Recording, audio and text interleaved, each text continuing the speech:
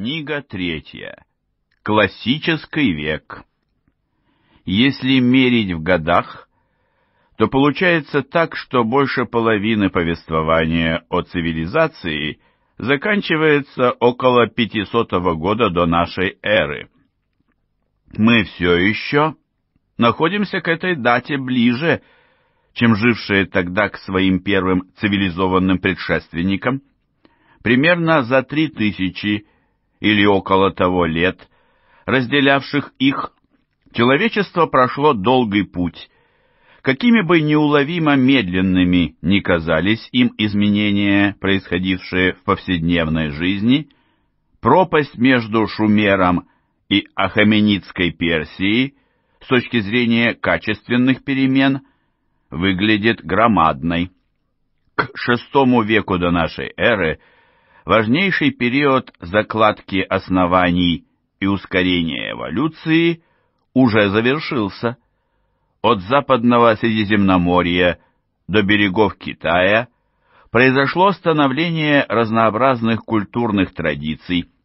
На них взросли неповторимые цивилизации, причем некоторые из них дали достаточно прочные и глубокие корни, позволившие им сохраниться до нашей эпохи.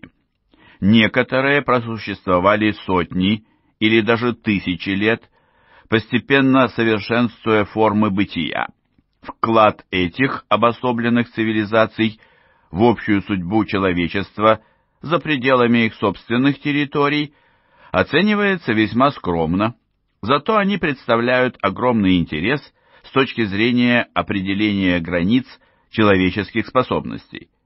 В своем подавляющем большинстве – даже обитатели величайших центров цивилизации проявляли интерес к тому, что лежало вне их сфер на протяжении как минимум двух тысяч лет после гибели Вавилона. Разве что иногда народы отвлекались на отражение вторжений врагов. Перед нами открывается мир, в котором содержание некоторых из тогдашних цивилизаций углублялось и переходило в формирование моделей того, что суждено прийти им на смену. Так выглядела эпоха, названная нами классической. Но не всеми цивилизациями, образовавшимися в начале времен, оставлено классическое наследие, способное сохраниться до нашего времени. Что-то изменилось до неузнаваемости по причине завоеваний, переселений народов или глубокой религиозной ревизии. В Китае Признаки классического века, сложившиеся при династии Хань, сохранились за счет неизменности сути китайского государства. В Индии они сохранились благодаря неизменности религиозных воззрений и структуры общества, и в Восточном Средиземноморье сложился классический век, длившийся больше тысячи лет, без нарушения его традиции – и намного позже он послужит плодородной почвой для глобального изменения в новейшей истории. Глава первая. Перекраивание древнего мира. Появлением новой цивилизации в Восточном Средиземноморье мы во многом обязаны древнейшим традициям народов Ближнего Востока и бассейна Эгейского моря. С самого начала перед нами – предстает сплав из греческой речи, семитского алфавита, идей, корнями уходящих в древность Египта и Месопотамии, а также напоминаний о Микенах. Даже после созревания этой цивилизации в ней все еще проявлялось разнообразие источников происхождения. Она никогда не выглядела простой, монолитно-цельной, а ближе к концу и вовсе представлялась очень сложной. При всем том, что объединяло эту цивилизацию и придавало ей единство, всегда представлялось сложным делом разграничивать скопление сходных культур в районе Средиземноморья и бассейна Эгейского моря. Их размытые ограниченные зоны простирались далеко в пределы Азии, Африки Дикой Европы и Южной России.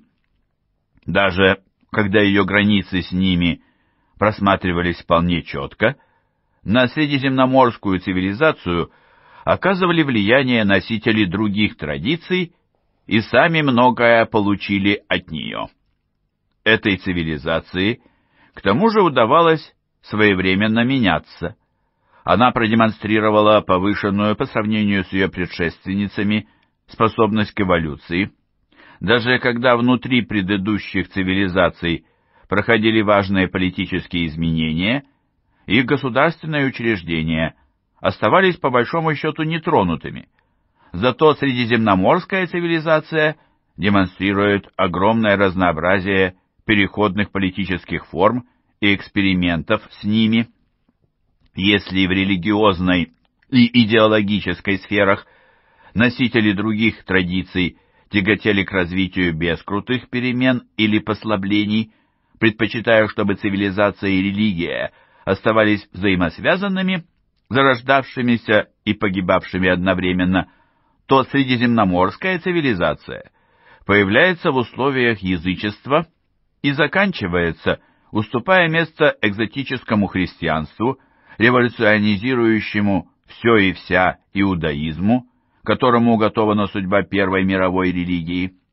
В этом состояло огромное отличие, которое позволило этой цивилизации повлиять на будущее человечества. Из всех факторов, послуживших формированию данной цивилизации, наиважнейшим можно назвать само место ее возникновения, то есть Средиземноморский бассейн. Он послужил одновременно и истоком, и водосбором. Потоки без затруднений скатывались сюда с земель древних цивилизаций, а из этого центрального водохранилища они к тому же подымались туда, откуда происходили, на север, в дикие земли. При том, что территория Средиземноморья обширна и заселена разнообразными народами, у его бассейна явно просматриваются общие особенности. Подавляющее большинство его побережий занимают узкие равнины, сразу позади которых поднимаются крутые и замкнутые горные цепи, прорезанные несколькими долинами крупных рек. Обитатели этих прибрежных долин, как правило, обращали свой взор к морскому побережью и на земли, лежавшие за морем. То, что находилось за их спиной, эти народы интересовало мало. Такая география, наряду с общим для них климатом, служила благоприятным условием для естественного распространения среди предприимчивых народов новых замыслов и методов их притворения в жизнь в пределах Средиземноморья. Недаром римляне назвали Средиземное море «Маре Магнум» — «Великим морем». Оно представлялось выдающимся географическим фактом их мира, центром классических карт, его поверхность служила великой объединяющей силой для тех, кто знал, как использовать ее, и к 500 годам до нашей эры мореходство достигло достаточно передового уровня, чтобы заниматься им постоянно, кроме зимних месяцев. По направлениям господствующих ветров и течений определились точные маршруты судов, движение которым придавалось одними только парусами или веслами, но в любую часть Средиземноморья можно было попасть водным путем из любого его уголка. В результате появилась прибрежная цивилизация носителей нескольких языков, на которых народы свободно общались в ее пределах. На ее территории возникли специализированные центры торговли, ведь обмениваться материальными ценностями по морю было легче – но фундаментом хозяйственной жизни оставалось возделывание пшеницы и ячменя, маслин и виноградных лоз, которое велось главным образом для местного потребления. Металлы, которых все больше требовалось для такой системы хозяйствования, можно было завозить извне.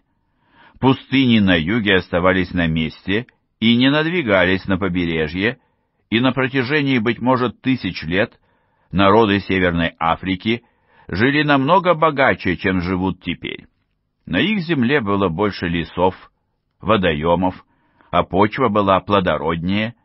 Того же самого вида цивилизация поэтому появлялась по периметру всего Средиземноморья. Такое различие между Африкой и Европой, которое мы, нынешние люди, считаем само собой разумеющимся, до окончания 500-х годов нашей эры не существовало. Придерживавшиеся политики расширения внешних связей народы этой прибрежной цивилизации создали свой новый мир. Народы цивилизации Великой долины не заселяли новые территории, они их покоряли. Такие народы занимались внутренними делами, заботясь исключительно о достижении своих узких целей под управлением местных деспотов. Представителям многих более поздних обществ, существующих в пределах классического мира, приходилось делать то же самое, но с самого начала наблюдается заметное изменение темпа и потенциала их развития, и в конечном счете греки и римляне растили кукурузу в России, выплавляли олово из руды Корнуола, строили дороги на Балканах, а также пользовались специями из Индии и украшали себя шелками из Китая. Об этом мире нам многое известно, и не в последнюю очередь благодаря тому, что после него осталось богатое археологическое и монументальное наследие. Хотя гораздо дороже для нас, тем не менее, невиданные до того массивы письменного материала. С ним мы вступаем в эпоху полной грамотности населения. Среди прочих вещей нам встречаются первые настоящие труды по истории, представляющие ценность как великие народные творения евреев в форме сказаний о трагедии вселенского масштаба, разыгрывающиеся вокруг хождения одного народа, они имеют весьма отдаленное отношение к истории. В любом случае, они тоже доходят до нас через классический средиземноморский мир.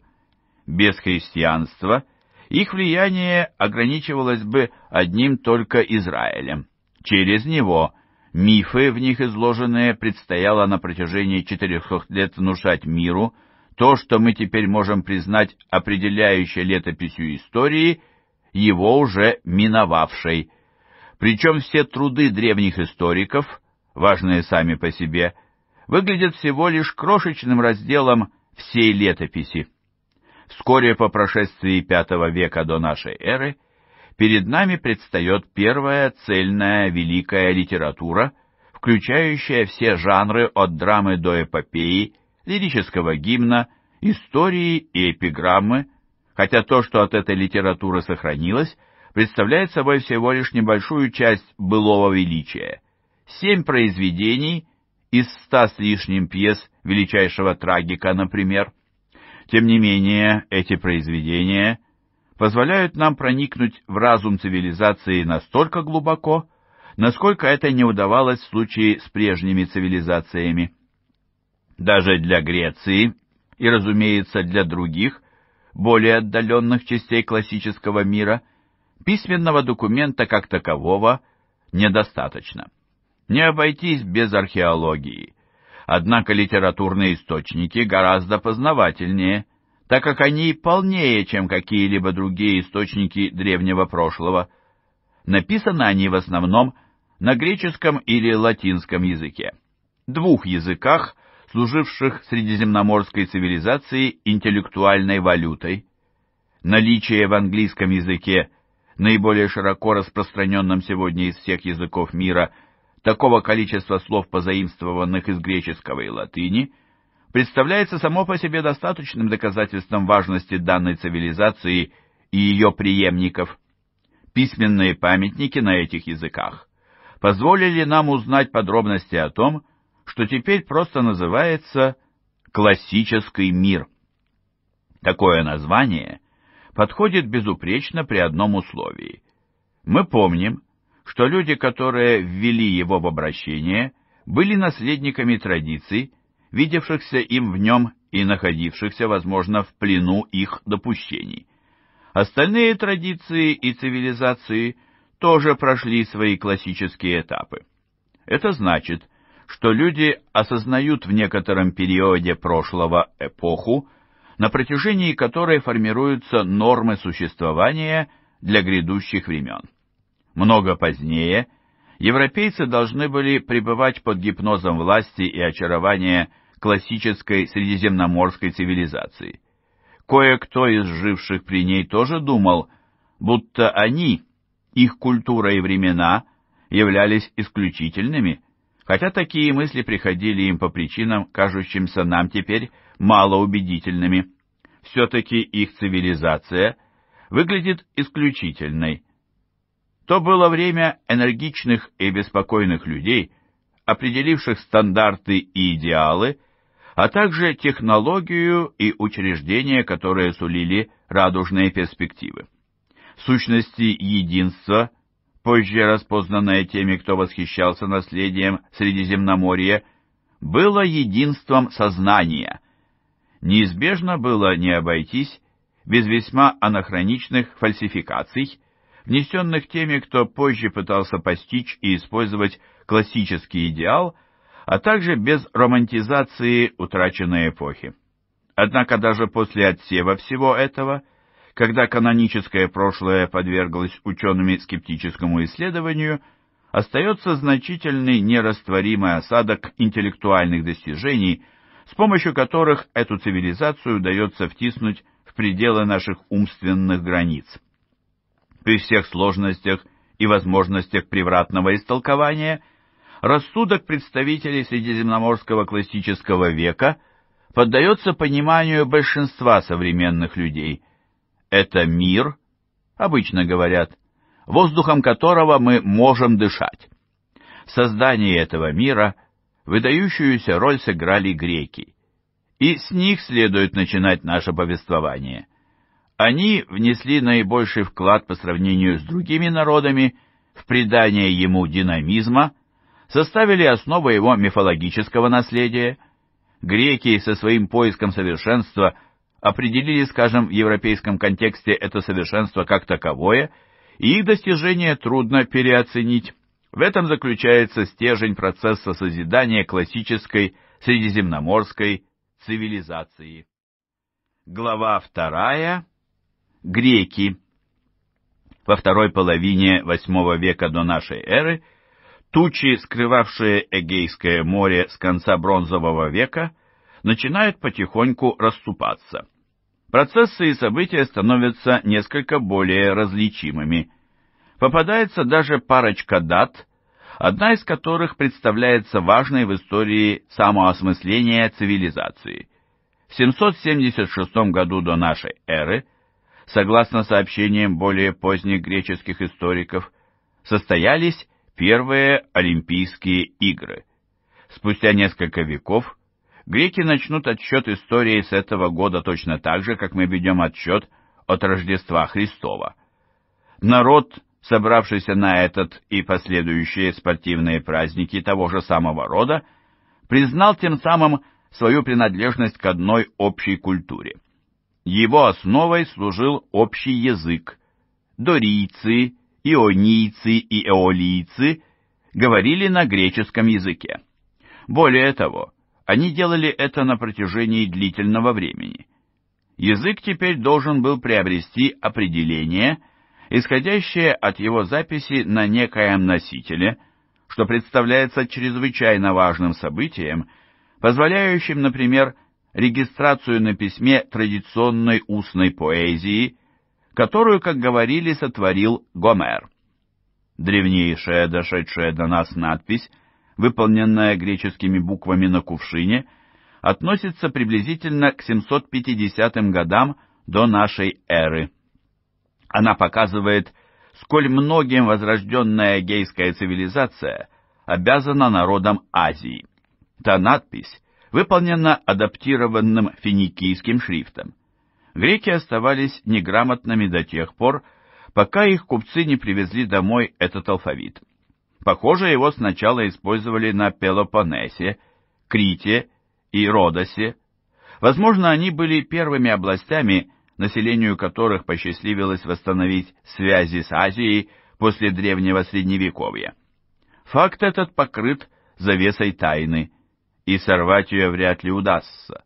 Но так или иначе, катализатором, ускорившим становление греческой цивилизации, могли быть контакты с народами Востока.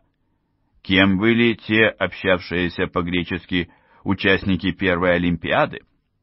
Хотя так до сих пор называют их и их потомков, греками тех людей не называли. Это имя их народу присвоили римляне несколько веков спустя. Слово, которым они назывались, звучит как «эллины», изначально использовавшееся для обозначения захватчиков греческого полуострова Пелопоннес, чтобы отличить их от коренных обитателей, это слово стали применять к разговаривающим на греческом языке народам бассейна Эгейского моря. Им обозначалось новое понятие и новый народ, происходящий из древнего Средневековья, и в нем заключалось нечто большее, чем словарное значение – им обозначалось самосознание новой данности, одной все еще находящейся в стадии формирования, и той, точное значение которой навсегда останется неясной. Некоторые из говоривших по-гречески племен вели оседлый образ жизни еще с VIII века, и их предки теряются в неразберихе вторжений супостатов бронзового века. Кто-то переселился сюда совсем недавно. Греков среди них изначально не было. Они стали греками по прибытии на свое место в бассейне Эгейского моря. Они теперь определялись языком, и с его помощью между ними сплелись новые связи. Наряду с общим наследием в виде религии и мифологии, греческий язык служил важнейшим признаком принадлежности к грекам – непреложным и высшим проявлением общей культуры. Но все равно такие связи с точки зрения политики никогда особой роли не играли. Они вряд ли служили укреплению единства из-за самого театра греческой истории, которая на самом деле относилась не к грекам, а скорее к бассейну Эгейского моря в целом. Предшествовало всему – широкое распространение минойского и микенского влияния на заре цивилизации, тем более что практически круглогодично существовала возможность беспрепятственного сообщения по воде между множеством островов и побережий этого моря. Появление греческой цивилизации вообще можно объяснить особенностями географии ее распространения. Прошлое тоже, разумеется, что-то дозначило, но Минойский Крит и Микены вполне могли оставить Греции меньшее наследие, чем англосаксонская Англия оставила поздней Великобритании. Окружение играло более важную роль, чем история, так как его составляла группа жизнеспособных с хозяйственной точки зрения сообществ людей, общавшихся на одном языке и пользовавшихся легким выходом не только друг на друга, но и к центрам цивилизации на Ближнем Востоке возрастом постарше, точно так же, как древние речные долины. Но по иным причинам бассейн Эгейского моря оказался удачным местом для сотворения цивилизации. Бассейн Эгейского моря греки по большому счету заселили из-за ограниченных возможностей для проживания, которые они обнаружили на материке. Только на очень небольших его клочках плодородие земли и климатические особенности сулили возможность земледельческого изобилия. По большей части земледелие втискивалось в узкие полоски пойм рек, окаймленные каменистыми или поросшими лесом холмами, которые приходилось обрабатывать после окончания паводка. Месторождения полезных ископаемых встречались редко, а залежей олова меди или железа не удалось отыскать вообще. Совсем немного долин спускалось прямо к морю, и осуществлять сообщения между ними обычно представлялось трудной задачей. Все эти географические сложности склоняли жителей Аттики и Пелопоннеса к обращению взоров на земли, лежащие за морем, перемещаться по которому было намного легче, чем по неровностям суши, тем более разделяли морских соседей расстояние, не превышавшее 65 километров. Такая тенденция усилилась уже в X веке до нашей эры из-за роста населения, когда удобных для земледелия земель стало явно не хватать. В конечном счете наступила великая эпоха колонизации. К ее завершению в VI веке греческий мир простирался далеко за пределами бассейна Эгейского моря, от Черного моря на востоке до Балиарских островов, Франции и Сицилии на западе и Ливии на юге. Но переселение это продолжалось несколько веков, на протяжении которых, кроме демографического фактора, следует отметить роль еще несколько важных обстоятельств. В то время как Фракию заселяли колонисты-земледельцы, занимавшиеся поиском свободных земель, остальные греки осели в Леванте или Южной Италии в качестве купцов в расчете либо на потенциальное богатство, либо ради выхода на металлы, в которых они нуждались, но не могли найти в Греции. Некоторые черноморские греческие города возникали там, где можно было организовать торговлю, а другие в местах, где имелся потенциал для занятия земледелием. И при этом торговцы и земледельцы были не единственными миссионерами, занимавшимися распространением греческого уклада жизни и преподаванием греческого языка среди народов, населявших внешний мир. Хронологические записи других стран служат для нас свидетельством появления там греческих наемников – начиная с VI века, когда они воевали на стороне египтян против ассирийцев, и дальше. Все приведенные выше факты должны были оставить важные социальные и политические последствия для родины самих греков. Несмотря на службу в зарубежных армиях и яростные ссоры между собой, всегда подчеркивая различия в традициях и духовной сфере между беотийцами, дорийцами или ионийцами, греки никогда не забывали о своей общей этнической принадлежности и отличии от других народов. Это имело практическую важность. Греческих военнопленных, например, нельзя было обращать в рабов, в отличие от варваров. Это определение стало порождением самоосознанного эллинизма, однако тогда оно звучало содержательнее и не так презрительно, как в современной речи. К варварам относились народы остальной части мира, то есть те, кто не владел разборчивым греческим языком, каким бы то ни было его диалектом, а произносил некую тарабарщину, непонятную простому греку на великие религиозные праздники греческого года, когда народ из многих городов собирался вместе, тех, кто не владел греческим языком, не пускали. Религия служила еще одной основой греческой идентичности. Греческий пантеон выглядит явлением чрезвычайно сложным и представляет собой сплав массы мифов, сочиненных обитателями многочисленных общин, проживавших на обширной территории в разное время. Между этими мифами порой отсутствует связь или даже просматриваются противоречия, преодоленные позже благодаря рациональному подходу. Некоторые из этих мифов пришли извне, как азиатский миф о золотых, серебряных, бронзовых и железных веках. В основе греческого религиозного опыта лежали местные предрассудки и вера в подобные легенды. Причем религиозный опыт греков в значительной мере отличался от религиозного опыта других народов его исключительно гуманизирующей направленностью. Греческие боги и богини, при всем их божественном положении и власти, выглядят поразительно человечными. Во многом позаимствованные у египтян и народов Востока, в греческой мифологии и произведениях искусства боги – обычно представляются как мужчины и женщины, обитающие в мире, лишенном чудовищ Ассирии и Вавилонии. Нет там и многорукого Шивы. Греки устроили буквально революции в религиозной сфере. Обращение к ней означало, что человек – существо богоподобное. Мысль эта уже прослеживается у Гомера. Быть может, он наравне с остальными греками замахнулся на сверхъестественную суть человека и не оставил большого места предметом массового поклонения.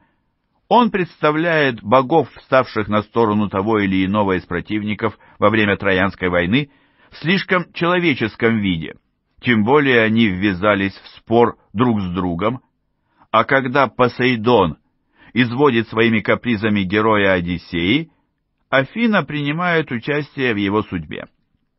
Один поздний греческий критик сетовал на то, что Гомер приписал богам все те качества, которые считаются постыдными и заслуживающими порицания в мире людей. Воровство, супружескую измену и обман. Мир богов у греков мало отличался от мира людей. Илиада и Одиссея уже упоминались как источники сведений о доисторических временах. Эти произведения тоже сыграли свою роль в определении контуров будущего. На первый взгляд, они представляются занимательными объектами для воздаяния должного народу. В Илиаде содержится изложение краткого эпизода из легендарной, давно прошедшей войны. Одиссея же больше напоминает роман, автор которого повествует о скитании одного из величайших литературных персонажей по имени Одиссей по пути домой с той же самой битвы. Этим весь сюжет и исчерпывается, но их почему-то стали почитать как некое святое писание – масса времени и литры чернил потрачены на споры о том, как их удалось сочинить. Наиболее вероятным теперь представляется, что они приняли свой теперешний вид в Ионии чуть раньше 700-х годов до нашей эры. Существенный момент состоит в том, что некто собрал материал, накопившийся за четыре века в сказаниях поэтов-песенников, и соткал его в единую устоявшуюся материю, и в этом смысле данное произведение считается кульминацией эпохи греческой героической поэзии, при том, что эти произведения могли записать в VII веке, стандартную версию этих стихов приняли только в VI веке. К тому времени их уже считали авторитетным изложением ранней греческой истории источником нравов и модели поведения, а также главным показателем литературного образования. Таким образом, они стали не только первыми документами греческого самоопределения, но и воплощением основных ценностей классической цивилизации. Позже им предстояло превратиться в нечто большее. Вместе с Библией они стали источником западной литературы. Какими бы гуманными по Гомеру не выглядели его боги, обитатели греческого мира к тому же испытывали глубокое уважение ко всему оккультному и мистическому. Это уважение нашло свое воплощение в таких явлениях, как приметы и пророчества. Алтари пророчеств Аполлона в Дельфах или в Дидиме на территории Малой Азии – служили местами паломничества и источниками загадочных советов. Проводились обрядовое поклонение, участники которых занимались мистериями с воспроизведением великих природных процессов начала цветения и роста, наблюдавшихся при прохождении сезонов. Популярная религия в литературных источниках занимает далеко не первое место – но она никогда полностью не отрывалась от религии, так сказать, респектабельной. Важно не забывать о таких иррациональных недрах, тем более что достижения греческой элиты на протяжении более поздней классической эпохи выглядят внушительными и надежно опираются на здравый рассудок и логику. Само безрассудное начало, однако, никуда не девалось, и в раннем периоде формирования, о котором идет речь в настоящей главе, это бросается в глаза. В литературных источниках и признанной традиции тоже, пусть даже совсем не точно, говорится о социальных и политических атрибутах Древней Греции. Гомер представляет нам картину общества царей и аристократов, но общество уже отжившего свое к моменту, когда он взялся за его изображение – титул царя иногда продолжал существовать, и в одном месте, то есть в Спарте, постоянно правили два царя сразу. К историческим временам власть перешла от монархов к родовой знати практически во всех греческих городах. постоянную напористость и самостоятельность греческой общественной жизни можно объяснить поглощенностью военной аристократии проблемой храбрости. Ахиллес, в том виде, в каком его представляет нам Гомер, выглядит таким же задиристым и ранимым персонажем, каким был любой средневековый европейский барон. Греки не удосужились создать некую прочную империю, так как основанием ей должен был служить фундамент из известной степени подчинения блага меньшему благу большему или некоторой готовности согласиться с дисциплиной упорядоченной службы. Это было бы совсем неплохо. Только греки с их эллинским гонором не могли собрать в единое государство даже свою собственную родину. Ступенькой ниже родовой знати древних городов стояли жители прочих слоев все еще весьма примитивного общества. Вольные граждане работали на собственной земле или иногда на чужой. Состояние не переходило к новому владельцу быстро или легко до тех пор, пока деньги не сделали его доступным в виде, позволяющем более упрощенную передачу, чем передача земли. Гомер измерял ценность в валах, и он явно предвидел появление золота и серебра в качестве предметов передачи в процессе вручения даров, но не как средство обмена. Это послужило фоном для формулирования более поздней идеи о том, что торговля и выполнение подсобных задач не пользуются уважением. Взгляд на аристократию оставался неизменным. Теперь проще понять, почему в Афинах и, возможно, повсеместно, торговлей на протяжении длительного времени занимались метеки, или переселенцы из зарубежья, не пользовавшиеся никакими гражданскими привилегиями, но зато оказывавшие греческим гражданам услуги, которые те сами себе отказывались бы оказывать. Рабство воспринималось, разумеется, как дело само собой разумеющееся, хотя много непонятного – окружает само его учреждение. Оно со всей очевидностью позволяет самое вольное толкование.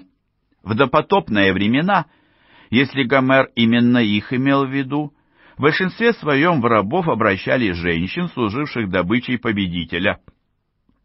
А убийство плененных мужчин позже уступило место и их обращению в рабство. Крупномасштабное рабство на плантациях каким оно было в римских или европейских колониях новейших времен, встречалось крайне редко. Многие греки в V веке, числившиеся вольными гражданами, владели одним или двумя рабами, а по одной оценке в период высшего расцвета Афин около четверти населения этого государства составляли рабы. Рабы могли рассчитывать на освобождение. Один раб в IV веке – стал весьма известным банкиром. Весь мир в то время строился на предположении о том, что рабство вечно, и поэтому вряд ли кому на ум приходило желание оспаривать то, что греки считали бесспорным. Не существовало ни одного дела, выполнение которого обходилось бы без рабов, от земледельческого труда до обучения. Наше слово «педагог» изначально относилась к рабу, который сопровождал мальчика из знатного рода в школу. Рабы могли, а иностранные граждане должны были, служить одними из многочисленных каналов, посредством которых греки продолжали подвергаться влиянию Ближнего Востока еще на протяжении долгого времени после того, как цивилизация снова появилась в бассейне Эгейского моря. Гомер упоминал демиоргуои, иноземных ремесленников, которые наверняка принесли с собой в города эллинов не только техническое умение, но и сведения о других народах. В более поздние времена мы слышим о греческих мастерах, осевших в Вавилоне, и можно привести множество примеров, когда греческие солдаты нанимались на службу при иноземных царях, когда персы брали Египет в 525 году до нашей эры, греки воевали с обеих сторон. Некоторые из ветеранов той войны должны были возвращаться на свою эгейскую родину обогащенными новыми представлениями и впечатлениями.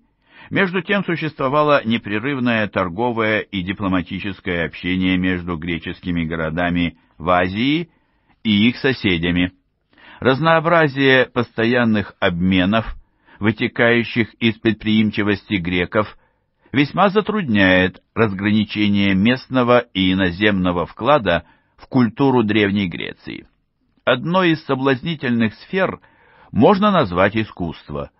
Точно так же, как у жителей Микен, которые отразили азиатские обряды, у греков сюжеты с животными, украшающие бронзовые изделия, или позы богинь, например, Афродита, напоминают искусство Ближнего Востока.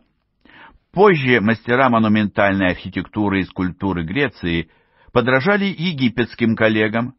По египетским памятникам старины шлифовались стили произведений, сотворенных греческими ремесленниками в Навкратисе, при том, что конечный продукт в виде зрелого искусства классической Греции считается единственным в своем роде. Его корни лежат далеко в прошлом – когда случилось восстановление связей с Азией в VIII веке. Не поддающимся скорому описанию остается последующее неспешное освещение процесса культурного взаимодействия, которое к VI веку шло в обоих направлениях, так как Греция к тому времени выступала в роли одновременно и ученика, и учителя. Например, царство Лидия – принадлежащая легендарному Крезу, считающемуся богатейшим в мире человеком, подверглась эллинизации со стороны его греческих городов-данников.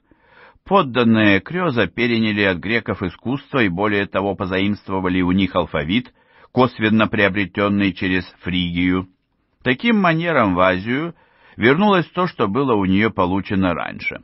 Задолго до 500-х годов до нашей эры – греческая цивилизация отличалась такой сложностью, что в любой момент легко потерять связь с истинным положением дел.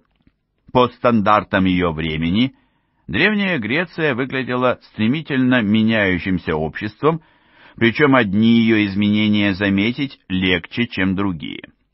Одним из важных событий к концу VII века представляется вторая и более значительная волна переселенцев – часто прибывавших из восточных греческих городов.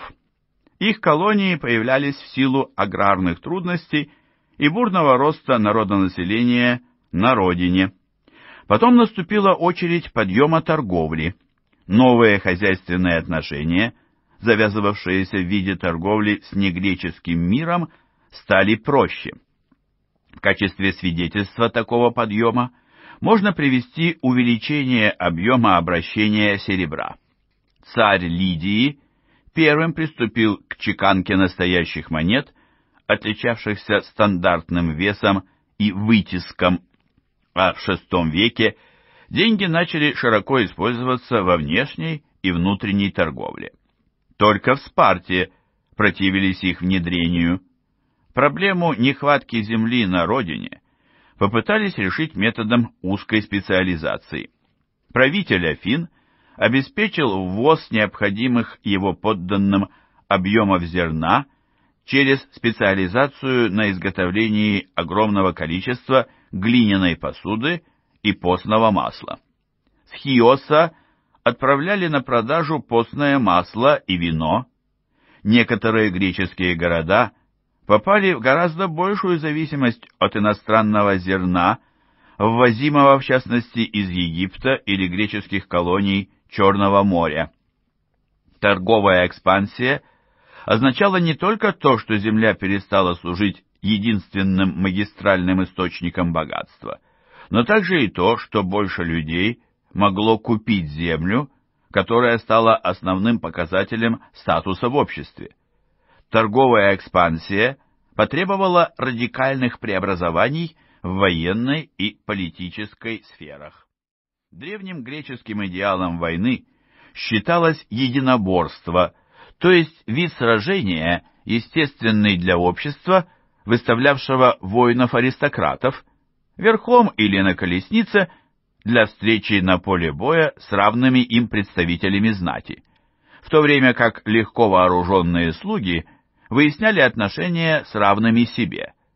Нувариши могли приобрести доспехи и оружие для оснащения самого передового на то время военного инструмента в виде полка гоплитов или тяжело вооруженных пехотинцев, на протяжении двух веков служившего становым хребтом греческих армий и обеспечивавшего им превосходство над врагами.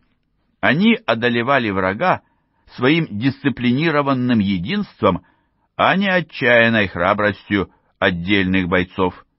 Гоплиты защищали голову шлемами, грудь кирасами и несли с собой щиты. Их главным оружием было копье, предназначавшееся не для метания с некоторого расстояния, а для нанесения колющих и режущих ударов в рукопашной схватке, происходившей после сближения с противником в организованном строю гоплитов. Причем основной пробивной силой выступал как раз такой строй.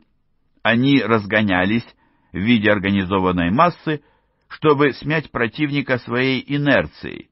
При этом их успех полностью зависел от способности организовать дисциплинированную боевую единицу.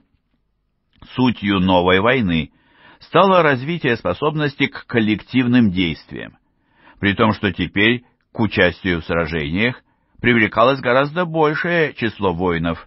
Расчет, тем не менее, делался не только на количество, как доказали три века греческих побед над азиатскими армиями.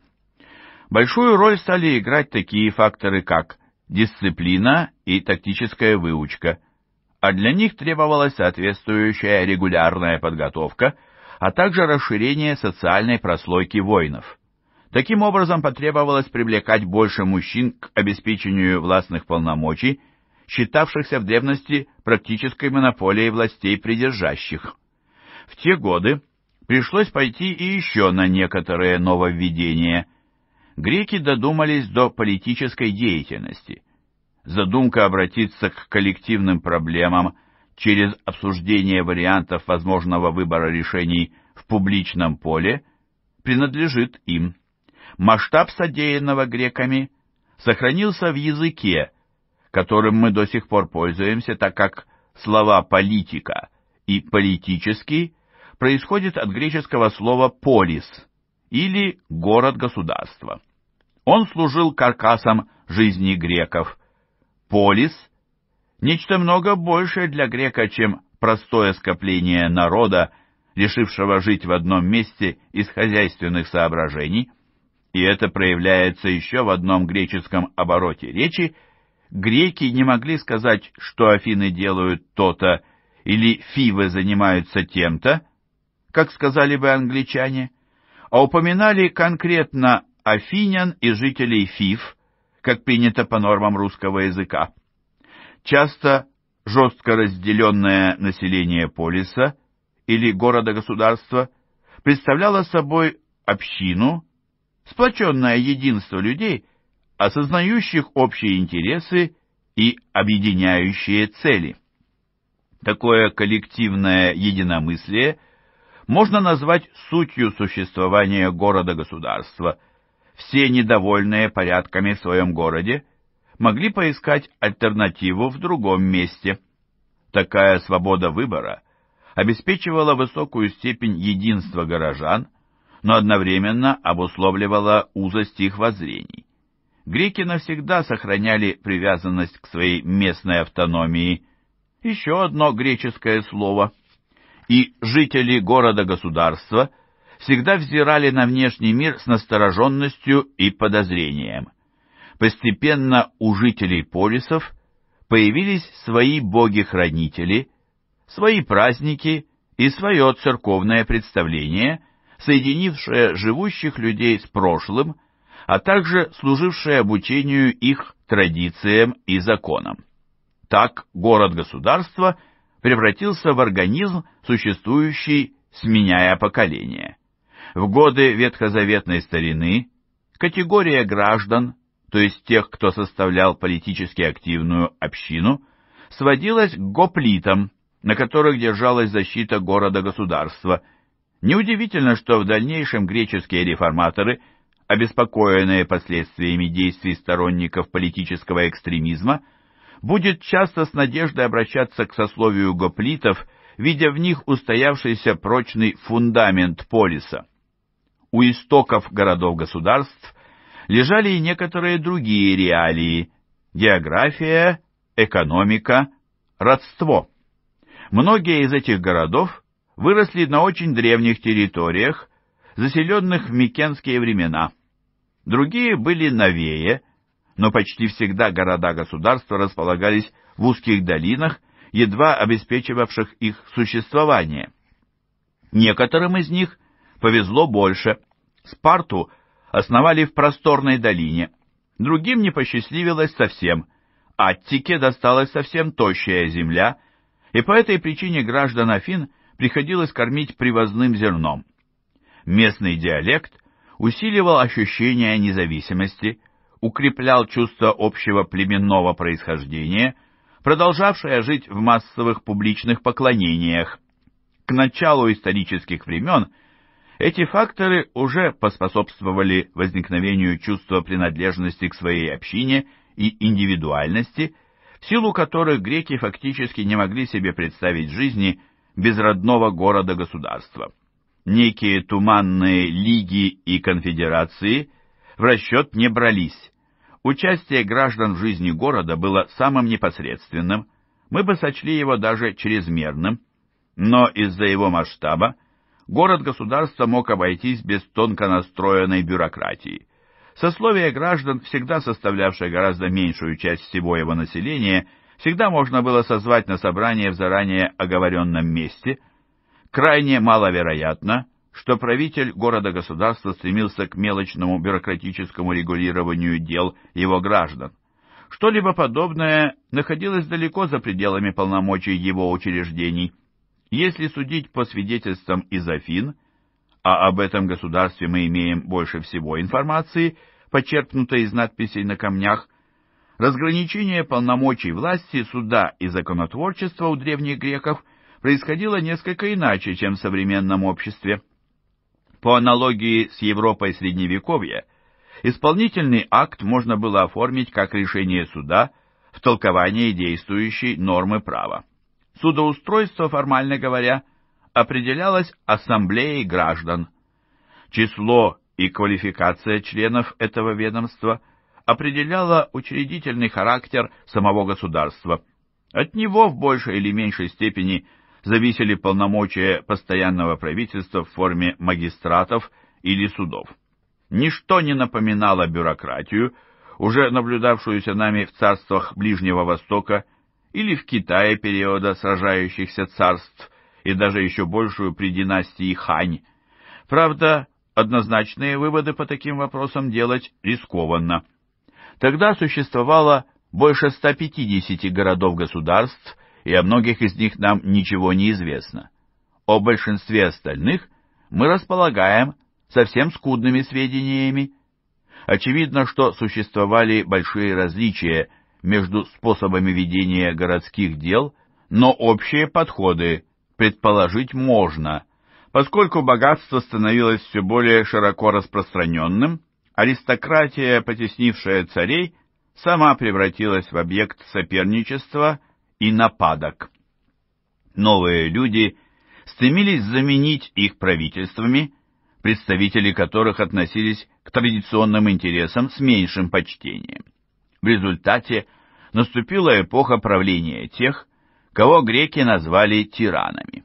Они часто располагали большими деньгами, но к власти приходили за счет своей популярности у народа, и многие тираны должны были выглядеть доброжелательными деспотами. Они восстановили мир, нарушенный по причине социальных дрязг, вероятно, усилившихся из-за затруднений, связанных с нехваткой земли для всех желающих. Мир способствовал экономическому росту, равно как обычно добрые отношения, связывавшие тиранов друг с другом. Седьмое столетие было для них золотым веком. Но все-таки век тиранов длился недолго. Немногие тирании просуществовали больше одного поколения. В VI веке до нашей эры практически повсеместно течение жизни повернуло в сторону коллективного правления. Стали появляться такие формы правления, как олигархия, конституционное правительство и даже зачаточная демократия. Выдающимся примером послужили Афины. На протяжении длительного времени казалось, что в Аттике вполне достаточно пусть и тощей земли для того, чтобы предотвратить общественные волнения в Афинах, которые в других государствах вызвали движение колонистов. К тому же в ее хозяйственной системе с самого начала предусматривалась особая живучесть во многих отношениях. По гончарному производству уже в VIII веке до нашей эры было видно, что Афины занимают положение лидера в сфере торговли и ремесел. Однако в VI веке до нашей эры Афины тоже потряс конфликт между богатыми и бедными гражданами. Масло и вино, и емкости для их хранения стали основными товарами афинского экспорта, а зерно оставалось дома. Одновременно через серию реформ уравняли права старого поместного сословия с недавно разбогатевшими нуворишами через новый народный совет, призванный исполнять функции эклессии, то есть общего собрания всех граждан.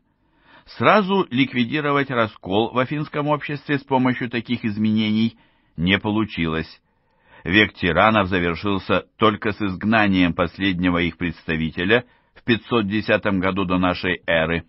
Тогда в Греции наконец-то начали функционировать учреждения, посредством которых греки парадоксальным образом пришли к самому демократичному способу государственного управления, и это при том, что в Греции насчитывалось рабов больше, чем в любой империи. Все политические решения принимались большинством голосов эклессии, участники которой к тому же выбирали главных судей и полководцев – Действенные меры предусматривались для организации граждан в объединение, предназначенные для того, чтобы предотвратить появление отдельных группировок городских жителей, противопоставлявшихся земледельцам или купцам. Наступала великая эпоха процветания, когда Афинам предстояло по сознательной инициативе властей организовать праздники и поклонения, выходившие за пределы города – и становящееся достоянием всех греков. Это походило на попытку Афин стать лидером греческого мира. Многое было сделано на противопоставлении Афин и их великого соперника Спарты.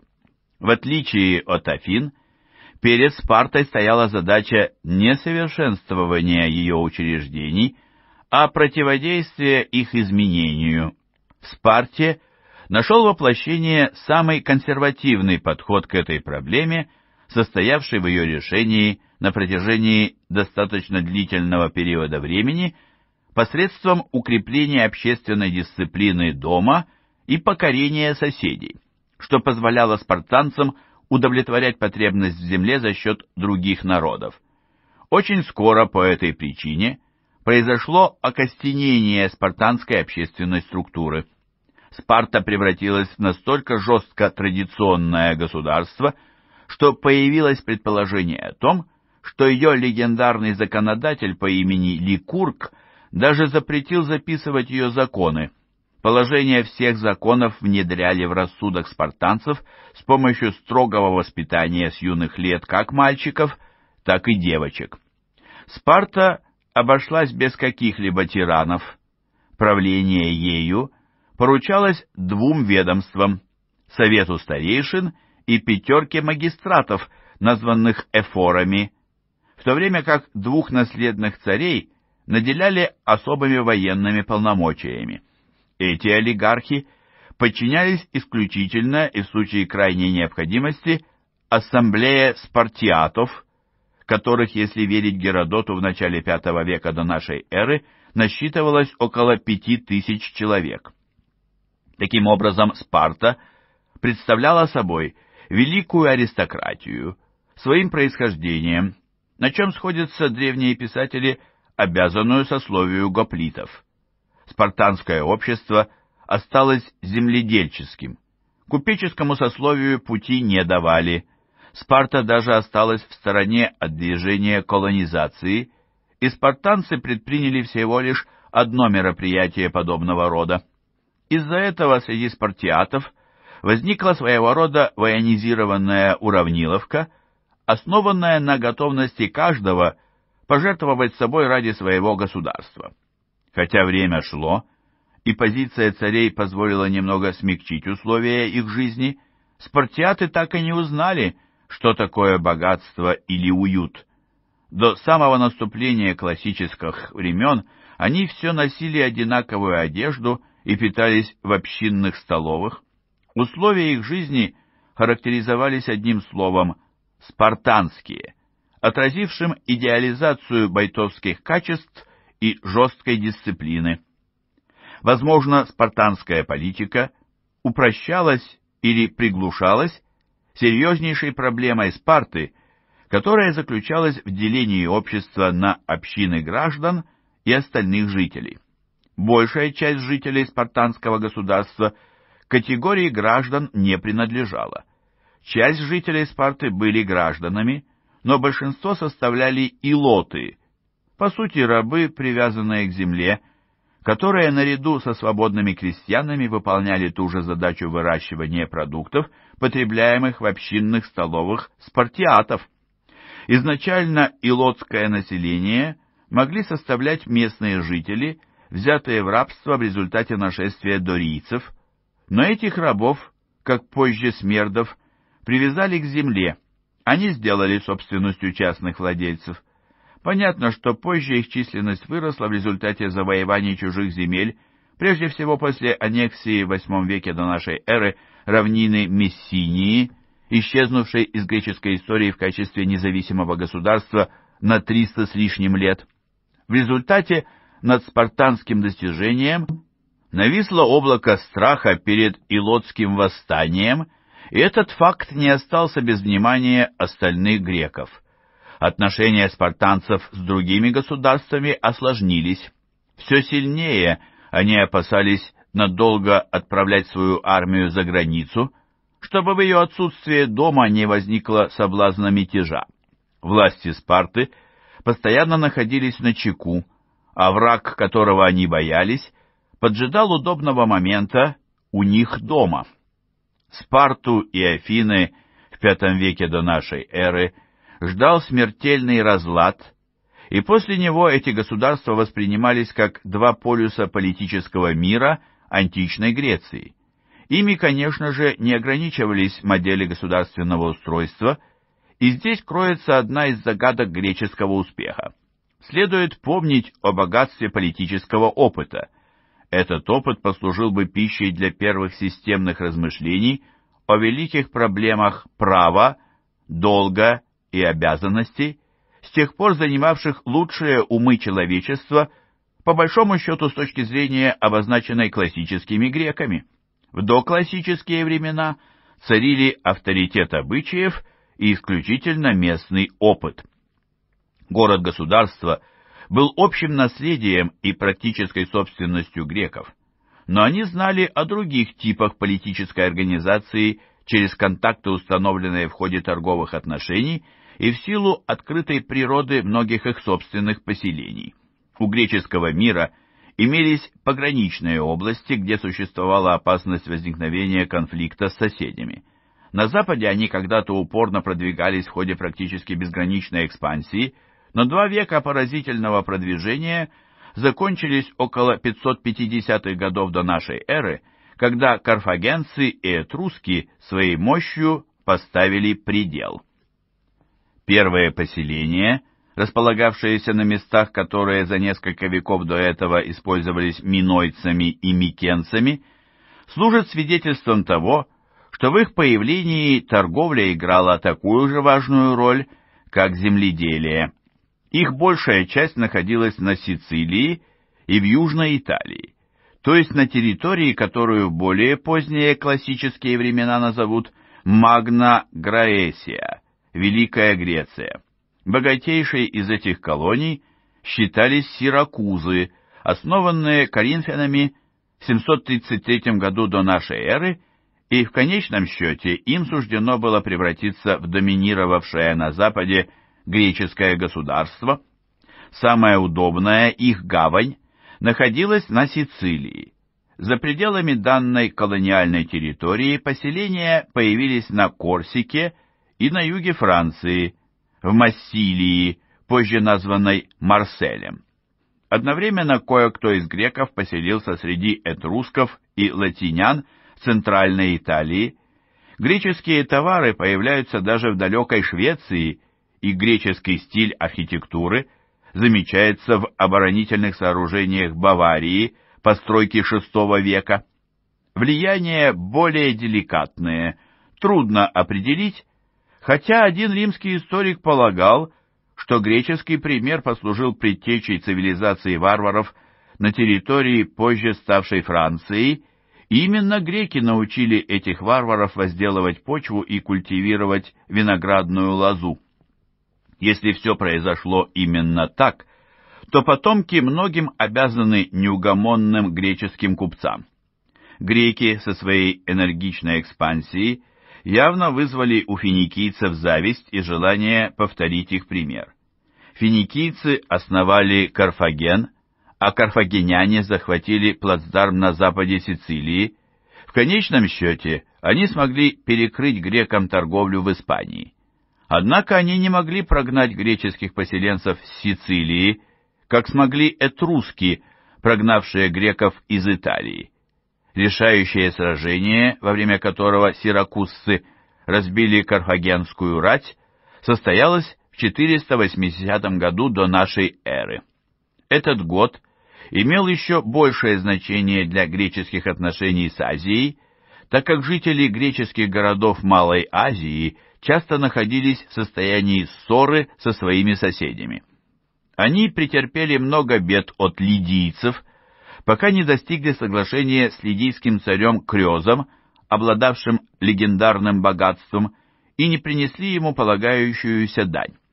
Еще раньше греки повлияли на лидийские манеры. Кое-кто из предшественников Крёза отправлял подношения для возложения к алтарям дельфов. Теперь эллинизация Лидии стала происходить еще быстрее. Как бы там ни было, но намного более грозный соперник появился гораздо дальше на востоке. То была Персия. Война между Грецией и Персией считается кульминационным моментом истории Древней Греции с последующим переходом ее в классическую эпоху. Так как греки придавали громадное значение своему затянувшемуся конфликту с персами, легко теряются из виду многочисленные нити, связывавшие соперников, на персидских флотах и в меньшей степени в персидских армиях, отправленных на штурм Пелопоннеса, служили тысячи греков, главным образом выходцев из Ионии. Кир привлекал наемных греческих резчиков по камню и скульпторов, а у Дария служил лекарь-грек. Вероятно, война послужила появлению антагонизма не меньше, чем его дальнейшему разжиганию, Какое бы глубокое эмоциональное отвращение не превозгласили греки к стране, народ который относился к своим царям как к богам, причины той войны лежали в мощной экспансии Персии, находившейся под властью Ахаменидов. Около 540-х годов до нашей эры персы покорили Лидию, то есть наступил конец правлению Крёза, якобы спровоцировавшего нападение персов своим опрометчивым толкованием высказывания дельфийского прорицателя, который будто бы сказал, что если тот пойдет войной на Персию, то сможет разрушить Великую империю, но не уточнил, какую.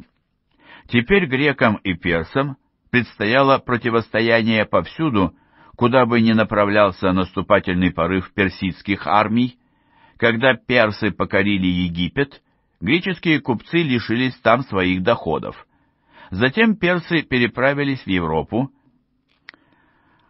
и подчинили себе прибрежные города до самого Македона, находившегося далеко на западе. Переправиться через Дунай у них не получилось, а в скором времени пришлось уйти из Скифии. В этом регионе возник своего рода перерыв в войне. В 50-х годах V века до нашей эры жители азиатских греческих городов подняли мятеж с целью избавления от персидского сюзеренитета. Поводом для мятежа можно считать поражение Дария в борьбе со скифами. Жители материковых городов, или некоторых из них, приняли решение выступить на помощь мятежникам. В Ионию направился флот Афин и Эретрии. В ходе последовавших операций греки сожгли бывшую столицу Лидии, город Сарды, библейский Сардис, где размещалась западная сатрапия Персидской империи. Но мятежники, в конечном счете, потерпели поражение, а жителям материковых городов пришлось испытать на себе месть разгневанного противника. Большие события в древнем мире обычно разворачивались неспешно, а подготовка масштабных экспедиций тем более требовала массу времени, но практически сразу после подавления Ионийского восстания персы послали на греков свой флот. Этот флот погиб во время шторма у Афонского мыса. Со второй попытки, предпринятой в 490 году до нашей эры, персы расправились с Эретрией, но потом потерпели поражение от афинян в сражении у местечка, название которого стало легендарным – Марафон. При том, что эта победа принадлежит афинянам, Лидером на следующем этапе борьбы с Персией выступила Спарта, считавшаяся самым сильным из городов-государств на греческой земле. Из Пелопонесской лиги, так назывался военно-политический союз, образованный греками ради того, чтобы спартанцам не пришлось в будущем отправлять свою армию в зарубежные походы, выделился некий национальный лидер в лице той же Спарты. Когда персы 10 лет спустя возобновили наступление на греков, те практически единодушно смирились с верховенством Спарты, даже правитель Афин, которому удалось укрепить Афинский флот, превратившийся в главную морскую силу Лиги на море. Греки говорили и, несомненно, верили в то, что персы пришли снова в 480 году до нашей эры через Фракию числом в несколько миллионов человек. Даже если, как теперь кажется, более вероятным, персы на самом деле располагали войском в лучшем случае под 100 тысяч человек, включая несколько тысяч греков, их было достаточно много для непропорционально меньшего числа защитников греческих городов. Персидское войско медленно двигалось вдоль побережья вниз к Пелопоннесу в сопровождении огромного флота, нависавшего с флангов. При всем этом греки располагали важными преимуществами в виде прекрасно обученной военному делу тяжелой пехоты, имевшей более совершенное вооружение, высокого боевого духа и рельефа местности, лишавшего персидскую конницу превосходства над греками. На сей раз решающее сражение произошло в море. За ним последовал еще один ставший легендарным эпизод – когда царь Спарты Леонид I с тремястами воинами своей личной гвардии на два дня остановил превосходящие силы персов в Фермопийском проходе.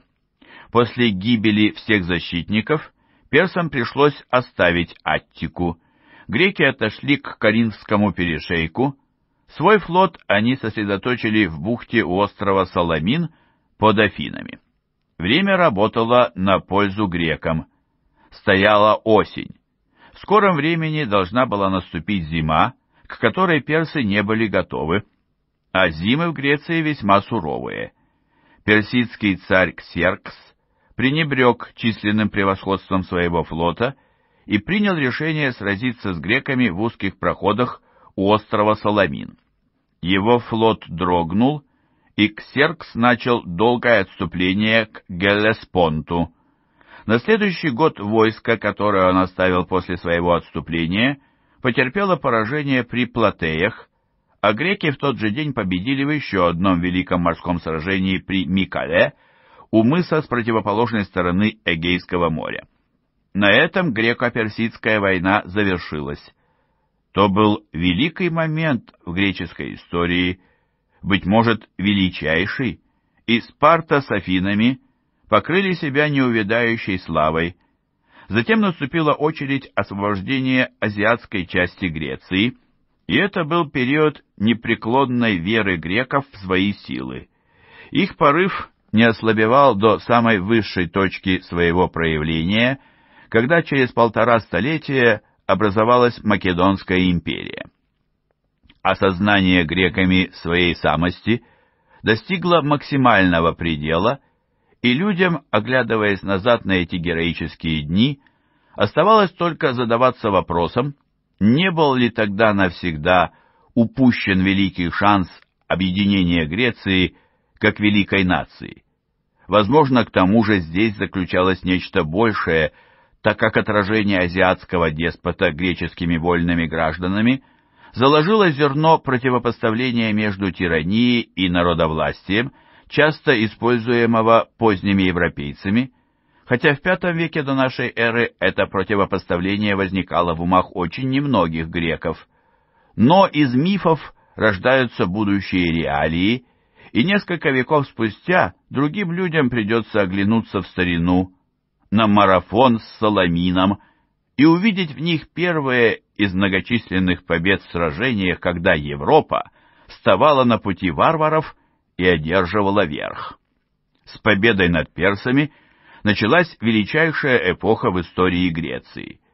Кое-кто говорит о так называемом греческом чуде – настолько высокими представляются достижения этой цивилизации. Однако фоном для тех достижений служила настолько горькая и развращенная политическая история, что все закончилось исчезновением главного атрибута, в котором существовала греческая цивилизация – города-государства. Сложное в деталях, это дело совсем несложно представить в общем виде – Война с Персией после сражений при Платеях и Микале тянулась еще на протяжении 30 лет, но теперь она служила всего лишь фоном явления поважнее, обостряющегося соперничества между Афинами и Спартой. Все обошлось, и спартанцы с легкой душой отправились домой, переживая о своих илотах. В результате Афины остались бесспорным лидером тех государств, цари которых горели желанием продолжать освобождение от персов остальных городов. Они образовали конфедерацию под названием Делосская лига, союз, предназначенную для содержания общего флота, нацеленного на борьбу с персами, а командовать ею назначили Афининина. Время шло, но своих кораблей члены конфедерации в общий флот не предоставляли – ограничиваясь денежными пожертвованиями. Кто-то стал воздерживаться от платежей под тем предлогом, что угроза со стороны Персии ослабела. Вмешательство афинян, проверявших поступление средств, усилилось и стало жестче. Царя Наксоса, например, попытавшегося покинуть альянс, осадили на его острове и силой вернули в Лигу. Делосская лига постепенно превращалась в Афинскую империю, и признаками этого можно назвать переезд ее совещательного органа с Делоса в Афины, использование общих денежных взносов на нужды Афин, распространение власти Афинского городского суда на участников Лиги и передачу важных уголовных дел на рассмотрение в афинские суды. После заключения мирного договора с Персией в 449 году до нашей эры Делосскую лигу распускать не стали, хотя причины для ее сохранения не находилась. На пике существования этой лиги дань Афинам платили 150 с лишним государств. Первые этапы этого процесса в Спарте восприняли благосклонно, довольные тем, что обязательства перекладываются на другие государства за пределами их собственных границ. Как и в остальных странах, изменения обстановки в Спарте осознавали с некоторым запаздыванием. Когда суть этих изменений до них доходила, оказывалось, что Афиняне со своей гегемонией все больше влияли на внутреннюю политику греческих государств. У них часто возникал раскол по поводу содержания лиги.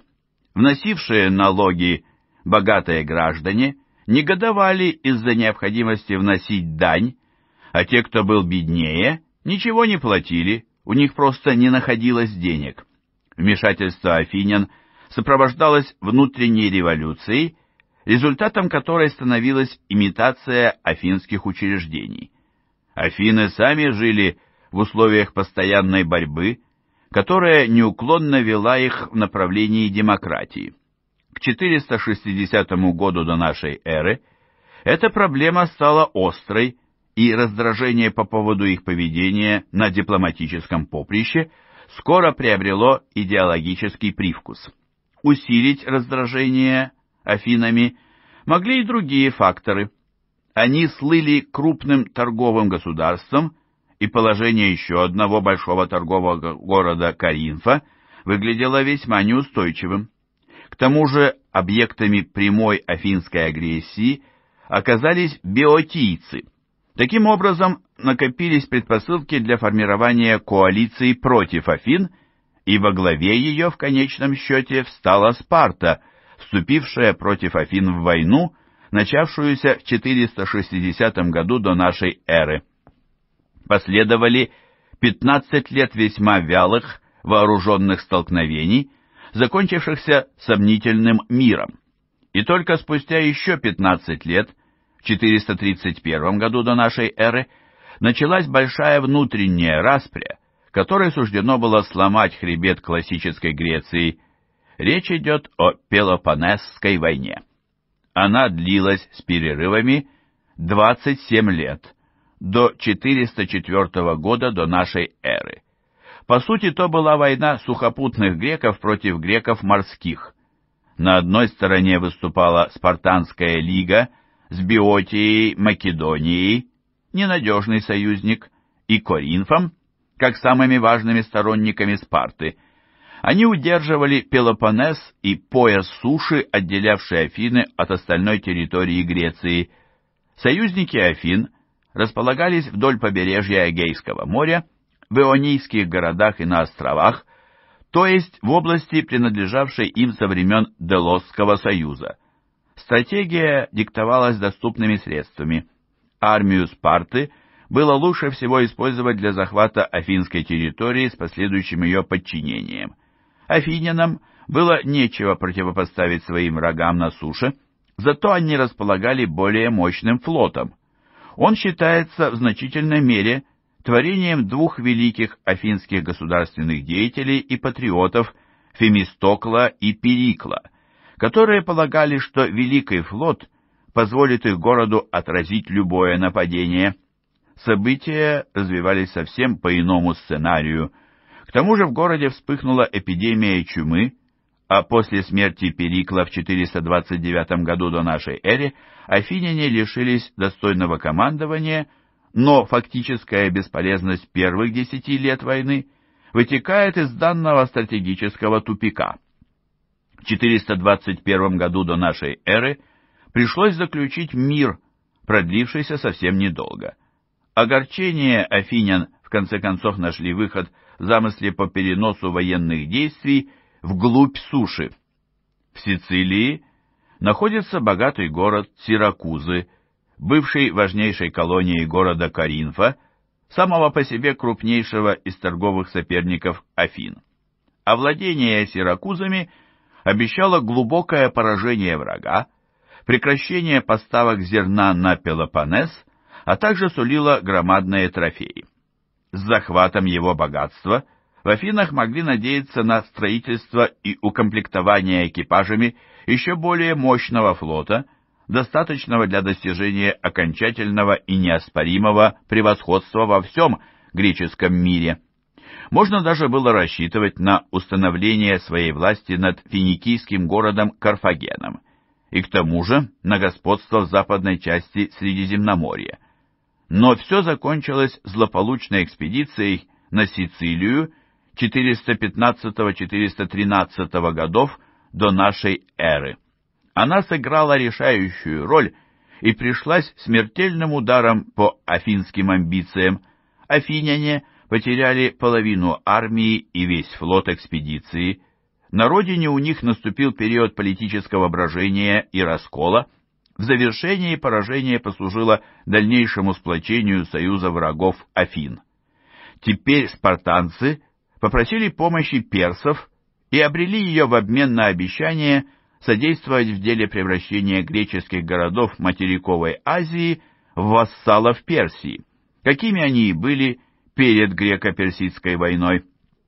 При этом у спартанцев появилась возможность нарастить мощь своего флота, способного оказать помощь подчиненным Афинам городам, изъявившим желание избавиться от афинского имперского диктата. Военное и морское поражение послужило подрыву боевого духа воинства в Афинах. В 411 году до нашей эры из-за неудачной революции демократический режим там на короткое время сменился олигархией. Тогда посыпались новые беды, в том числе захват врагом остатков Афинского флота, а в конце концов установление блокады. На сей раз все решил голод населения. В 404 году до нашей эры с Афинами заключили мирный договор, по условиям которого все укрепления города сравняли с землей. Такого рода события отозвались бы трагедией в истории любой страны.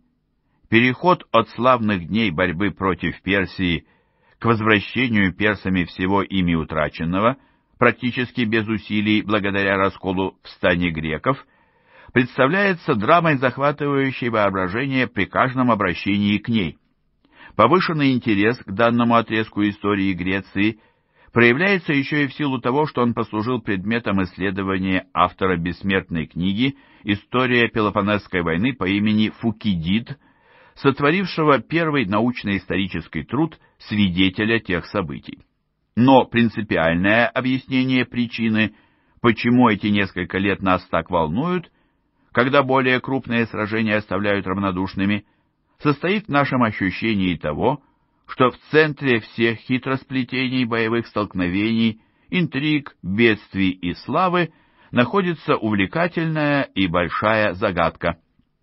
Что же там случилось?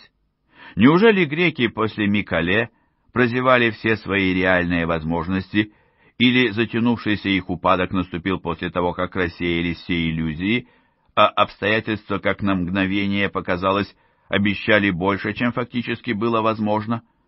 У тех военных лет существует еще один потрясающий аспект. Пока шла война, дало результат величайшее достижение цивилизации, когда-либо являвшееся миру людей. Политические и военные события, случившиеся тогда, очертили те достижения в определенных направлениях, которые должны были сохраниться в будущем.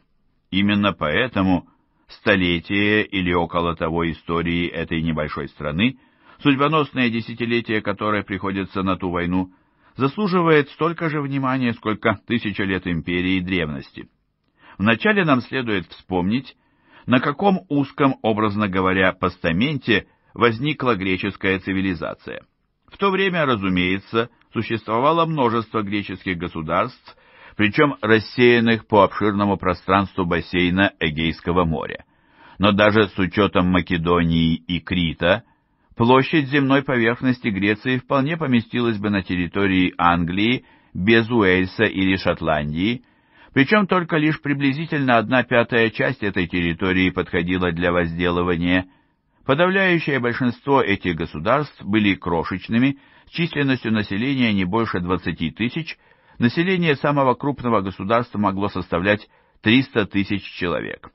В этих государствах лишь малочисленная верхушка принимала активное участие в решении проблем всего общества и пользовалась благами того, что мы теперь называем греческой цивилизацией. Теперь наступило время понять, в чем с самого начала заключалась сущность той цивилизации. Греки уже тогда прекрасно разбирались в радостях комфорта и чувственных удовольствиях. Предметы физического наследия, оставленного ими, служили канонами красоты во многих направлениях искусства на протяжении двух тысяч лет. К тому же греков вспоминают как великих поэтов и философов. Главное наше внимание привлекают именно достижения разума древних греков. Эти достижения косвенно признаются в представлении о канонической Греции через творение более поздних эпох, а не самих греков. Конечно же, кое-кто из греков V и IV веков до нашей эры считал себя носителями культуры более высокого порядка по сравнению с существовавшими тогда другими культурами, но сила классического совершенства заключается в том, что в ней представлялись воззрения из более поздней эпохи, лучшие умы которые оглядывались на Грецию и находили в ней стандарты, по которым оценивали себя. Представители последующих поколений искали такие стандарты прежде всего в V веке до нашей эры, то есть в годах, наступивших после победы греков над персами. Этот V век обладает объективной значимостью потому, что в этот период произошло особое напряжение и ускорение развития греческой цивилизации, даже при том, что та цивилизация неискоренимо была связана с прошлым, устремлялась в будущее и выплескивалась наружу, растекаясь по всему греческому миру. Корни той цивилизации уходили во все еще относительно примитивный хозяйственный уклад. По сути, они прорастали из предыдущей эпохи. Никакая великая революция не изменила ее с времен введения денежного обращения, и на протяжении трех столетий или около того наблюдаются всего лишь последовательные или частные трансформации в направлениях или номенклатуре товаров греческой торговли. Натуральный обмен повседневными товарами еще долго сохранялся после наступления эпохи чеканки монет. Объемы производства ремесленных товаров оставались на низком уровне.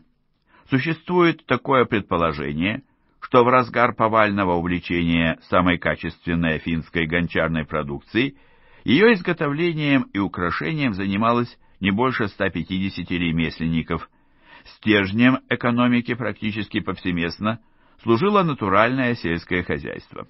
Несмотря на специализацию Афин или Милета с точки зрения спроса на товары и их производство, например, присвоение наименования по основному ремесленному товару, как, например, столица шерстяных изделий, типичная община жила за счет продукции мелких земледельцев, занимавшихся выращиванием зерна, маслин, виноградных лоз и заготовкой древесины для внутреннего рынка. Такие мужчины считаются типичными греками. Кого-то из них можно назвать людьми богатыми, подавляющее же большинство по современным стандартам следует отнести к беднякам. Но даже сейчас средиземноморский климат позволяет оценить весьма низкие доходы здешних жителей как более терпимые, чем где бы то ни было еще. Торговля на всех уровнях и другие виды предпринимательской деятельности могли находиться, по большому счету, в руках метеков.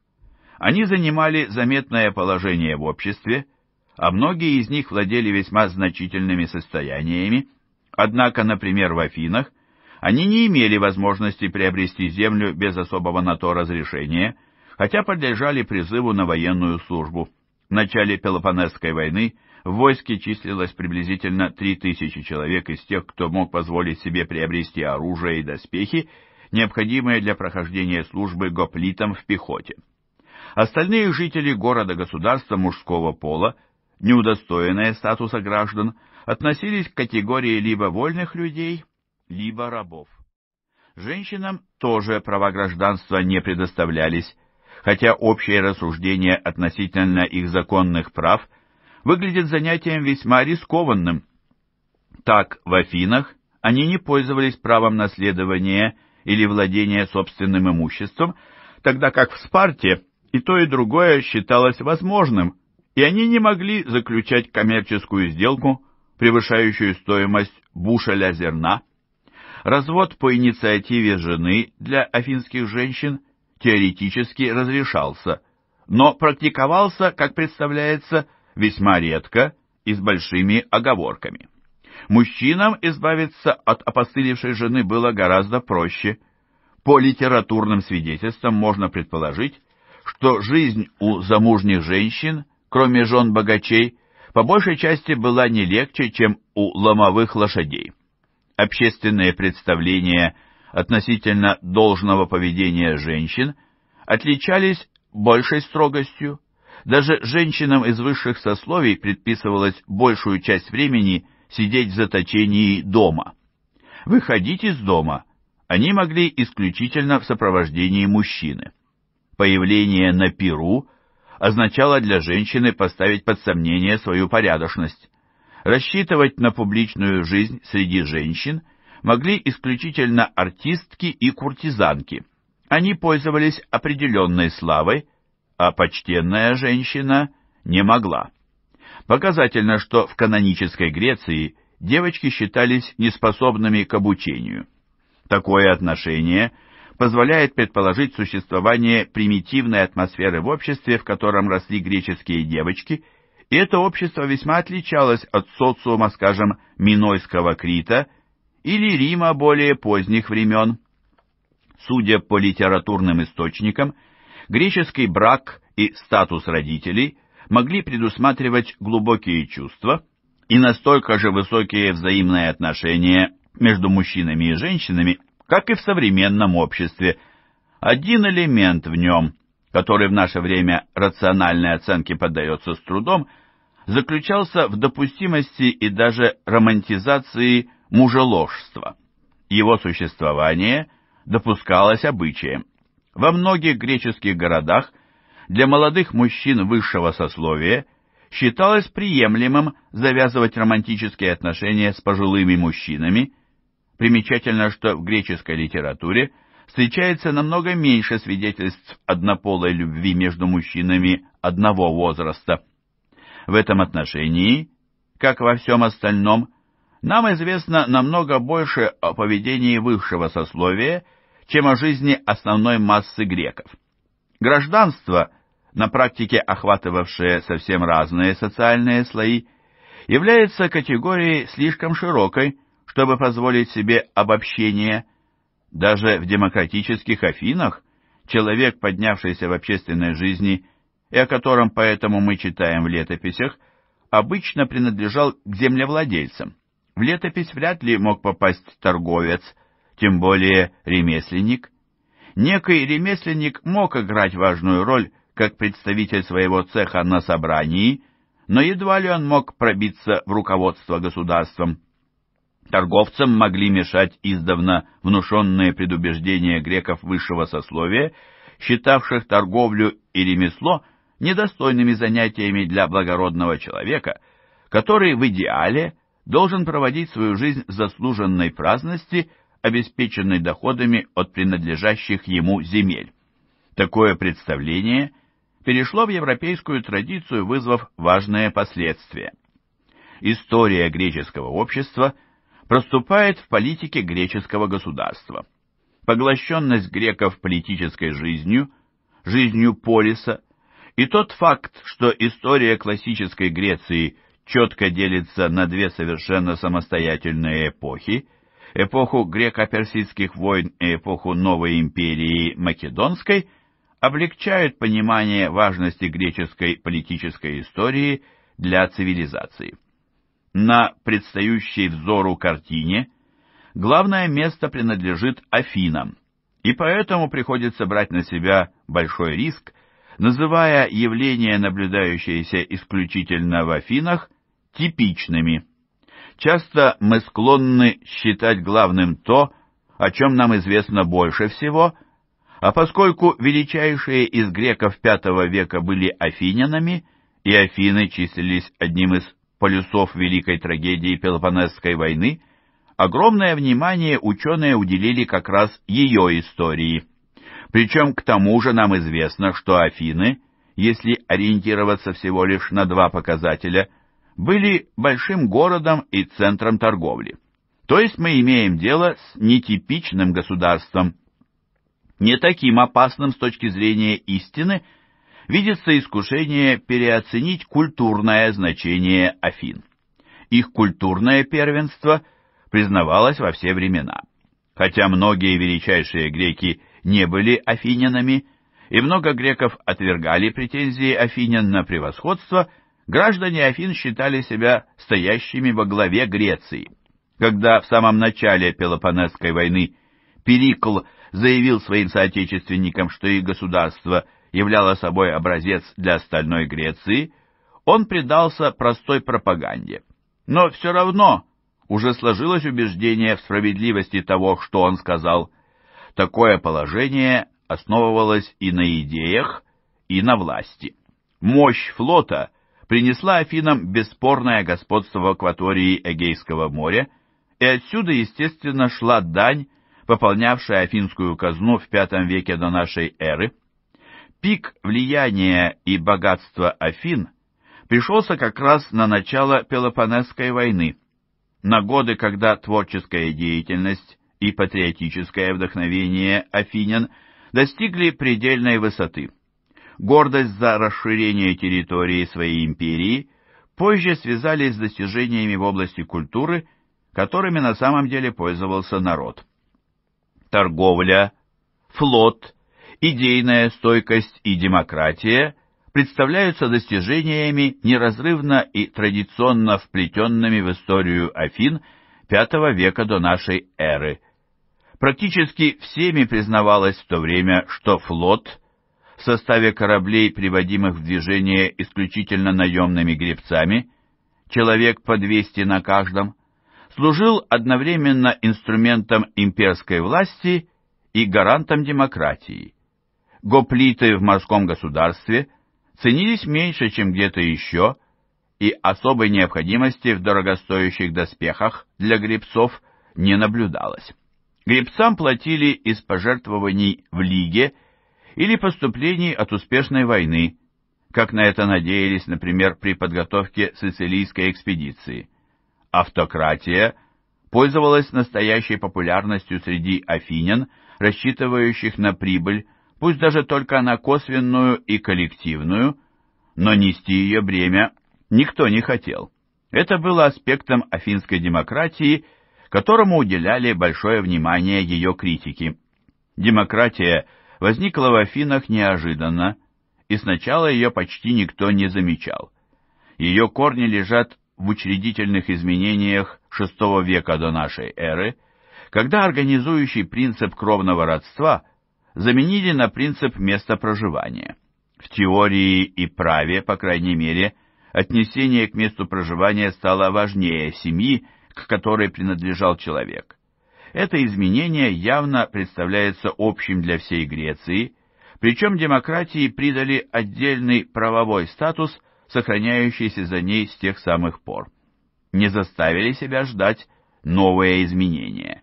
К середине V века до нашей эры всех взрослых мужчин обязали принимать участие в ассамблее, а через нее тем самым в выборах крупных административных чиновников.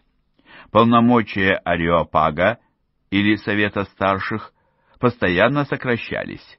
После 462 года до нашей эры он представлял собой всего лишь судебный орган по рассмотрению определенного круга преступлений, Остальные суды в то же время оказались более восприимчивыми к демократическим веяниям через учреждение платы за отправление функций присяжного заседателя.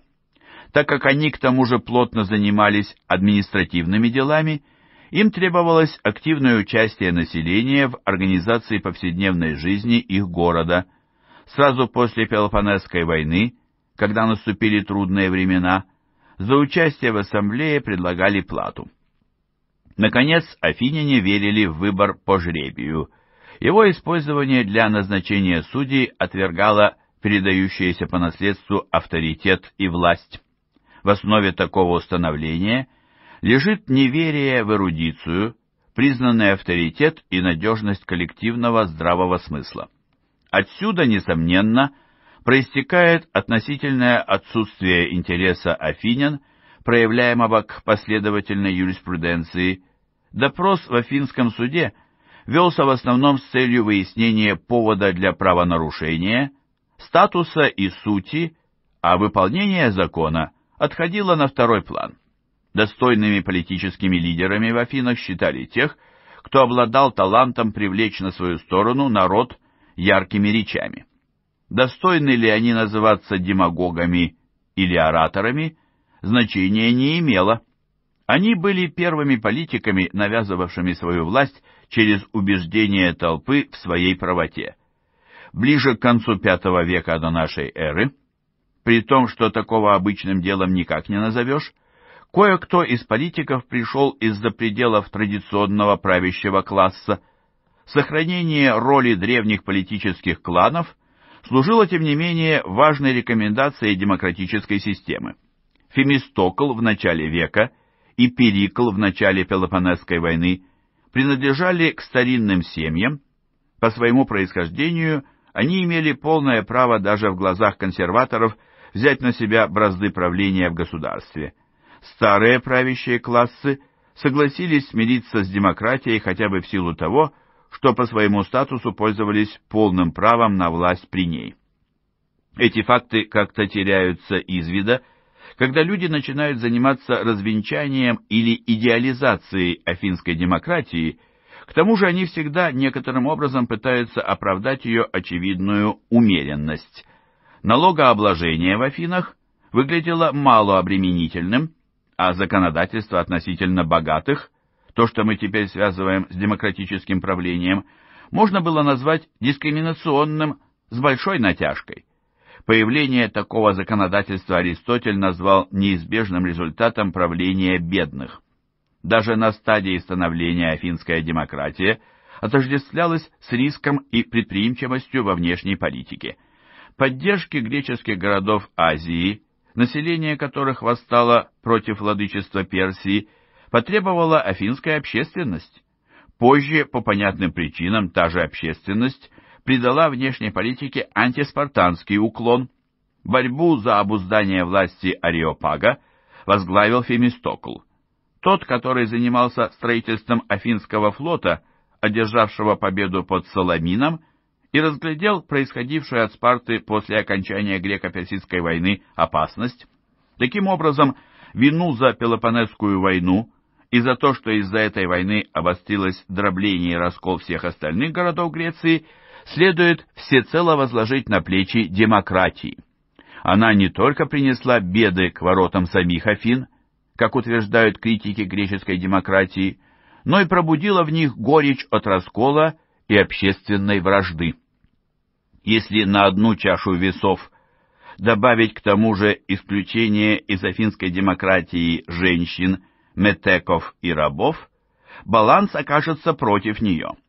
По современным понятиям это выглядит и узкой, и катастрофически неудачной политической системой. Но все равно не следует лишать Афины места, доставшегося им позже в глазах потомков. Легко сравнивать свой режим с отжившим прошлым, да еще подходить к нему пристрастно. Афины нельзя сопоставлять с идеалами, неосознанными до конца за последовавшие две тысячи лет. Сравним их с примерами той поры. При всей живучести влияния авторитетных семей и невозможности для большинства граждан появления на каких-либо ассамблеях, созываемых по конкретным вопросам, все-таки к самоуправлению привлекалось больше афинян, чем граждан всех остальных государств.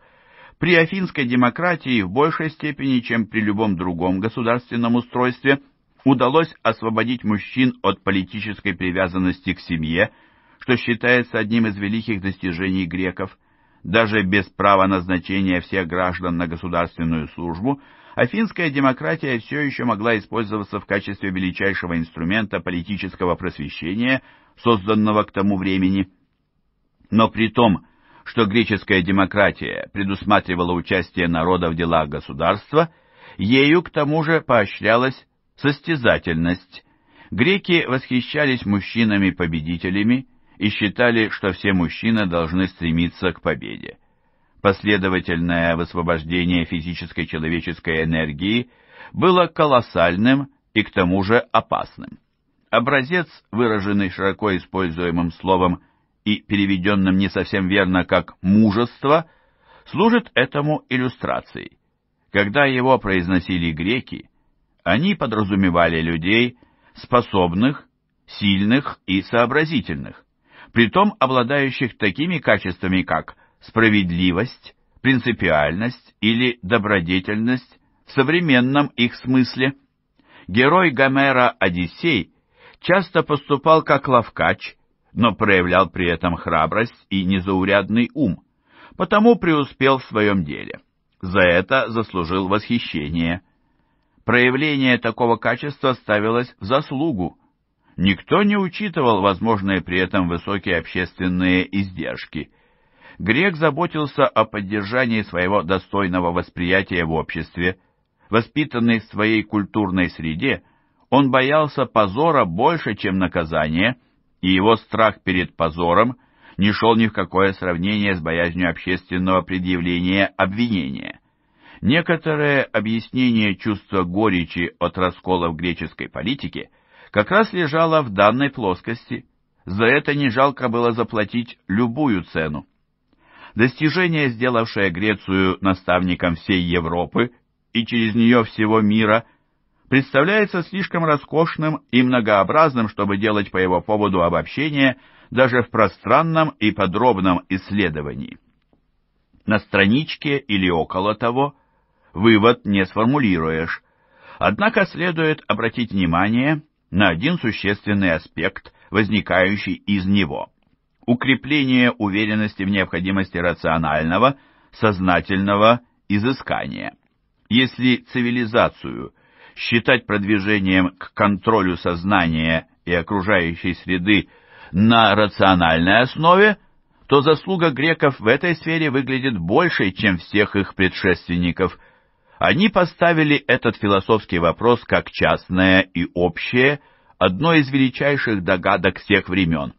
Они утверждали возможность найти последовательное и логическое объяснение сути вещей, того, что мир в конечном счете – объясняется совсем не бессмысленными и произвольными указаниями сверху богов или демонов.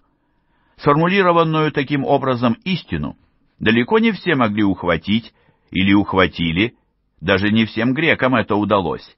Эта истина с трудом пробивала себе путь в мире, пронизанном безрассудством и суеверием.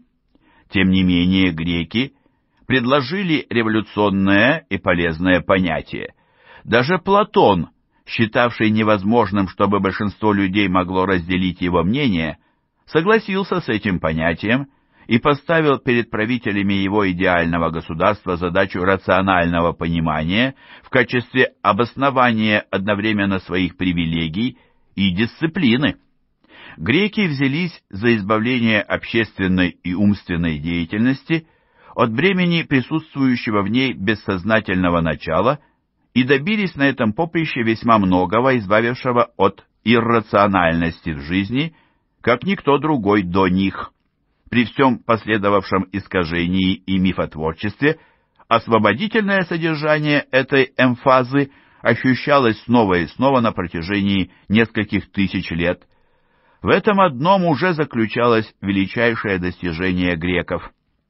В то время как мракобесие и суеверие – все еще таились во многих закоулках народного бытия, в греческом обществе стали высоко ценить всевозможные формы человеческой рассудительности.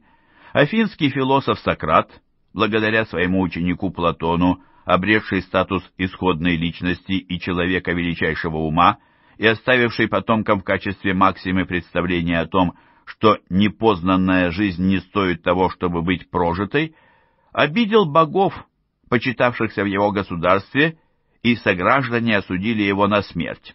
Ему вменили в вину сомнение в признанной астрономии, но, несмотря на такие важные исторические, образно говоря, осадочные философские породы, в греческой мысли ярче, чем в любой древней цивилизации, отразились изменения акцентов и стилей. Эти изменения произрастали из собственного динамизма греческого общества – и не всегда приводили к обогащению приемов воздействия на природу и само общество. Скорее, греки шли на уступки, а иногда они сами оказывались в тупике и обращались к сумасбродным фантазиям. Греческую философскую мысль монолитной назвать нельзя. Нам следует ее представлять не в виде блока, связывающего все его части, а как исторический континуум, распространяющийся на три или четыре столетия, в котором в разное время выступают наружу различные элементы и который с трудом поддается оценке.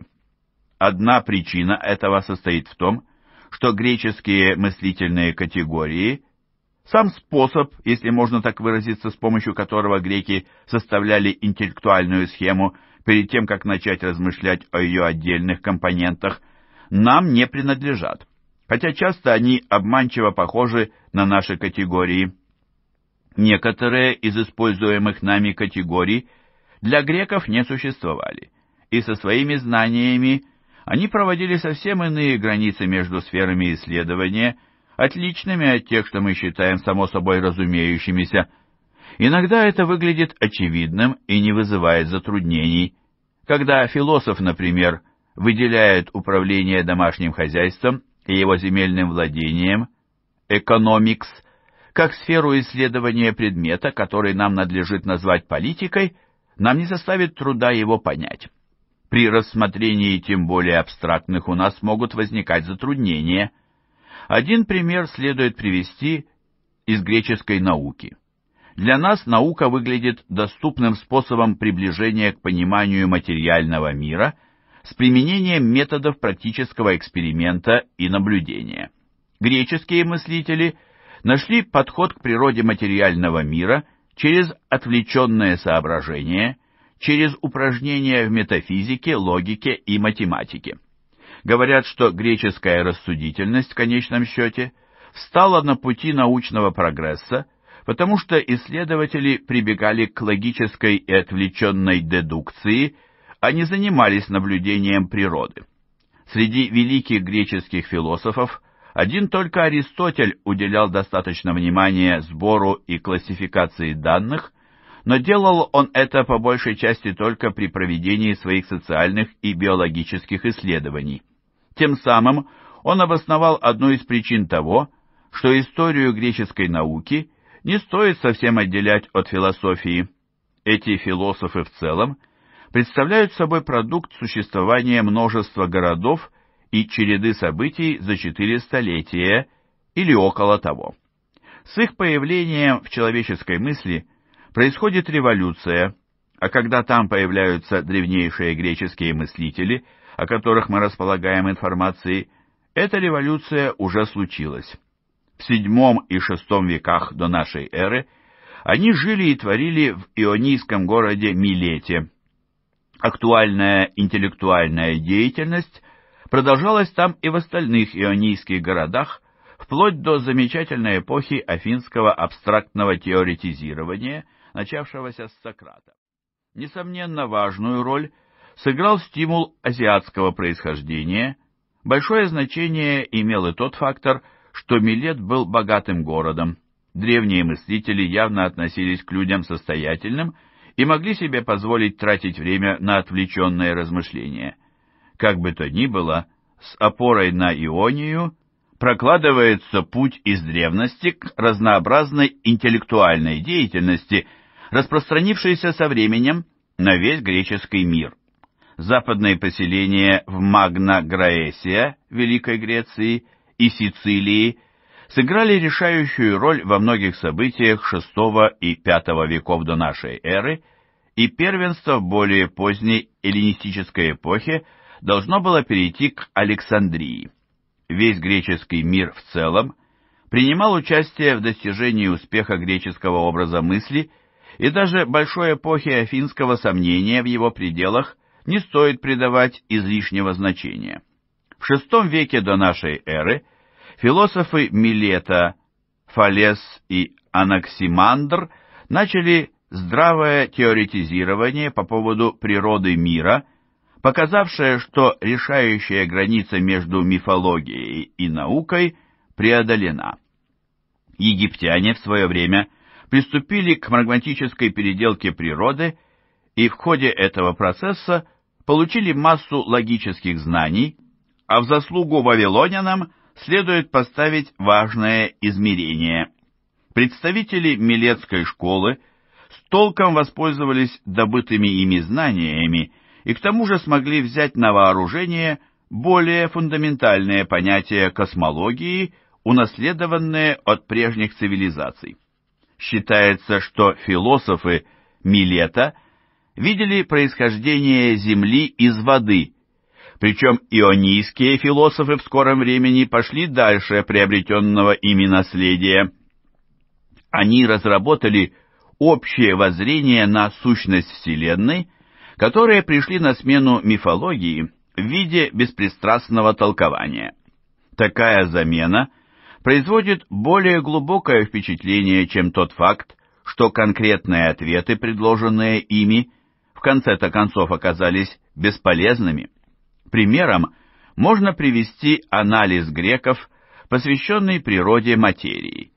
Хотя общие черты атомистической теории появились за две с лишним тысячи лет до наступления ее времени, от нее отказались к IV веку до нашей эры в пользу представления, основанного на взглядах ранних ионийских мыслителей, считавших, что вся материя состоит из четырех, так сказать, элементов – воздуха, воды, земли и огня, соединяющихся в веществах в различных пропорциях. Эта теория вплоть до Ренессанса служила лекалом для придания контуров западной науке. Она сыграла огромную историческую роль, так как по ней устанавливались пределы и определялись возможности. К тому же все это, разумеется, оказалось большим заблуждением. Такой вывод стоит помнить в качестве вторичного соображения к главному пункту. Философы из Ионии с основанной ими школой заслужили благодарность потомков за то, что потом совершенно справедливо назвали ошеломительной новизной. В своем понимании природы они отодвинули в сторону богов и нечистых духов. Время не пощадило часть того, что они сделали, и это приходится признать. В Афинах в конце V века до нашей эры нечто большее, чем временная тревога перед лицом поражения и опасности, просматривалось в попытках осуждения в качестве богохульных взглядов, гораздо более умеренных, чем те, что пропагандировались ионийскими мыслителями двумя столетиями раньше. Один из них сказал, если бы телец мог нарисовать картину, его бог выглядел как телец. Несколько веков спустя каноническая средиземноморская цивилизация утратила большую часть такого восприятия действительности. Его появление в древности представляется самым наглядным признаком живучести греческой цивилизации. Подобные передовые представления тонули не только в широко распространенном суеверии. Свою роль играли прочие тенденции в становлении философской мысли – Одна из них сосуществовала с ионийской традицией в течение долгого времени, к тому же ей была уготована судьба прожить дольше и не утратить своего влияния. Главной загвоздкой для ее носителей было обоснование положения о нематериальности бытия, что, как позже Платон выразился в одном из своих самых убедительных высказываний, в жизни мы воспринимаем только изображение чистых, формы идей, которые являются небесными воплощениями истинной действительности. Такую действительность можно было осознать только посредством размышления, причем не только путем систематических предположений, но и к тому же интуиции. При всей отвлеченности у такого рода мысли имелись свои корни в греческой науке. Если и не в предположениях ионийцев о веществе, то в трудах математиков – Некоторые их величайшие достижения приходятся на время после смерти Платона, когда практически оформится единственный крупнейший триумф греческой мысли, которым считается учреждение арифметики и геометрии, служивших западной цивилизации вплоть до XVII века. Каждому школьнику, как правило, известно имя Пифагора, жившего в Кротоне на юге Италии в середине VI века до нашей эры и, можно сказать, обосновавшего метод дедуктивного доказательства – К счастью или несчастью, на этом его достижения не заканчиваются. Наблюдая за вибрирующей струной, он открыл математическое обоснование гармонической функции, но особенно его интересовало соотношение чисел и геометрия. К ним он выбрал полумистический подход. Как и многие математики его времени, Пифагор относился к верующим в Бога людям и говорят, что успешное завершение доказательства своей знаменитой теоремы он отметил приношением в жертву тельца. Представители его школы, в свое время существовало пифагорейское братство, позже пришли к заключению о том, что изначальная природа мироздания есть, по сути, явление математическое и числовое. В их представлении принципы математики служили принципами всех вещей, несколько неодобрительно утверждал Аристотель, хотя его собственный учитель Платон находился под сильным влиянием такого заблуждения, а также скептицизма пифагорейца начала пятого столетия до нашей эры Парменида по поводу мира, познаваемого органами чувств. Цифры выглядели привлекательнее материального мира. Они обладали одновременно заданным совершенством и относительностью идеи, в которой воплощалась действительность. Пифагорейское влияние на греческую мысль представляет собой многомерный предмет для изучения – к счастью, он не требует подведения итога. Главное заключается в негативных последствиях для формирования представления о Вселенной, носители которых ориентировались на математические и дедуктивные принципы, а не на наблюдения. Поэтому на протяжении без малого двух тысяч лет они держали астрономию на ложных путях. От них пошло видение Вселенной – построенной из последовательно перекрывающих друг друга сфер, на которые поместили Солнце, Луну и планеты, движущиеся по заранее заданной траектории вокруг Земли. Греки заметили, что в реальности небесные тела перемещались несколько иначе. Но очевидные вещи они пытались объяснить новыми уточнениями вложенную в своей основе схему, и древние математики при этом уклонялись от тщательного исследования принципов, из которых все это выводилось. Окончательно доработанная греческая математическая теория мироздания увидела свет во втором веке нашей эры трудах знаменитого александрийца Птолемея.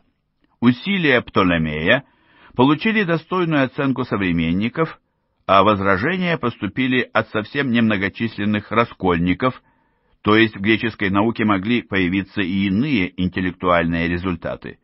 При всех признаках несостоятельности системы Птолемея она позволяет делать предположения по поводу движения планет, положение которых все-таки служило точными ориентирами для прокладки курса судов в океане в эпоху Колумба, пусть даже тогдашние корабелы опирались на ложные представления. Теория четырех элементов – и развитие греческой астрономии служат иллюстрацией дедуктивного уклона греческой мысли и присущей ей слабости. Ее представители стремились к созданию правдоподобной теории, объясняющей самый широкий спектр знаний без проверки их практическим экспериментом. В эту теорию греки попытались втиснуть все сферы мыслительной деятельности, которые, как мы теперь полагаем, должны объясняться наукой и философией. Плодами поборников данной теории с одной стороны стал аргумент в пользу беспрецедентной неукоснительности и проницательности, а с другой стороны абсолютное неверие в чувственные данные – только греческие лекари пятого столетия, возглавляемые Гиппократом, достигли многого за счет эмпиризма. В случае с Платоном, на беду или на счастье, контуры философской дискуссии в целом определил он и его ученик Аристотель, а не кто-либо еще. Этот уклон – мог получить подкрепление его по большому счету пренебрежением ко всему, что он видел собственными глазами. аристократ по происхождению, афинянин Платон отвернулся от мира прозаических дел, в которых он надеялся принять участие, уже разочарованным вершителями политики афинской демократии и, в частности, их обращением с Сократом, которого они осудили на смерть. От Сократа Платон перенял не только его пифагорейство, но и идеалистический подход к проблемам нравственности, а также метод философского научного изыскания. Добро, считал он, постигается методом поиска и интуиции. Так диктовала действительность. Так называемое «добро» Платон назвал величайшим из понятий, стоявших в ряду правды, красоты и справедливости. На самом деле, они не были понятиями в том смысле, что в любой момент у них существовала форма в чьем-либо сознании. Иначе говоря, кто-то мог бы сказать, что у меня есть представление о том-то, однако они представляли собой реальное явление, на самом деле существующее в мире конкретном и вечном, элементами которого являлись эти представления. Этот мир неизменной действительности – считал Платон, был скрыт от людей чувствами, обманывающими их и толкающими на неверный путь. Зато он был доступным для души, способной осознать его при помощи рассудка. Такие представления имели значение, далеко выходящее за пределы формальной философии. В них, как и в доктринах Пифагора, можно найти, например, следы знакомой нам, появившейся позже идеи, фундаментальной для пуританцев, согласно которой человеческая натура делится на противоречивые составляющие в виде души, божественного происхождения и физического тела, в котором все это заключено. Результатом борьбы этих трех начал должно стать не примирение, а победа одного из них. Такое представление сути человека во многом определит сущность грядущего христианства. Сразу за этим у Платона возникло острое прагматичное беспокойство, так как он полагал, что познание совершенного мира могло бы помочь изменить в действительности условия, в которых жили люди – он сформировал свои взгляды в серии диалогов между Сократом и людьми, посещавшими его для обмена мнениями. Так появились первые учебники философских воззрений, и труд, который мы называем «Республика», считается первой книгой, в которой изложена схема общества, направленного на достижение высшей нравственной цели. В этой книге описывается авторитарное государство, напоминающее Спарту, в котором браки будут регулироваться ради достижения у потомства самых позитивных наследственных качеств, прекратят существование семья и частная собственность, культуру и искусство будут подвергать строгой цензуре, а образование тщательному надзору. Те немногие, кому предстоит управлять таким государством, должны обладать достаточными интеллектуальными и нравственными качествами, чтобы овладеть знаниями, которые позволят им создать справедливое общество, на практике постигая совершенный мир. Наравне с Сократом Платон считал, что мудрость заключается в понимании действительности и пришел к такому выводу. Чтобы увидеть правду, следует сделать невозможными поступки, идущие вразрез с нею. В отличие от своего учителя, он полагал, что для большинства людей образование и законы должны наложить запрет на то, что Сократ считал неисследованной жизнью, которую не стоит вести. Республика и приведенные в ней аргументы стали поводом для продолжавшихся несколько веков обсуждений и подражаний, и такой же была реакция практически на все труды Платона. Как выразился английский философ XX века, почти вся последующая философия на Западе состояла из повторов и ссылок на Платона. Несмотря на отвращение Платона к тому, что он наблюдал вокруг себя, и предубеждения, порожденные всем этим, он предвосхитил практически все великие вопросы философии, будь то касающиеся нравов, эстетики, основы знания или природы математики. К тому же он изложил свои представления в крупных произведениях литературы, которые люди всегда читали с удовольствием и волнением.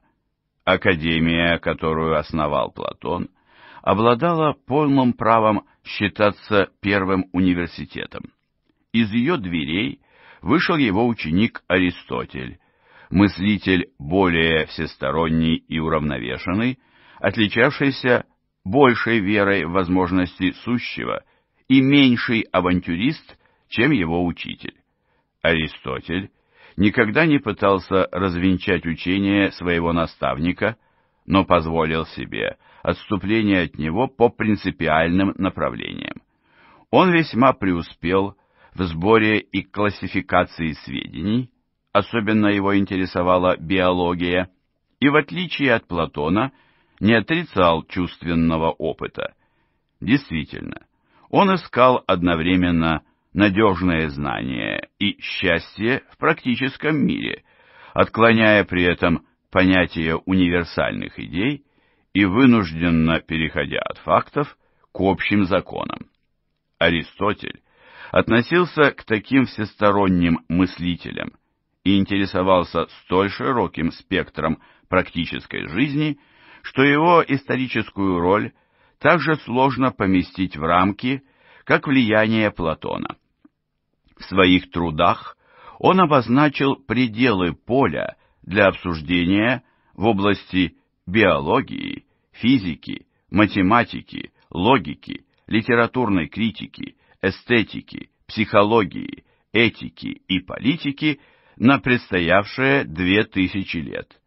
Он наметил направление овладения этими предметами и подходы к ним, которые представлялись гибкими и в конечном счете достаточно просторными, чтобы вместить в себя христианскую философию. Он, к тому же, основал науку о дедуктивной логике, которая прослужила людям до конца XIX столетия. Ему приписываются великие достижения, отличающиеся по сути, но такие же важные, как достижения Платона. Политическое мышление Аристотеля – в известном смысле совпадало с воззрениями Платона. Город-государство представлялся им наиболее подходящей формой общественного существования. Аристотель видел необходимость ее реформирования и очищения для функционирования должным образом.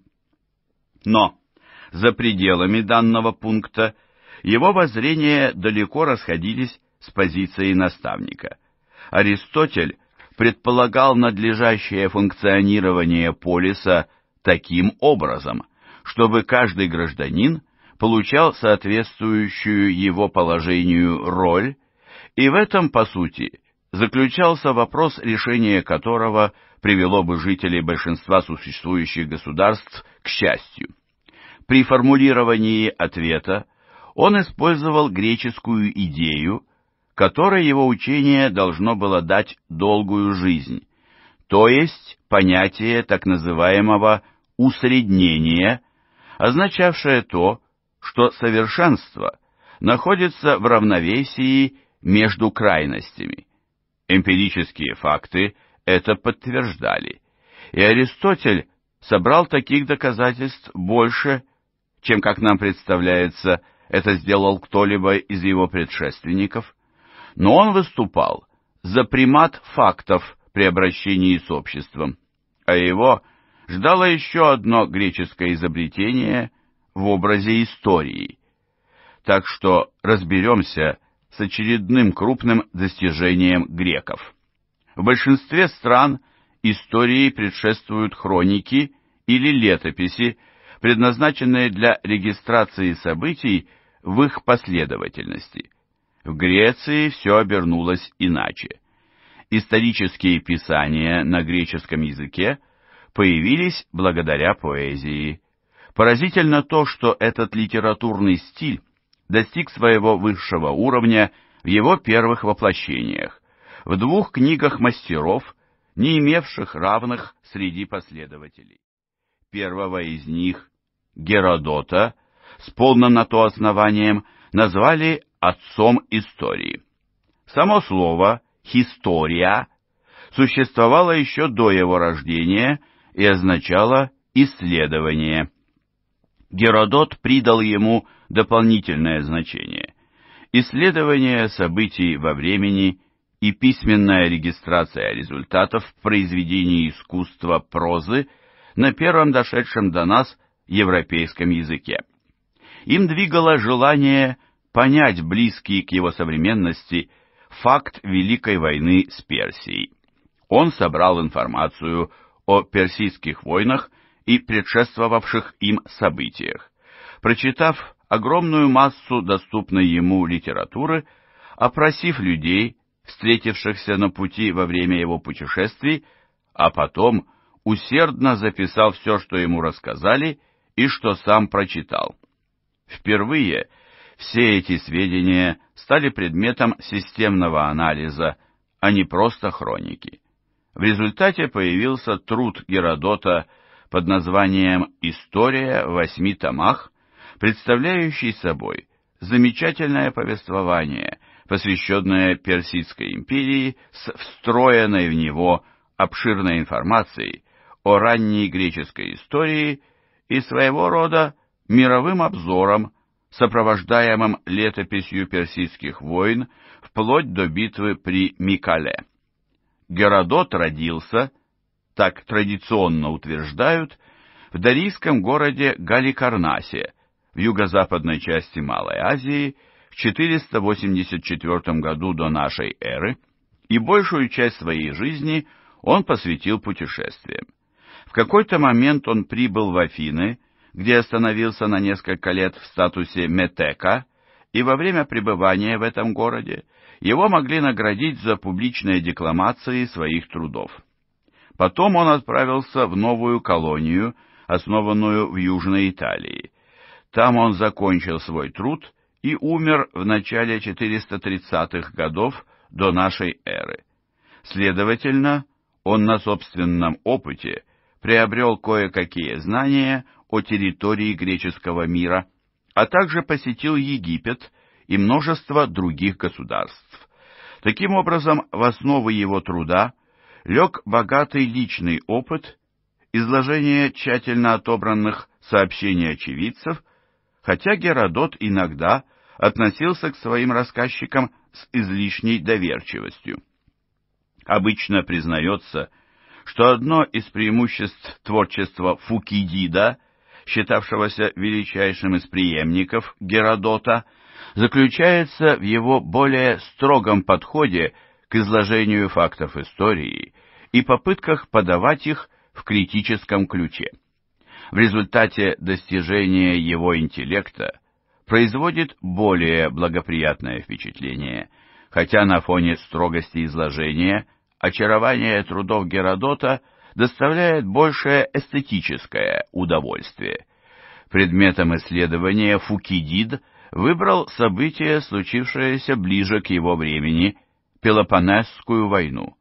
В таком выборе нашли отражение глубокое личное участие и некая новая концепция. Фукидид принадлежал к ведущему афинскому роду. Он служил военным начальником, но подвергся опале за провал порученной ему операции, а жизнь свою посвятил поиску причин, приведших его город и Грецию к ужасному поражению. Он разделял с Геродотом его практические мотивы, побуждавшие к труду, считал, как и почти все греческие историки после него, что все им обнаруженное будет обладать прагматической ценностью, поэтому стремился не просто описывать исторические события, а еще и пытался дать им объяснение. В итоге он оставил потомкам одно из самых ярких произведений исторического анализа среди когда-либо созданных в мире и первым попытался представить многогранное и разностороннее толкование событий. В процессе работы над своим трудом он предложил будущим историкам модель беспристрастного суждения, ведь его пристрастное отношение к Афинам читателю практически не навязывается. Книга осталась неоконченной.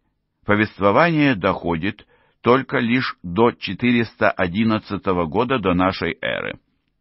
Но общий вывод автора выглядит лаконичным и точным. Укрепление мощи Афин и страх со стороны Спарты послужили, по моему мнению, причиной, подтолкнувшей эти государства к войне. Изобретение истории само по себе служит свидетельством выхода литературы, созданной греками, на новый интеллектуальный уровень. Мы имеем дело с первым завершенным диапазоном, известным человечеству. Еврейская литература выглядит практически такой же всеобъемлющей, однако в ней отсутствуют такие жанры, как драма и критическая история. Не будем упоминать более легкие жанры, но греческая литература делит с Библией первенство с точки зрения формирования контуров всего последующего писательского творчества. Наряду с положительным содержанием своей литературы, греки определили ее главные формы и исходные темы для критики, по которым можно судить о литературных произведениях. С самого начала, если судить по Гомеру, греческие авторы тесно связывали свое творчество с религиозными верованиями и нравственными учениями. Поэт Гесиод, предположительно живший в конце VIII века до нашей эры и по традиции считающийся первым стихотворцем постэпического периода, сознательно обратился к проблеме справедливости и природы богов. Тем самым он подтвердил традиционное мнение о том, что литература представляет собой нечто большее, чем просто развлечение, и поднял одну из основных тем греческой литературы, обсуждавшуюся на протяжении последующих четырех веков. Греки всегда будут смотреть на поэтов, как на своего рода наставников, ведь их творчество пронизано мистическими, скрытыми намеками и вдохновением. У греков будет много поэтов, и возникнет множество стилей поэзии на греческом языке. Первый такой стиль, поддающийся вычленению, относится к личным переживаниям. Он отвечал вкусам аристократического общества, но когда с наступлением в VII и VI веках до нашей эры тиранов в большую моду вошло личное покровительство. Это явление постепенно вышло на коллективную и гражданскую арену. Тираны сознательно поощряли проведение всевозможных публичных праздничных мероприятий, которые должны были послужить продвижению в массы величайших образцов греческого литературного искусства в форме трагедий. Происхождение драмы коренится в религии, и ее элементы должны были присутствовать в каждой цивилизации. Первым театральным представлением был обряд молитвы. В данном случае достижение греков заключалось в побуждении аудитории к сознательному восприятию происходящего на сцене. От этой аудитории ожидалось нечто большее, чем послушное смирение или разнузданная одержимость. В представлении заключался нравоучительный посыл. Первые греческие драмы приняли форму дифирамба в виде хороводного пения, посвященного празднику Диониса, сопровождаемого танцем и пантомимой 535 году до нашей эры, как нам известно, этот жанр подвергся коренному обновлению, когда Феспид ввел в представление отдельного актера, речь которого звучала неким антифоном хоровому пению. С дальнейшими нововведениями появлялось все больше актеров, и через сотню лет мы получаем полноценные зрелые театры Эсхила, Софокла и Эврипида. Из их постановок до наших дней дошло 33 пьесы, с учетом одной полноценной трилогии, но нам известно, что в V веке до нашей эры в Греции исполнялось больше 300 разнообразных трагедий. В греческой драме все еще сохраняется религиозный подтекст, хотя не столько в словах, как в мизансценах, в которых они произносились. Великие трагедии иногда исполнялись в виде трилогий на публичных праздничных мероприятиях, участниками которых становились граждане, уже знакомые с основными сюжетами, часто мифологическими, которые они собирались посмотреть в игровой форме. При этом подразумевался просветительный момент. Вероятно, большинство греков никогда не видели постановку Эсхила. Конечно же, их было бесконечно малое число по сравнению с количеством современных англичан, видевших пьесы Вильяма Шекспира. Как бы то ни было, на такие представления собиралась огромная аудитория народа, не слишком занятого на своих земельных наделах или не находящегося в дальнем путешествии. Больше людей, чем в любом другом древнем обществе, тем самым поощрялось к тщательному исследованию и размышлению над содержанием их собственного нравственного и общественного мира. От народа ожидалось, что он осознает скрытые акценты знакомых обрядов, сделает новый выбор их значения. Именно эту возможность дали своему народу великие драматурги Греции. Даже если в некоторых своих пьесах они заходили достаточно далеко, а иногда даже в подходящие моменты высмеивали признанные в обществе святыни.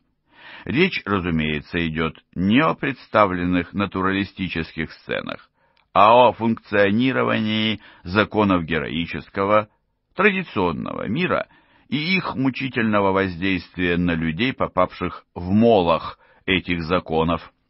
Во второй половине V века до нашей эры Эврипид даже начал использовать обычную форму трагедии в качестве средства для развенчания воззрений на то, что считалось приличным. Тем самым он внедрил приемы, которые в западном театре используют современные нам и столь разные авторы Гоголь и Ипсон.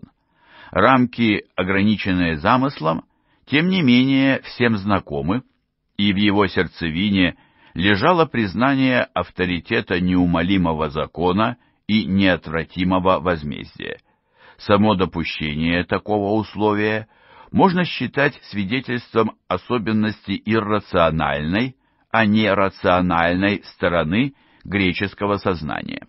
Все-таки было еще далеко от состояния сознания, когда паства восточного храма в ужасе или с надеждой наблюдала за очередным представлением неизменного ритуала с жертвоприношением. В V веке до нашей эры разнообразие театральных жанров расширялось еще по некоторым направлениям. Это случилось, когда в самостоятельный жанр развелась аттическая комедия и нашелся Аристофан, ставший первым великим постановщиком развлечений для зрителей с помощью манипулирования людьми и событиями. Он подбирал для своих постановок особый материал, часто на политические темы, почти всегда в высшей степени актуальный и частенько подавал его в непристойном виде. Факт того, что Аристофан не просто выжил, но и пользовался успехом, служит для нас самым наглядным свидетельством терпимости и свободы нравов афинского общества. Спустя сто лет греки практически подошли к современному миру с точки зрения манеры лицедейства по поводу интриг рабов и несчастных любовных отношений. Речь не о влиянии Софокла, но греческая пьеса все еще удивляет и представляется практическим чудом, ведь за 200 лет до этого ничего подобного не существовало. Стремительность, с какой греческая литература развелась после завершения периода эпической поэзии, и ее неприходящий авторитет служат доказательством предрасположенности греков к новаторству и умственному росту, которое легко признавать даже когда не получается объяснить. В конце классической эпохи греческой литературе все еще предстояла долгая жизнь, наполненная важными событиями, когда исчезли города-государства. У нее росло число поклонников, так как греческому языку суждено было стать одновременно языком общения и официальным языком на всем Ближнем Востоке и практически повсеместно в Средиземноморье. Ему не грозило снова пережить высоты афинской трагедии, зато на нем были созданы настоящие литературные шедевры. Ощущение заката видов изобразительного искусства представляется более очевидным. В этом направлении сверхмонументальной архитектуры и обнаженной фигуры Греция снова установила стандарты для грядущих поколений. Из первых заимствований в Азии развелась совершенно невиданная до тех пор архитектура, классический стиль, элементы которого все еще сознательно повторяются даже в лаконичных конструкциях строителей XX века. На протяжении нескольких сотен лет этот стиль распространился по большой части мира от Сицилии до Индии. В этом искусстве греки тоже выступили в роли поставщиков культуры остальным народам. Им повезло с точки зрения геологии, ведь недра Греции богаты строительным камнем высокого качества. Его долговечность проверена сохранившимся великолепием реликвий, которыми мы любуемся сегодня. И все-таки нам не удается избежать некоторой иллюзии. Чистота и строгость, с которыми Афины V века до нашей эры предстают перед нами в образе Парфенона, скрывают их видение глазами грека. До нас не дошли олеповатые статуи богов и богинь, разноцветные краски, охра и беспорядочно расставленные монументы, алтари и стелы, которые должны были загромождать Акрополь и лишали его храмы нынешней строгости. На самом деле, многие крупные греческие центры могли больше напоминать, скажем, современный Лурд. При приближении, например, к храму Аполлона в Дельфах, могло возникать такое впечатление, что его загромождают неопрятные мелкие алтари. Там толпились купцы, гнездились лотки и валялся мусор, в который превратились подношения идолам, хотя нам следовало бы сделать скидку на вклад, внесенный археологами с их фрагментарными открытиями. Тем не менее, после всех оговорок, обратим внимание на разрушение временем, в результате которого возникла красота формы, практически непревзойденная красотой рукотворной. При этом не приходится говорить о какой-либо скидке на взаимосвязь суждения об объекте со стандартами, которые происходят исключительно из объекта как такового. Остается совершенно справедливым то, что создание произведения искусства, настолько глубокого и мощно говорящего о человеческом разуме на протяжении стольких поколений, само по себе не поддается простому толкованию, разве что его можно приводить в качестве доказательства непревзойденного творческого величия и поразительного мастерства в придании ему выразительности. Такое качество, к тому же, представлено в греческой скульптуре. В ней свою роль сыграло наличие достойного по качеству камня, а также влияние восточных, часто египетских, скульптурных образцов. Как и гончарное ремесло, однажды позаимствованные восточные образцы скульптуры эволюционировали в направлении большего натурализма. Высшим сюжетом греческих скульпторов служила человеческая фигура, изображаемая уже не ради увековечения, а ради самого ее совершенства. Опять же, приходится только верить в законченный вид статуи, которую видели греки. Эти изваяния часто покрывали позолотой, краской или декорировали слоновой костью и драгоценными камнями. Некоторые изделия из бронзы кто-то похитил или расплавил, поэтому нынешнее преобладание каменных резных фигур может само по себе вводить заблуждение. Зато их внешний вид служит доказательством очевидной эволюции мастерства воятелей.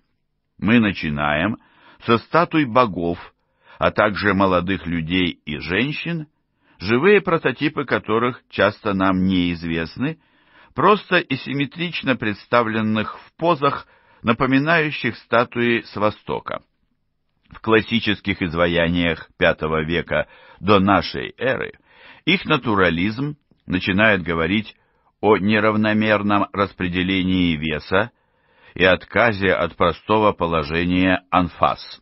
Развитие ремесла идет в направлении зрелого человеческого стиля проксителя и IV века до нашей эры, в котором впервые отображается человеческое тело, обнаженная женская фигура. Великая культура представляется большим, чем простой экспонат музея, и никакую цивилизацию нельзя втиснуть в выставочный каталог, при всем их элитарном качестве, достижения и роль Греции осознаны во всех сторонах жизни. Они включают политику города-государства, трагедию Софокла и статуи Фидия. Представители последующих поколений осознали это интуитивно, счастливо неосведомленные о добросовестной дискриминации, которой ученые-историки в конечном счете подвергли различные периоды истории и места исторических событий. Они совершили весьма плодотворную ошибку, потому что в конечном счете вклад Греции в культуру будущего стали ценить ровно настолько высоко, насколько она того заслуживала.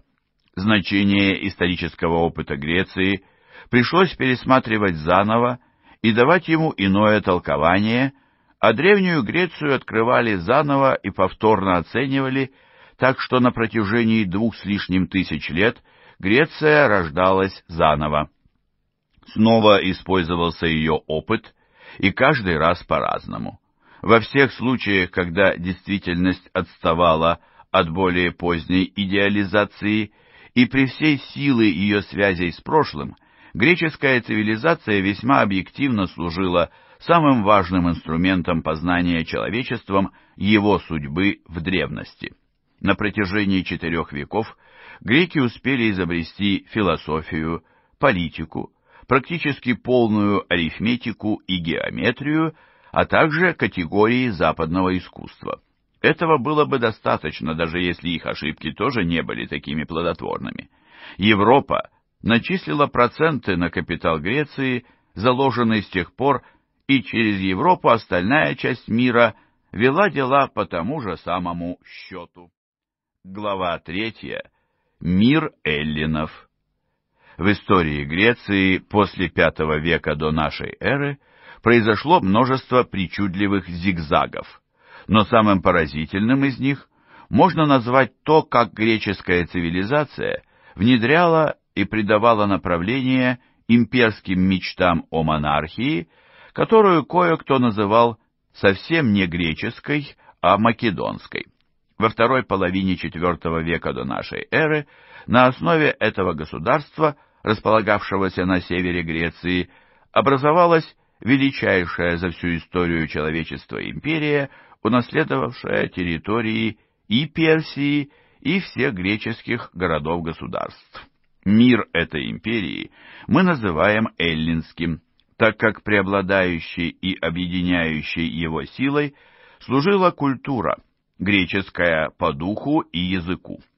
Именно македонцы принесли миру греческую культуру посредством поразительных завоевательных походов их императора IV века до нашей эры Александра. Рассказ наш начинается с заката авторитета Персии. Персидское возрождение в союзе со Спартой на время скрыло непреодолимые внутренние слабости этой империи. Одна из них увековечена в известном сочинении Ксенофонта под названием «Анабасис», посвященном протяженному маршу армии греческих наемников обратно домой, вверх по реке Тигр и через горы к Черному морю, после неудачной попытки притязания на персидский престол со стороны брата царя. Тот поход выглядит мелким и второстепенным эпизодом на фоне общего заката Персидской империи, порождением одного частного проявления внутреннего раскола. На протяжении всего IV века до нашей эры эту империю не оставляли проблемы, когда область за областью, среди них Египет, который уже в 404 году до нашей эры добился независимости и пользовался ею в течение 60 лет, уходили из-под ее власти.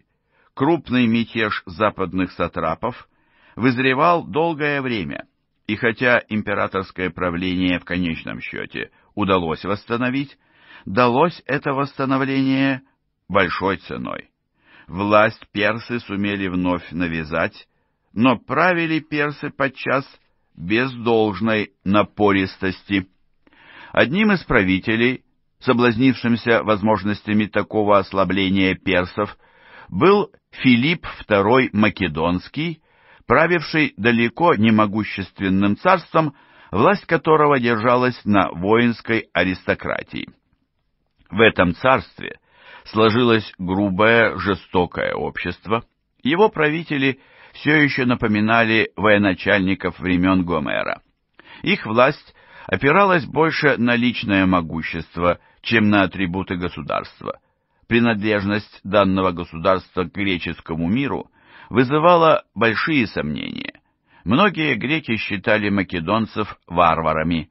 Вместе с тем их цари претендовали на происхождение из греческих родов, один из которых восходил к Гераклу, и их претензии обычно признавались.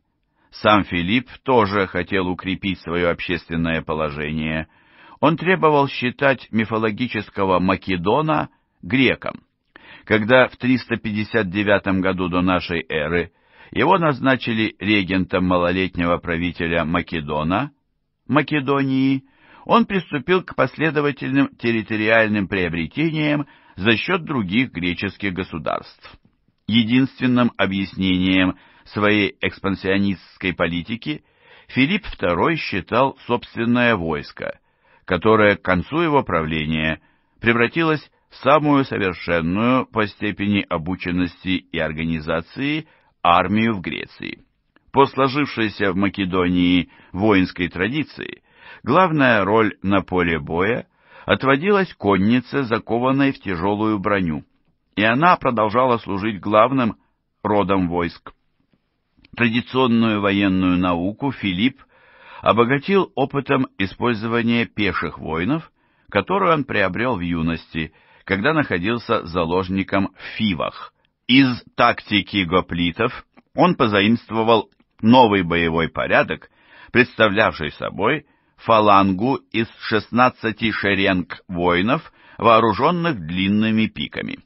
Воинов для такого боевого порядка вооружали пиками, которые были в два раза длиннее копий гоплитов, и действовали они в более рассредоточенном строю, когда пики воинов второй и третьей шеренги направляли между фалангистами для придания гораздо большей плотности убойных наконечников при переходе в атаку. Еще одно преимущество македонцев заключалось в освоении ими приемов осады укреплений, неизвестных остальным греческим армиям. Они располагали катапультами, с помощью которых вынуждали защитников осажденного города уходить в укрытие, а сами в это время вводили в дело тараны и осадные башни на колесах. Такую технику до них применяли только в армиях Ассирии и их азиатских наследников. Наконец, Филипп правил весьма состоятельным государством. Его богатства значительно возросли, когда он владел золотыми рудниками на горе Пангей, хотя он так сильно потратился, что после него остались огромные долги. Он пользовался своей властью в первую очередь ради надежного объединения Македонии. За считанные годы младенца, регентом при котором его назначили, свергли с престола, а Филиппа избрали царем. Тогда он начал посматривать на юг и северо-восток. Экспансия в тех направлениях, рано или поздно, вела к посягательству на интересы Афин и наступлению на их позиции. Союзники афинян на Родосе, Косе и Хиосе и из Византии воспользовались македонским покровительством, остальные, то есть Фокида, потерпели поражение в войне, которой ее подстрекали Афины, но не оказали достойную поддержку. Хотя Демосфен, как последний великий агитатор афинской демократии, обеспечил себе место в истории, до сих пор мы связываем его со словом «филиппики» тем, что предупредил своих соотечественников о грозящих им опасностях, спасти их он не смог. Когда война между Афинами и Македонией 355-346 годы до нашей эры наконец-то закончилась, Филипп не только получил в свое распоряжение Фессалию, но и утвердился в Центральной Греции, а также взял под свой контроль проход Фермопилы. Для него складывалась благоприятная ситуация с реализацией замыслов по Фракии, и при этом подразумевалось возвращение греческого интереса к Персии. Один афинский писатель выступил в пользу проведения греческого крестового похода, чтобы воспользоваться ослаблением Персии, в противоположность Демосфену, продолжавшему осуждать действия македонского варвара, и снова разрабатывались планы по освобождению азиатских городов. Такое предложение выглядело достаточно привлекательным, чтобы принести плоды в рядах инертного Каринского союза, сформированного в 337 году до нашей эры из крупнейших греческих государств без участия Спарты. Филипп числился его председателем и военачальником, и он в чем-то напоминал Делосский союз. Внешняя самостоятельность его участников служила всего лишь ширмой, так как все они числились македонскими сателлитами. Создание этого союза стало кульминацией правления Филиппа. В следующем году на него будет совершено покушение, но воплощение в реальность дела его жизни – произойдет только после нового разгрома македонцами афинян и фиванцев в 338 году до нашей эры.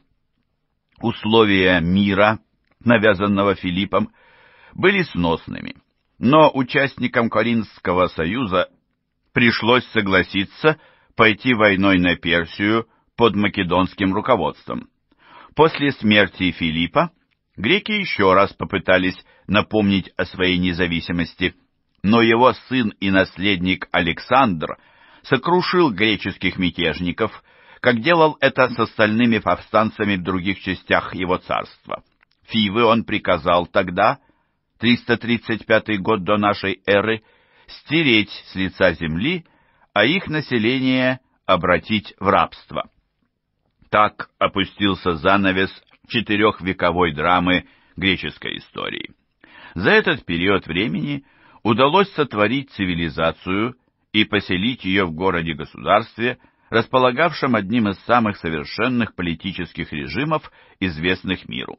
Теперь, причем не в первый раз и далеко не в последний, казалось, что будущее принадлежит тем, у кого больше войска и крупнее организация. Материковая Греция с этого времени представлялась тихой политической заводью под властью македонских губернаторов и начальников гарнизонов. По примеру своего отца, Александр стремился снискать расположение греков, предоставив им широчайшие права для внутреннего самоуправления в обмен на поддержку его внешней политики. При таком подходе всегда оставался кое-кто из греков, прежде всего афинские демократы, с кем невозможно было договориться. Александр, которого мы знаем как Александра Великого, родился в 356 году до нашей эры. Невзирая на то, что отец хотел привить ему любовь к передовой греческой философии и науке, в юности Александр предпочитал семинарам попойки с приятелями. Он также питал симпатию к необузданному насилию. Один историк назвал его «юным пьющим головорезом». Однако он к тому же мечтал превзойти великие завоевания отца. Когда Александр в 336 году до нашей эры взошел на престол, он решил разгромить персов и покорить весь мир. Правление Александра началось с трудностей, устроенных греками, но как только те угомонились, он смог обратить свое внимание на Персию.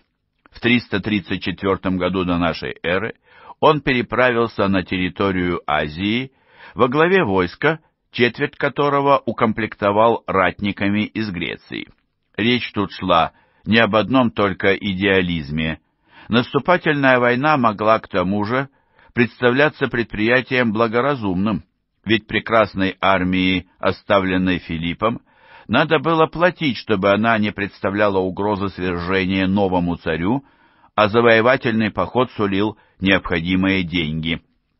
Александру исполнилось 22 года, и перед ним лежал короткий по времени, но великий по достижениям путь военных побед, настолько блистательных, что его имя на века войдет в легенды и обеспечит внешние условия для самого широкого распространения греческой культуры.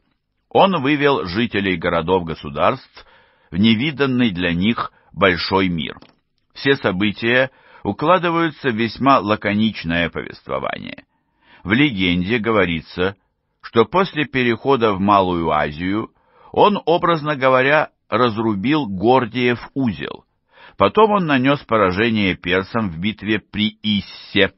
За ней последовала кампания, развернувшаяся южнее, через Сирию. По пути Александр разрушил Тир и в конечном счете вступил в Египет, где основал город до сих пор носящий его имя. В каждом сражении он лично вел своих воинов в бой и в рукопашных схватках не раз был ранен. Он двинулся вглубь пустыни, допросил оракула оазиса Сива, а затем вернулся в Азию, чтобы нанести второе и решающее поражение Дарию Третьему в 331 году до нашей эры в битве при Гавгамелах.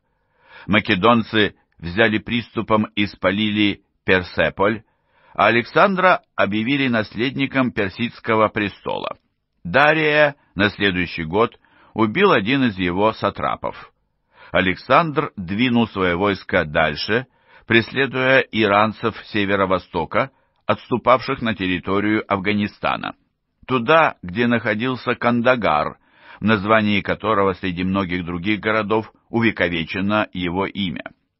При этом он на 160 километров, или около того, прошел через Инд вглубь Пенджаба. Там его воины отказались идти дальше, и тогда он повернул назад. Они устали, и разгромившее армию, оснащенную двумястами боевыми слонами, его воинство не горело большим желанием сразиться с еще одной, насчитывавшей пять тысяч слонов, якобы ожидавшей македонцев в долине Ганга. Александр вернулся в Вавилон. Там он умер в 323 году до нашей эры, 32 лет от роду. Прошло чуть больше десяти лет, после того, как он покинул Македонию. И его территориальное приобретение и их включение в империю носят печать гения одного человека. Это словосочетание звучит не слишком громко, так как достижения такого масштаба представляются не просто результатом удачи, благоприятного стечения исторических обстоятельств или слепой предопределенности. Александр обладал творческим умом и даром провидца.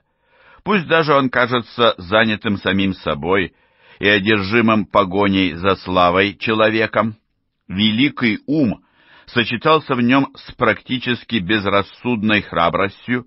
Он считал предком своей матери, гомеровского Ахиллеса, и всячески стремился подражать этому персонажу. Его честолюбие заставляло постоянно доказывать свое превосходство в глазах других людей, а, быть может, и в глазах его властной и неласковой к нему матери через завоевание новых земель. Сама идея эллинского крестового похода на Персию, без сомнения, являлась для него делом реальным, но к тому же при всем его восхищении греческой культурой, о которой он узнал от своего наставника Аристотеля, Александр был человеком слишком эгоцентричным, чтобы быть миссионером, а его космополитизм базировался на оценке бытия его империей должны были управлять персы наряду с македонцами. Сам Александр сначала женился на бактрийской, а затем на персидской принцессе и принял неправомерно, по мнению некоторых его компаньонов, почести, которые на Востоке воздавали правителям, считавшимся богоподобными. К тому же он подчас – проявлял поспешность и опрометчивость. Именно солдаты принудили Александра повернуть назад у Инда. Правитель Македонии не должен был бросаться в схватку, не заботясь о том, что произойдет с его монархией, если он погибнет, не оставив наследника. Хуже всего то, что в пьяной ссоре он убил друга и мог быть причастен к убийству своего отца. Жизнь Александра закончилась слишком скоро, чтобы обеспечить единство его империи в будущем или доказать потомкам, что даже он не мог долгое время гарантировать ее целостность. Однако все им содеянное за это время внушает бесспорное восхищение. Основание им 25 так называемых городов уже само по себе – выглядит великим делом, даже если некоторые из них представляли собой всего лишь укрепленные опорные пункты. Они служили ключами к азиатским сухопутным маршрутам. Соединение Востока и Запада с их общим правительством все еще представлялось задачей куда более сложной. Но Александр за 10 лет многое сделал на этом пути. Понятно, что особого выбора у него не было. Не нашлось достаточно греков и македонцев, чтобы воевать и управлять огромной империей. Сначала он управлял завоеванными областями через персидских чиновников, а после возвращения из Индии приступил к реорганизации войска в смешанные полки, состоявшие одновременно из македонцев и персов. То, что он переоделся в персидское платье и попытался заставить своих соотечественников, а также персов, кланяться ему до земли, вызвало недовольство со стороны его последователей, поскольку в таких нововведениях проявилась его склонность к восточным манерам. Последовали заговоры и мятежи. Все они провалились, а по его относительно умеренным репрессиям можно предположить, что особой опасности для Александра такие происки врагов не представляли. Переломный момент наступил вслед за его самым экстравагантным жестом по культурной интеграции, когда Александр, взяв жены дочь Дария, не расставшись при этом со своей женой, принцессой Бактрии Роксаной, исполнил обряд массового бракосочетания девяти тысяч его воинов с восточными женщинами. В историю это мероприятие вошло как обручение Востока с Западом. И это был акт государственного деятеля, а не идеалиста, так как новую империю ради ее сохранности требовалось чем-то скреплять. Что империя Александра на самом деле значила в культурной связи, осмыслению поддается с трудом. Греки расселились, понятное дело, на обширной территории, но последствия этого проявились лишь после кончины Александра, когда формальная структура империи рухнула, зато из нее возник культурный факт существования эллинского мира.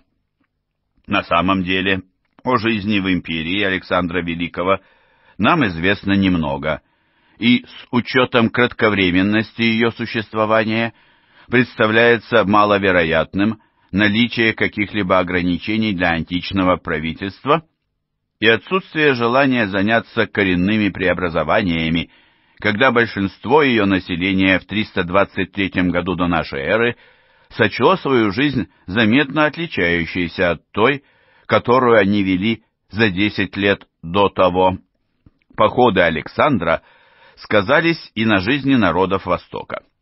Он правил недостаточно долго, чтобы заметно повлиять на взаимоотношения западных греков с Карфагеном, которым пришлось заниматься весь конец IV века до нашей эры, в самой Греции до самой его кончины обстановка оставалась спокойной. Именно в Азии он правил землями, которыми греки раньше не управляли. В Персии он объявил себя наследником великого царя, и правители северных сатрапий Вифинии, Каппадокии и Армении признали его власть слабая, так как связи империи Александра представлялись непрочными, она подвергалась испытанию, когда он умер, не оставив неоспоримого наследника. Его военачальники затеяли борьбу за все то, что они могли отхватить и удержать, а империя распалась еще до посмертного рождения его сына от Роксаны. Она к тому времени уже убила его вторую жену, поэтому, когда она и ее сын умерли в злоключениях, какая-либо надежда на прямого наследника исчезла. За сорок с лишним лет междоусобиц все успокоилось на том, что воссоздать империю Александра Великого никому не удастся. На ее месте появилось несколько крупных государств, представлявших собой наследственные монархии. Их основали удачливые военачальники, диадохи или так называемые преемники Александра Македонского. Птолемей Сотер, считающийся одним из лучших генералов Александра, захватил власть в Египте сразу после смерти своего господина, и туда же он впоследствии перевез ценный трофей в виде тела Александра Великого. Потомкам Птолемея предстояло править его провинцией на протяжении без малого трехсот лет до смерти легендарной Клеопатры в 30 году до нашей эры. Египет при династии Птолемеев оказался самым живучим и богатым из государств, преемников империи Александра Македонского. Из азиатской части империи индийские территории и часть Афганистана ушли из рук греков целиком, так как их пришлось уступить индийскому правителю в обмен на военную помощь. Оставшаяся от нее часть к 300 году до нашей эры представляла собой огромное царство площадью 28,5 миллионов квадратных километров с приблизительно 30 миллионами подданных. Она простиралась от Афганистана до Сирии, а столица находилась в Антиохии. Этой обширной вотчиной правили потомки еще одного македонского полководца по имени Селевк. Из-за набегов кочевых кельтов, забредавших из Северной Европы, которые уже вторглись в саму Македонию, в начале третьего века до нашей эры произошло ее частичное разобщение, и отколовшаяся от нее территория впоследствии превратилась в вотчину царства Пергам, которым правила династия так называемых Атталидов, выдавивших кельтов дальше вглубь Малой Азии, Селевкидам перепали остальные территории, хотя в 225 году до нашей эры им пришлось уступить Бактрию, где потомки воинов Александра образовали знаменитое греческое царство. Македонцы при правлении еще одной династии, антигонидов, попытались сохранить контроль над греческими государствами, оспаривавшимися в Эгейском мире флотом Птолемеев, а в Малой Азии – селевкидами. Около 265 года до нашей эры афиняне предприняли очередную попытку обрести независимость, но потерпели неудачу. Эти события выглядят сложными, но не представляют большой важности для нашего повествования. Значение имело то, что на протяжении около 60 лет после 280 года до нашей эры эллинские царства пребывали в относительном равновесии сил, занятые событиями в Восточном Средиземноморье и Азии, и за исключением греков и македонцев, обращая мало внимания на события, происходившие дальше на Западе, сложились мирные условия для самого активного распространения вширь греческой культуры, и с такой точки зрения эти государства представляли большую важность. Именно своим вкладом в распространение и рост цивилизации они привлекают наше внимание, а не туманной политикой и неблагодарной междоусобицей диадохов. Греческий язык теперь считался официальным языком на всем Ближнем Востоке но гораздо важнее то, что он был языком общения жителей городов, служивших очагами нового мира. При династии Селевкидов союз эллинской и восточной цивилизаций, о котором мог мечтать Александр Македонский, начал обретать реальные очертания. Селевкиды собирали всех греческих переселенцев и основывали новые города везде, где они могли служить средством укрепления структуры их империи и эллинизации местного населения. Власть селевкидов сосредоточивалась в городах, поскольку за их пределами простирались районы обитания разнообразных местных племен, персидских сатрапий и вассалов. В основе административной системы селевкидов все еще лежали сатрапии, Теорию абсолютизма цари селевкидов унаследовали у ахеменидов, а также их систему налогообложения. В появлении новых городов отразился экономический рост, а также здравость политики властей. Победоносные участники войн Александра и продолжатели его дела завладели огромной добычей, большую часть которой составляли слитки золота – накопленные правителями Персидской империи. Добытые трофеи пошли на стимулирование хозяйственной жизни по всему Ближнему Востоку, но к тому же принесли бедствия инфляции и нестабильности. Однако, как бы там ни было, в целом все шло к дальнейшему накоплению богатства. Никаких нововведений не внедрялось ни в ремесленное производство, ни в освоение новых природных ресурсов, Средиземноморская экономика оставалась практически тем, чем всегда была, разве что вырос ее масштаб.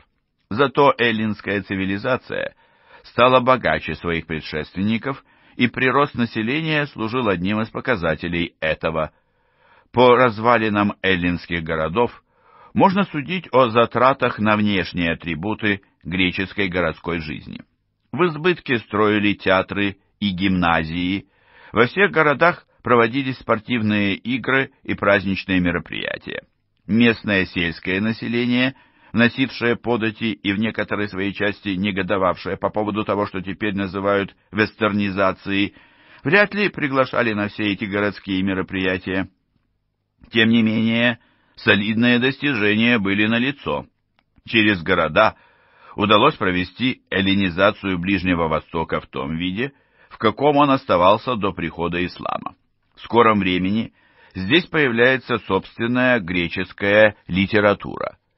Все-таки при том, что здесь прижилась цивилизация греческих городов, по своему духу она отличалась от цивилизации прошлого, как это с горечью отмечала некоторая часть греков. Македонцы никогда не знали жизни города-государства, и в их творениях в Азии отсутствовала сущность таких городов. Селевкиды основали множество городов, но над ними сохранили старую автократическую и централизованную администрацию сатрапий. Мощное развитие получила бюрократия, а самоуправление зачахло. Как ни странно, наряду с ответственностью за ликвидацию последствий стихийных бедствий, лежавшей на них с прошлого, города самой Греции, где сохранялась едва тлеющая традиция независимости, представлялись той частью эллинского мира, которая фактически переживала экономический и демографический упадок. Хотя политический кураж из городов ушел, городская культура все еще служила великим механизмом передачи греческих воззрений на мир. Огромный интеллектуальный капитал можно было позаимствовать в двух крупнейших библиотеках древнего мира, открытых в Александрии и Пергаме.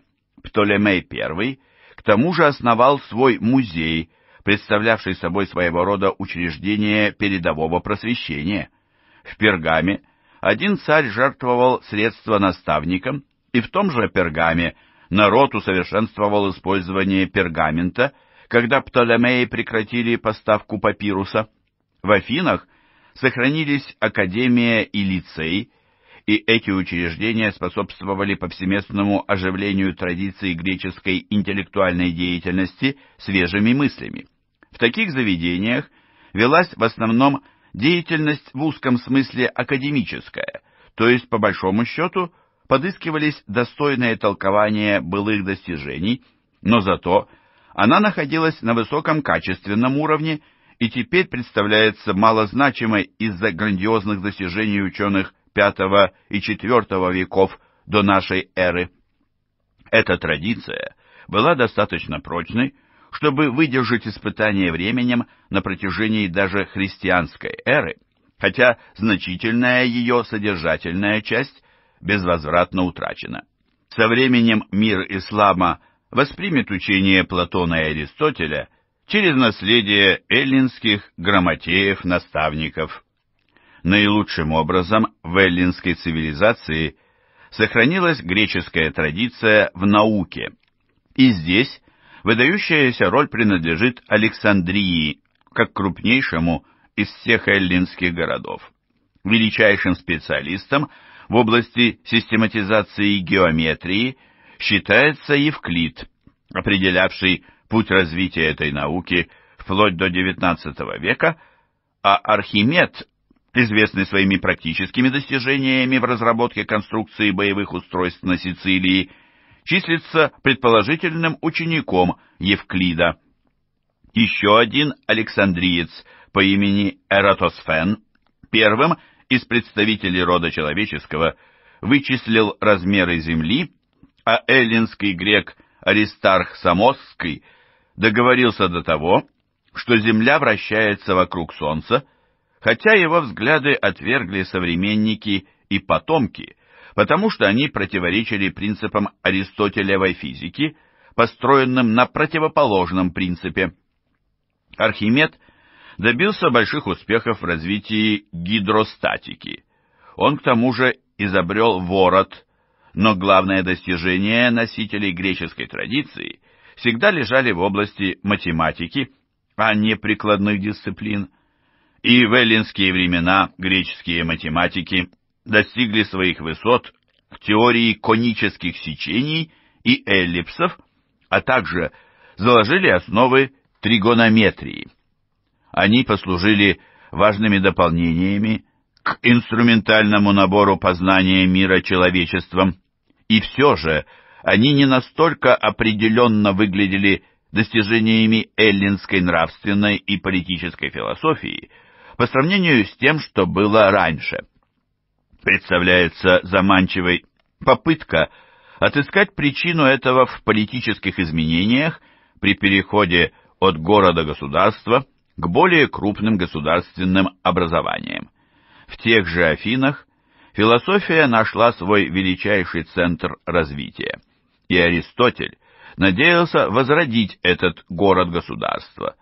В достойных руках, думал этот философ, в нем могли бы появиться условия для лучшей жизни.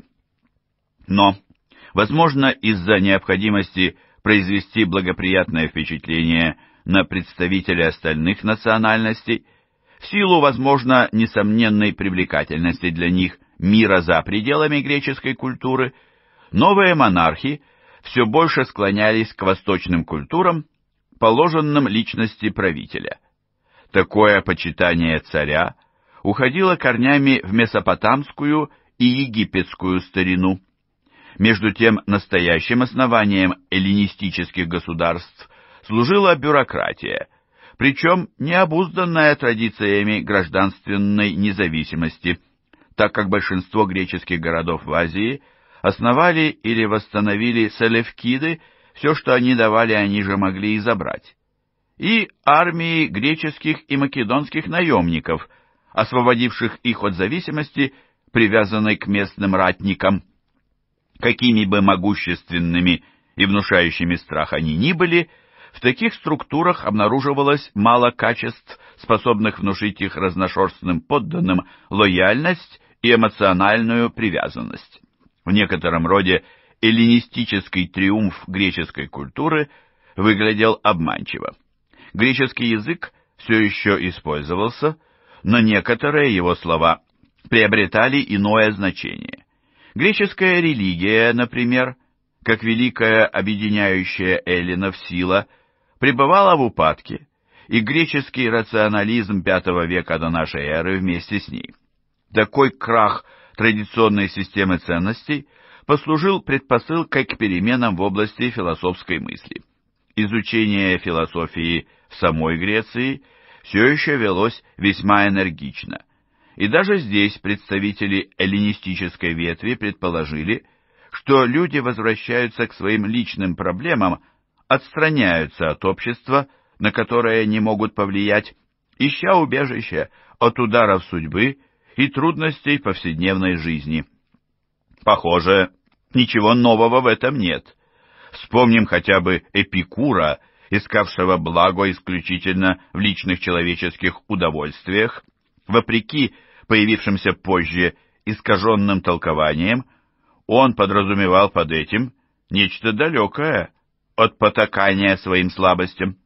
Удовольствием Эпикуру служила субъективная удовлетворенность и отсутствие боли.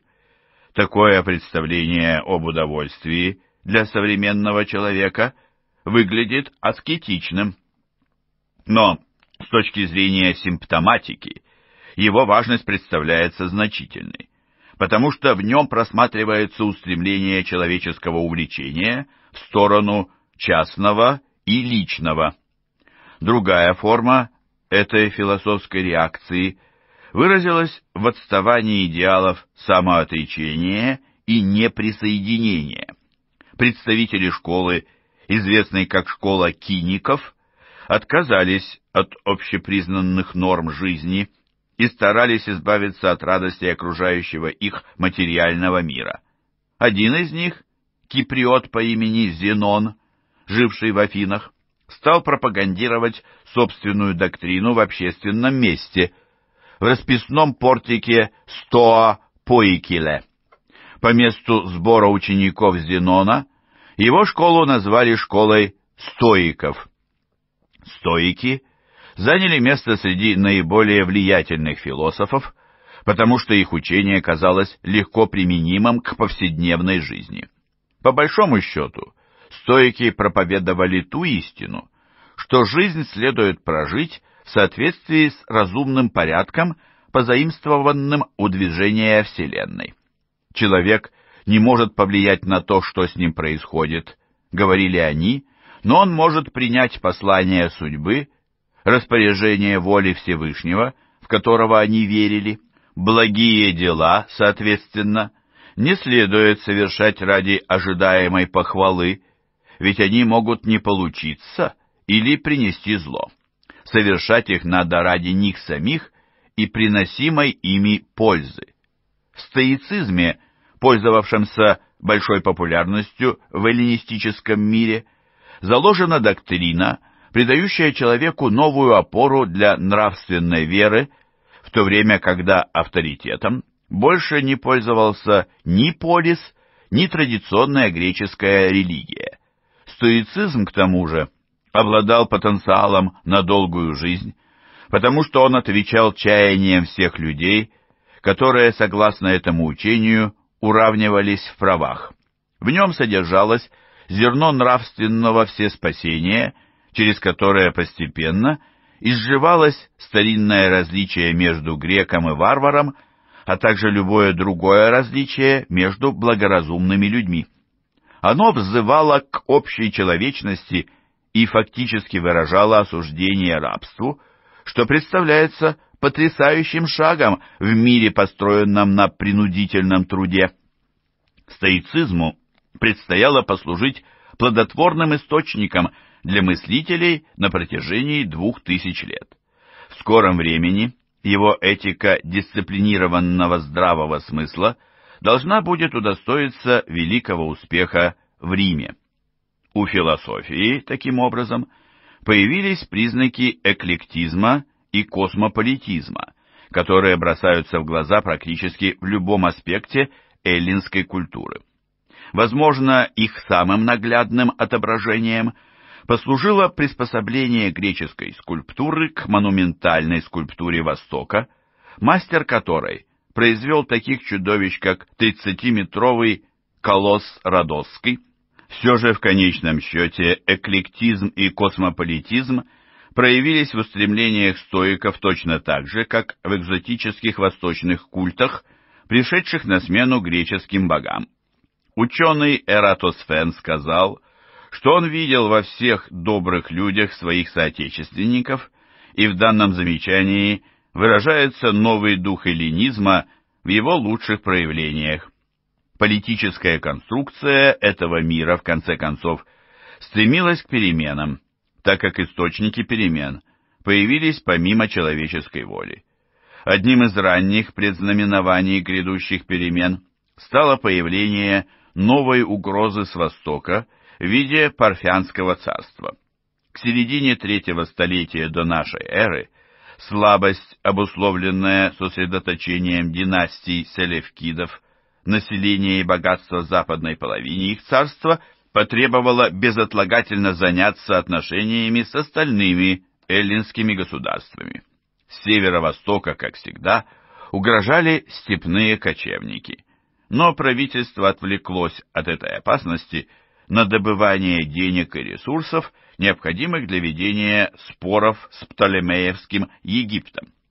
Искушение для находившегося вдали сатрапа действовать по своему собственному усмотрению в качестве военачальника подчас было просто непреодолимым.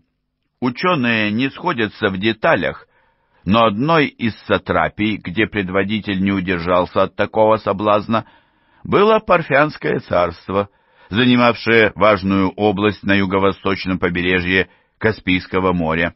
Ему предстояло занять еще более важное место несколько веков спустя, так как через него пролегали караванные маршруты в Центральную Азию, по которой осуществлялась связь западного классического мира с далеким Китаем по Великому Шелковому пути.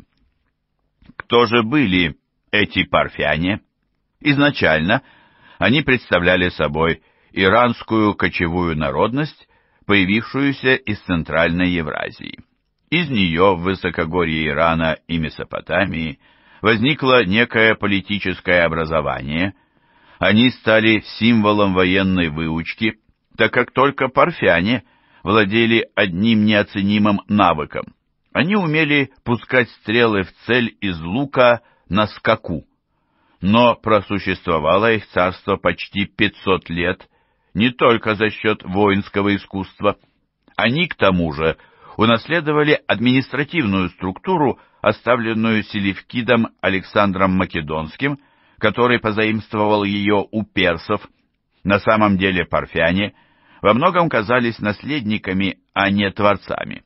Официальные документы их великой династии составлялись на греческом языке, и они явно не имели никакого собственного права, зато радостно согласились на уже сложившуюся практику, будь то вавилонян, персов или эллинов. Их древняя история, по большому счету, остается туманной. В третьем столетии до нашей эры в Парфянском царстве существовала какая-то монархия, центр которой не удается обнаружить до сих пор, но селевкидам до него явно не было особого дела. Во втором веке, когда династия селевкидов полностью отвлеклась на проблемы, нависшие с запада, два брата, младшего из которых звали Митридат I, образовали Парфянскую империю, территория которой к моменту кончины Митридата простиралась от Бактрии, еще один осколок наследия селевкидов – который в конечном счете отделился приблизительно в то же самое время, что и Парфянское царство на востоке, и до Вавилонии на западе. Прекрасно помнивший судьбу тех, кто ушел в лучший мир до него Митридат, сам приказал отчеканить на своих монетах собственное положение «Великий царь». После его смерти случилось несколько потерь, но его тезка Митридат II вернул утраченные позиции и пошел дальше. Селевкиды теперь увязли в проблемах Сирии. В Месопотамии границей его империи служил Ефрат, а китайцы установили с ним дипломатические отношения. На монетах второго Митридата чеканился гордый ахеменидский титул «Царь царей», и напрашивается разумный вывод о том, что династия Аршакидов которой принадлежали митридаты, теперь сознательно связывалась с великим персидским родом.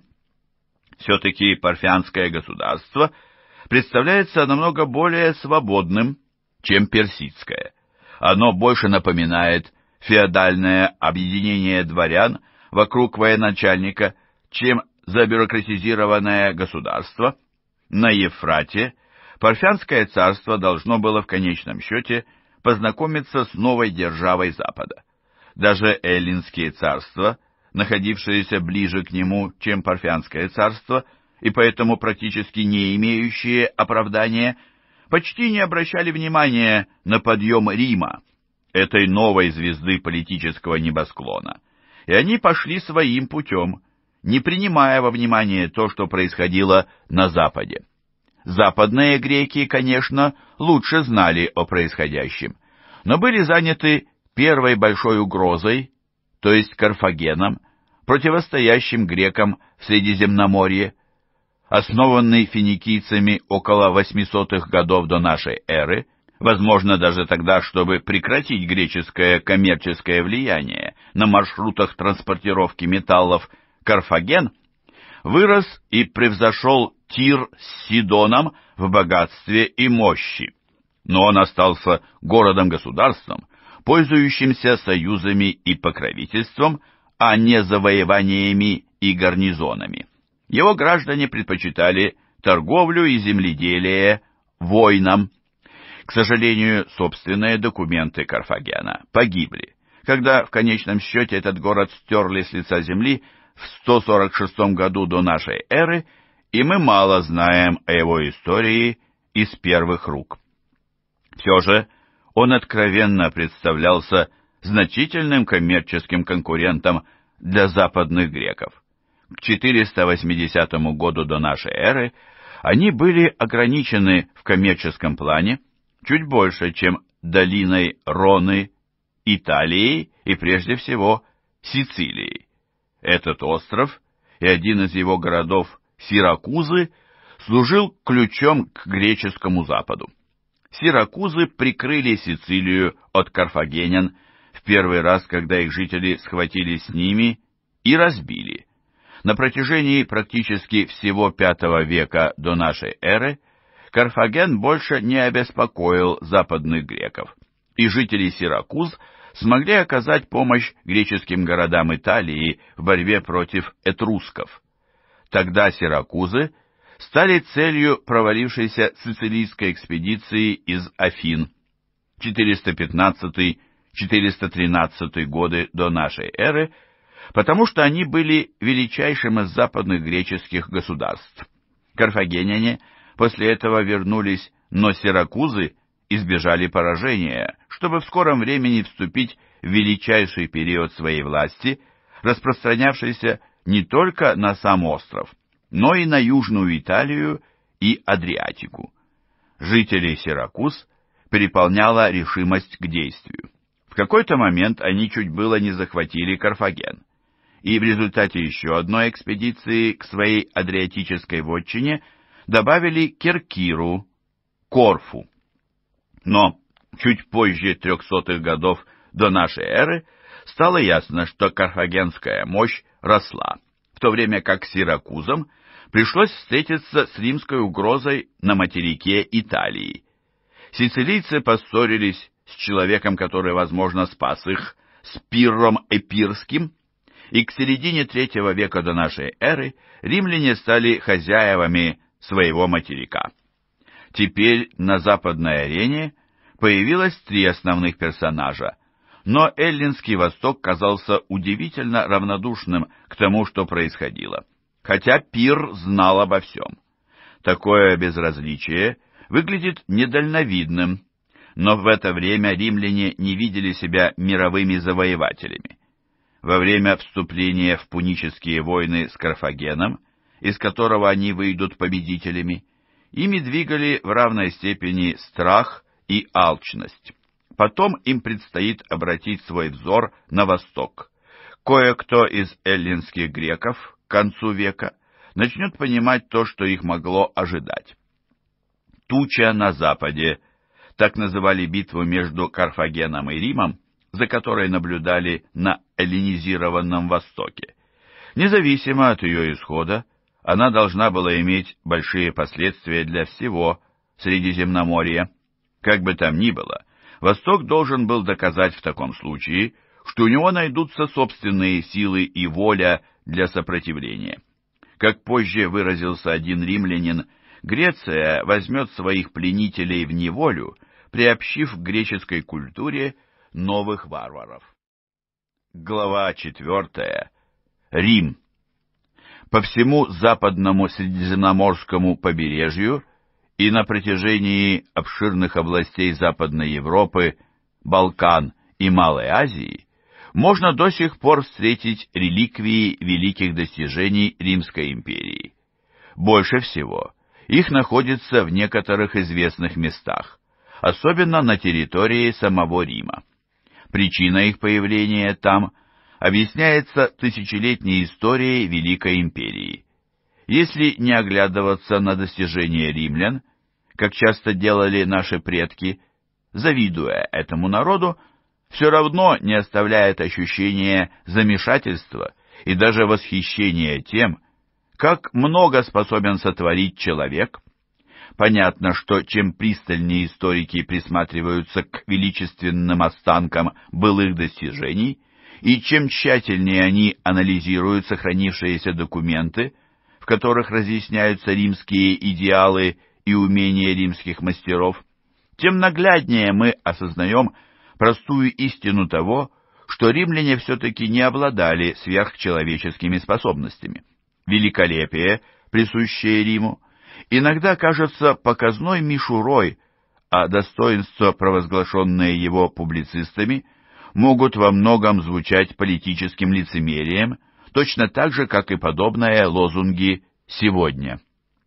Все-таки, когда все уже сказано и сделано, нам остается поразительный и мощный стержень творческой изобретательности – в завершение следует обратить внимание на то, что римляне поменяли декорации греческой цивилизации.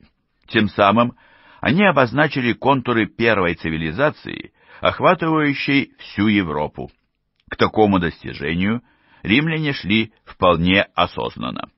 Оглядываясь на пройденный путь, когда позже все вокруг них уже рушилось, они по-прежнему ощущали себя такими же римлянами, как их предки, сотворившие свою цивилизацию.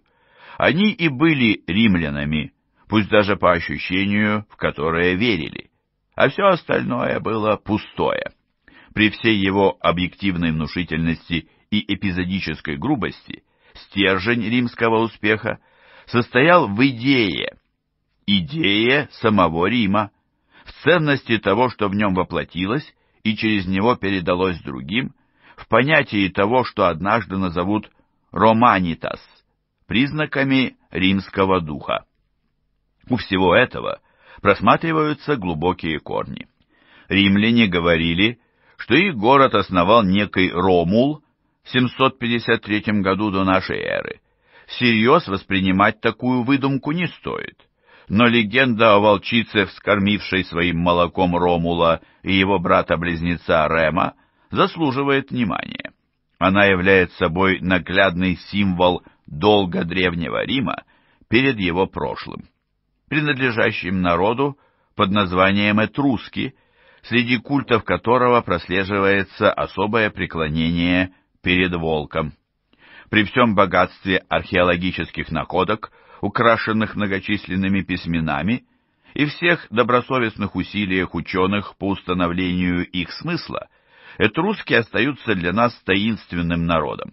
На текущий момент удалось с некоторой достоверностью очертить в общем плане природу этрусской культуры и в значительно меньшей степени его историю или хронологию.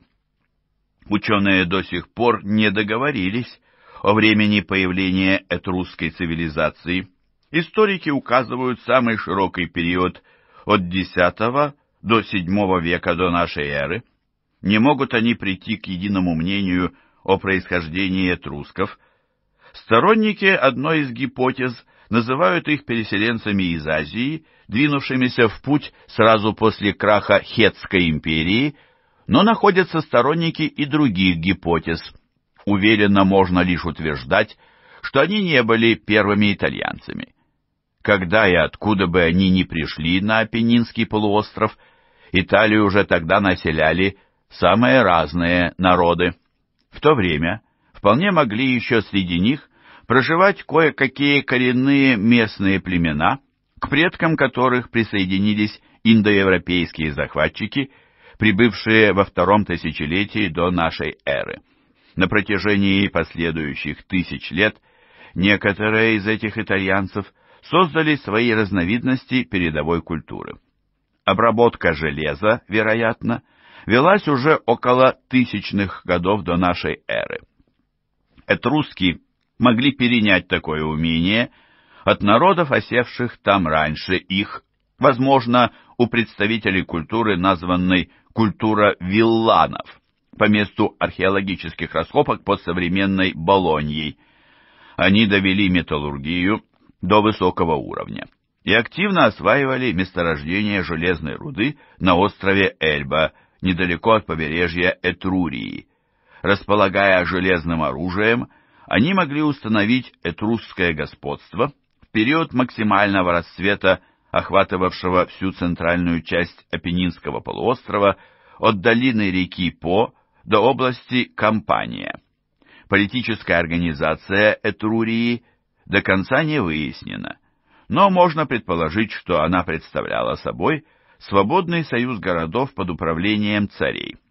Этруски владели грамотой и использовали алфавит на основе греческого языка, который, возможно, позаимствовали у жителей городов Магна Грассесия, хотя из их письма трудно что-либо разобрать. К тому же их можно считать относительно состоятельными людьми. В VI веке до нашей эры этруски закрепились на важном плацдарме южного берега реки Тибр. Там находился городок Рим, бывший тогда одним из многочисленных небольших городов латинцев, давно обосновавшихся в области Кампания. Через этот город кое-что из сохранившегося от этрусков передалось в европейскую традицию и потом в ней затерялось. Ближе к концу шестого столетия до нашей эры римляне покончили с этрусским господством во время восстания населения латинских городов против своих господ. Но до тех пор этим городом управляли цари последнего из которых, согласно традиционной легенде, прогнали в 509 году до нашей эры. Какую бы точную дату ни называли, все определенно случилось приблизительно в то время, когда этрусской власти, занятой упорной борьбой с западными греками, успешно бросили вызов латинские народы, выбравшие после того свой собственный путь. Тем не менее Риму досталось много полезного от его этрусского прошлого. Как раз через Этрурию Рим впервые получил выход на греческую цивилизацию, с которой римляне продолжали жить в контакте и по суше, и по морю. В Рим сходились главные сухопутные и водные пути вдоль по течению Тибра, хотя морские суда в город войти не могли. Важнейшим наследованием Рима можно назвать его обогащение влиянием греков, но римляне к тому же сохранили еще многое от этрусского прошлого. Одним из этрусских наследий можно считать то, как народ сводили в центурии для ведения боевых действий. Больше несерьезных, но поразительных примеров находим в гладиаторских схватках, городских торжествах и толковании предзнаменований в виде обсуждения внутренностей жертвенных животных ради определения контуров будущего. Римской республике суждено было просуществовать больше 450 лет, и даже после падения сохранились названия ее учреждений. Римляне всегда любили порассуждать по поводу преемственности и их всеподданнейшей приверженности или предосудительного отвержения старым добрым традициям своей древней республики – и дело касается не просто исторических выдумок. В подобных утверждениях кроется известная истина. Например, в утверждении по поводу преемственности парламентской формы правления в Великобритании или мудрости отцов-основателей Соединенных Штатов Америки, согласившихся на утверждение Конституции, которая до сих пор себя вполне оправдывает. Разумеется, по мере прохождения веков в традиции вносились заметные изменения. Они нарушали правовую и идеологическую преемственность, и историки все еще спорят о том, как их правильно истолковать.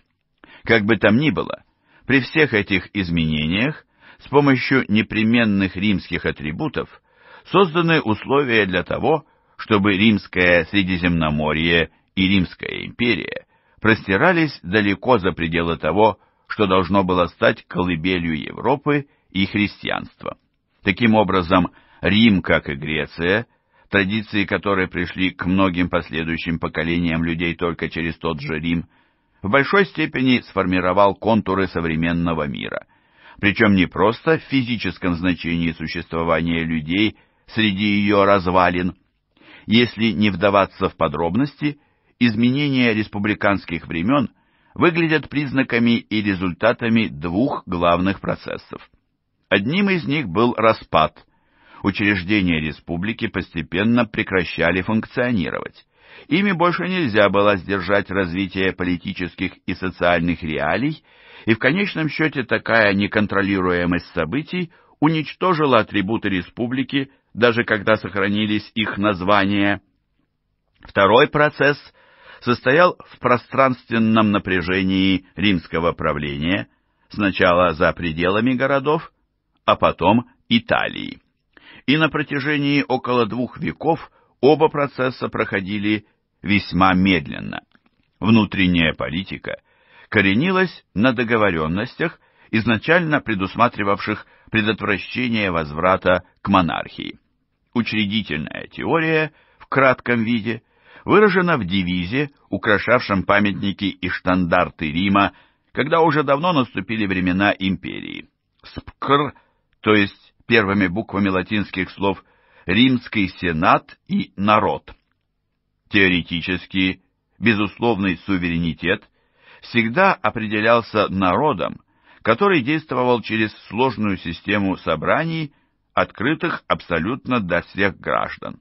Разумеется, не все жители Рима считались гражданами. Точно такая же система применялась во многих греческих городах-государствах. Общим ведением практических дел занимался Сенат. Сенаторы принимали законы и регулировали функционирование избиравшихся магистратов. Самые острые политические проблемы римской истории обычно выражались как раз в форме напряженных переговоров между полярными группировками Сената и народа. Отчасти вызывает удивление то, что внутренние распри в начале становления республики выглядят относительно бескровными. Их последствия представляются неоднозначными, а кое в чем даже мистическими, хотя результат состоял в том, что гражданское сообщество получило возможность активно участвовать в делах своей республики. Сенат, в стенах которого сосредоточились рычаги политического руководства государством, к трехсотым годам до нашей эры стал представлять интересы правящего сословия, в котором объединились прежние патриции до республиканских времен с состоятельными представителями плебса, как называли остальную часть граждан. Члены Сената составили некую воспроизводящуюся олигархию, хотя некоторых из них обходили во время очередной переписи населения, проводившейся раз в пять лет. Стержнем Сената служила группа дворянских семей, происхождение которых можно было иногда проследить к плебейскому сословию, но среди их предков были консулы, то есть высшие должностные лица магистрата. Последних царей в конце VI века до нашей эры как раз сменили два консула. Назначаемые на один год, они правили через Сенат и числились его самыми важными чиновниками. Кандидатов на такие посты подбирали из людей опытных и пользующихся авторитетом в обществе, ведь перед избранием на должность им предстояло пройти обсуждение как минимум на двух подчиненных уровнях избираемых депутатов, таких как квесторы и преторы. Только после этого они получали право на использование всех своих полномочий. Квесторы, 20 из которых переизбирали каждый год, к тому же автоматически становились членами Сената. С помощью такой процедуры обеспечивалось предельное единство римской правящей верхушки и необходимые профессиональные навыки, так как продвижение по карьерной лестнице регулировалось тщательным подбором кандидатов из многочисленных претендентов, прошедших необходимую проверку и подготовку в ходе исполнения служебных обязанностей. То, что такое устройство себя вполне оправдывало на протяжении долгого времени, бесспорно. Риму всегда хватало способных мужчин. Парламентом маскировали естественное стремление олигархов к формированию фракций, поскольку какие бы победы не одерживали плебеи, функционирование системы гарантировало такое положение вещей, что государством управляли богачи. И богачи – спорили за право занять ту или иную государственную должность исключительно между собой. Даже в коллегии выборщиков, вроде предназначавшейся для представления всего народа, существовали комититя центуриата, центуриатные комиции, с помощью которых подавляющее влияние переходило в распоряжение граждан весьма состоятельных. Слово «плебеи» в любом случае нами воспринимается обманчиво упрощенно. Этим словом в разное время обозначались различные явления общественной реальности. По мере территориальных приобретений и предоставления избирательных прав новым гражданам происходило медленное расширение границ гражданства. Даже в старинные времена – эти границы простирались далеко за пределами конкретного города и его окрестностей, так как в состав республики включались все новые города. В то время типичным гражданином считался некий сородич. Фундамент римского общества всегда составляли земледельцы и селяне. Важно отметить, что латинское слово для обозначения денег «пекуния» происходит от слова, обозначавшего отару овец или стадо крупного рогатого скота, а римской мерой земли был иугерум, площадь поля, которую можно было вспахать за день на паре валов. Земля и общество, существовавшее за счет этой земли, во времена республики связывались постоянно меняющимся образом, но основой республики всегда служило ее сельское население. Сложившееся позже в умах людей представление об имперском Риме как великом городе-паразите уводит от истинного положения вещей. Вольные граждане, составлявшие основу населения на заре республики, относились к земледельцам, некоторые из которых были гораздо беднее других. В соответствии с законом существовала сложная система их подразделения на группы, уходившая корнями в этрусское прошлое. Имевшиеся различия большой экономической роли не играли, хотя с точки зрения избирательного права их структурной важностью пренебрегать не стоит. И по ним более сложно судить об общественных реалиях республиканского Рима, чем по различиям, предполагаемым римской переписью, между теми, кто был в состоянии приобрести для себя оружие и доспехи, необходимые для службы в качестве ратников, и теми, чей вклад в государство состоял исключительно в производстве детей, пролетарии, неимущие, дающие только потомство, а также теми, кого просто считали по головам, так как они не владели собственностью и не заводили семьи. Ниже их всех, по положению в обществе, разумеется, находились рабы. Существовала устойчивая тенденция, стремительно нарастающая в третьем и втором веках до нашей эры, которая касалась многих плебеев, которые на первых порах сохраняли за собой некоторую вольность в силу владения собственной землей, а потом скатывались в нищету. Между тем новая аристократия увеличила свою относительную долю земли, поскольку завоевания чужих территорий принесли ей еще большее богатство. Такой процесс затянулся надолго, и за это время появились новые подвиды общественных интересов и политических акцентов. Ко всему прочему, следует добавить еще один усложняющийся фактор, когда вошло в широкую практику предоставления гражданства союзникам Рима. В республике фактически наблюдалось постепенное увеличение сословия граждан с одновременным реальным ослаблением ее полномочий с точки зрения влияния на происходящие события. Дело даже не в том, что в проведении римской политики теперь приходилось всецело учитывать интересы богатого сословия.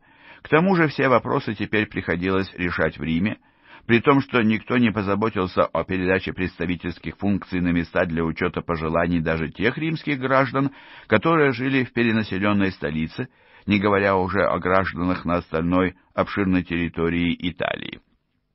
На таком фоне стала складываться тенденция направления угроз по поводу отказа от военной службы или вообще выхода из-под власти Рима и основания города в другом месте – при этом плебеи смогли несколько ограничить полномочия Сената и магистратов. После 366 года до нашей эры к тому же одного из этих двух консулов стали избирать в обязательном порядке из сословия плебеев, а в 287 году до нашей эры решением плебейского собрания придали преимущественную силу закона. Но главное ограничение для традиционных правителей ввели с помощью десяти выборных народных трибунов, то есть избираемых всеобщим голосованием должностных лиц, пользующихся правом законодательной инициативы или вето на обсуждаемые законы. Одного вето было достаточно, и они круглые сутки вели прием граждан, считающих, что с ними несправедливо обошлись в магистрате. Наибольший вес трибуны приобрели в случае обострения социальных противоречий или расхождения личных взглядов в Сенате, ведь тогда их начинали всячески обхаживать политики. В самом начале существования республики, но и гораздо позже, трибунам, принадлежавшим к правящему сословию и даже носившим дворянские титулы, как правило, было гораздо проще находить общий язык с консулами и остальными членами Сената. Административный талант и опыт этого коллектива и повышение его престижа благодаря руководству войной и мероприятиями по ликвидации последствий чрезвычайных ситуаций невозможно было поставить под сомнение до тех пор, пока социальные изменения не достигли достаточно серьезной степени, чтобы составить угрозу крушения республики как таковой. учредительное устройство Римской республики с самого ее начала тем самым представлялось очень сложным, но зато функциональным. Оно служило предотвращению насильственной революции и содействию последовательным переменам. Но все-таки нам оно виделось бы не таким важным, как устройство ФИФ или Сиракуз, если не сыграло бы решающую роль в первой фазе победоносной экспансии римской власти на соседей. Судьба республиканских учреждений представляется важной и в более поздние периоды из-за того, во что превратилась республика сама по себе. Практически весь V век до нашей эры ушел на подчинение соседей Рима, и в ходе этого территория империи увеличилась в два раза. Затем признали верховенство Рима остальные города Латинского Союза, когда жители некоторых из них в середине IV века до нашей эры подымали мятежи, их насильно возвращали на место, причем на более жестких условиях. Это походило на приземленный вариант Афинской империи, существовавшей на сто лет раньше. Политика римлян состояла в том, чтобы поручать своим союзникам осуществление самоуправления, но им вменялось в обязанность подчиняться внешней политике Рима и предоставлять контингенты в распоряжение римской армии. Кроме того, римские политики в остальных итальянских общинах высоко ценили устоявшиеся господствовавшие кланы, и выходцы из римских аристократических семей умножили с ними личные связи. Гражданам таких общин, к тому же, предоставляли право на получение гражданства, если они переселялись в Рим. Этрусскую гегемонию в Центральной Италии, считавшейся самой богатой и наиболее развитой частью Апеннинского полуострова, тем самым заменили гегемонией римской. Римская военная мощь выросла пропорционально числу покоренных Римом государств. В основе собственной армии республики лежал принцип всеобщей воинской повинности. Каждый гражданин мужского пола, владевший собственностью, был обязан служить по призыву, и эта обязанность выглядела не такой уж легкой. 16 лет для пешего ратника и 10 лет для кавалериста. Организационно армия состояла из легионов по 5000 ратников каждый. Вооруженные длинными копьями ратники сражались в плотном строю под названием фаланга. Такая армия не только подчинила Риму соседей, но и отбила ряд вторжений галлов с севера в IV веке, хотя в одном случае галлы взяли сам Рим в 390 году до нашей эры. Последние вооруженные схватки этого периода формирования империи приходятся на конец IV века до нашей эры, когда римляне завоевали народы сомнитов, жившие в области Абруцци. Фактически теперь республика могла выставить союзное войско со всей центральной Италии.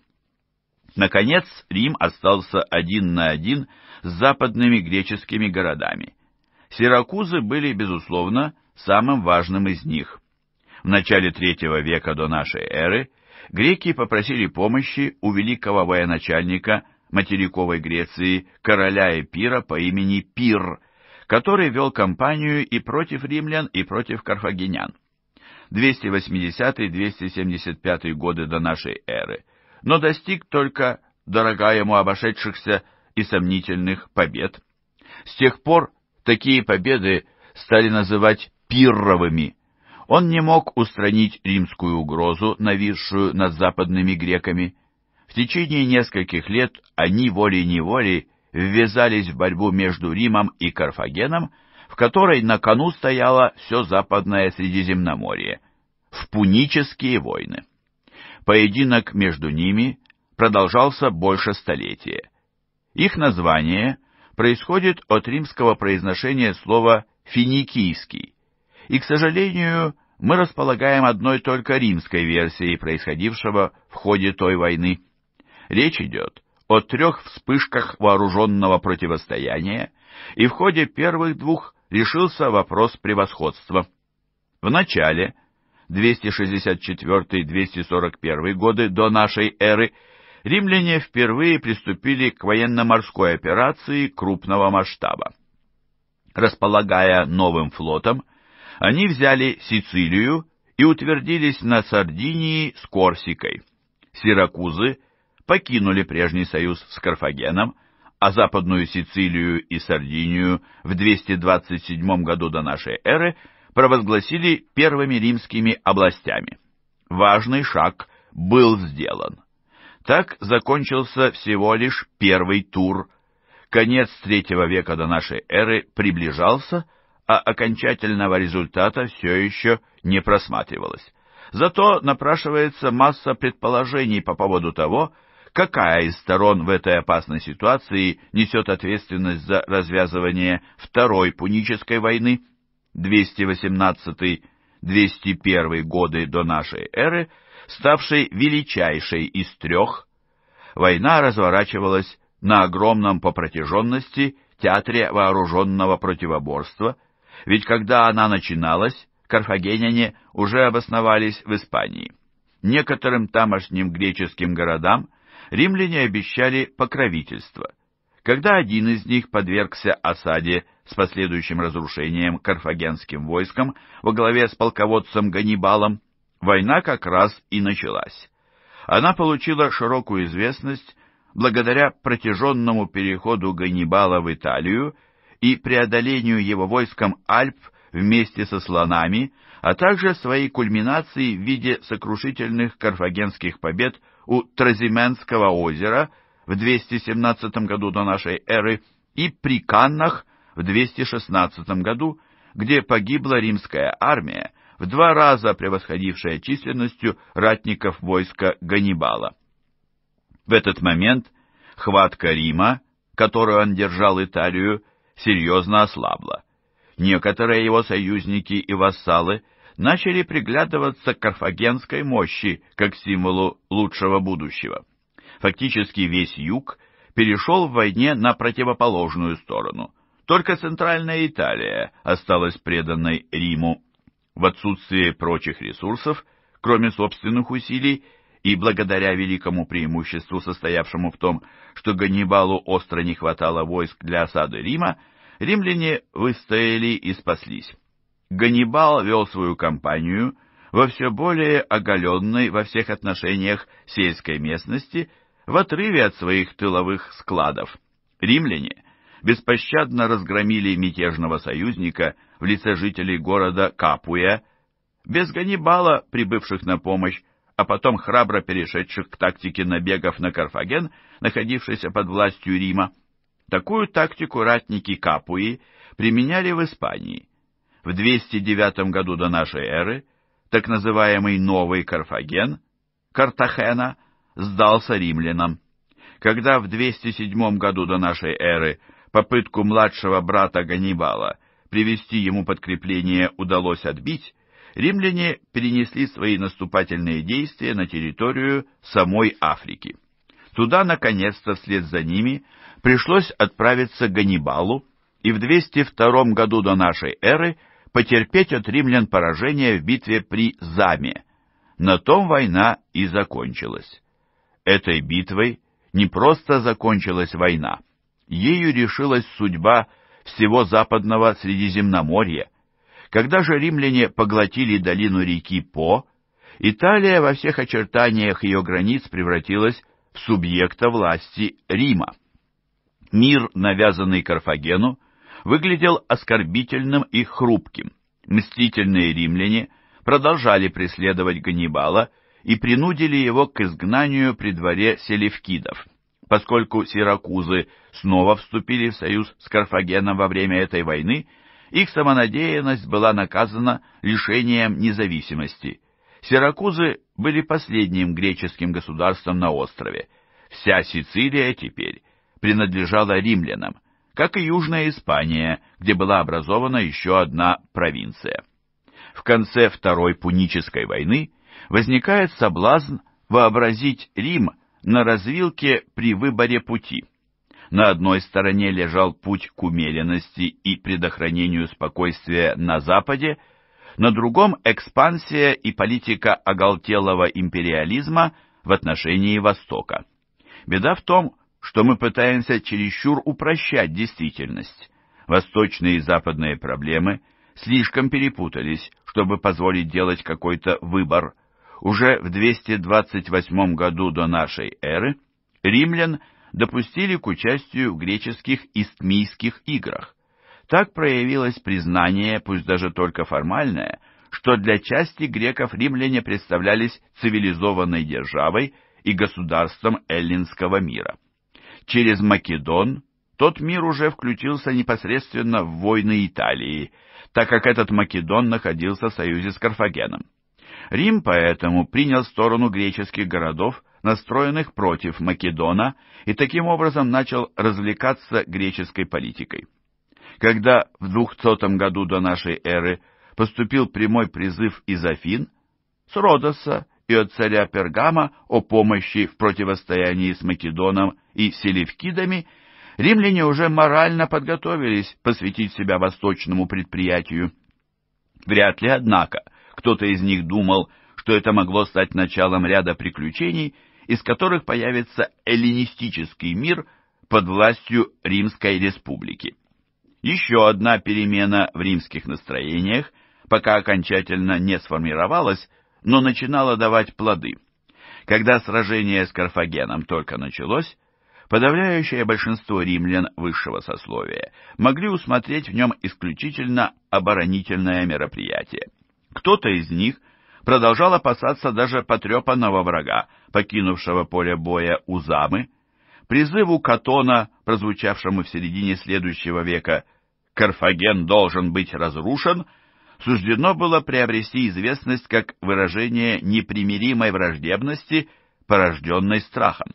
Как бы там ни было, в провинциях, приобретенных в ходе войны, у людей начало пробуждаться осознание других возможностей, и скоро появились новые причины для продолжения дела.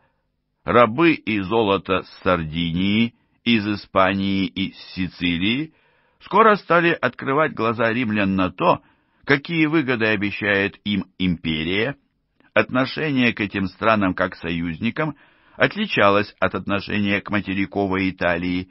В них римляне видели источник ресурсов, которым необходимо по-хозяйски распорядиться и который требовалось с толком освоить.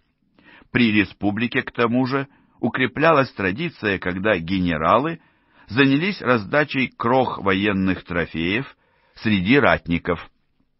При всех сложных зигзагах и поворотах политики – Главные этапы римской экспансии на Востоке во II веке до нашей эры представляются вполне очевидными.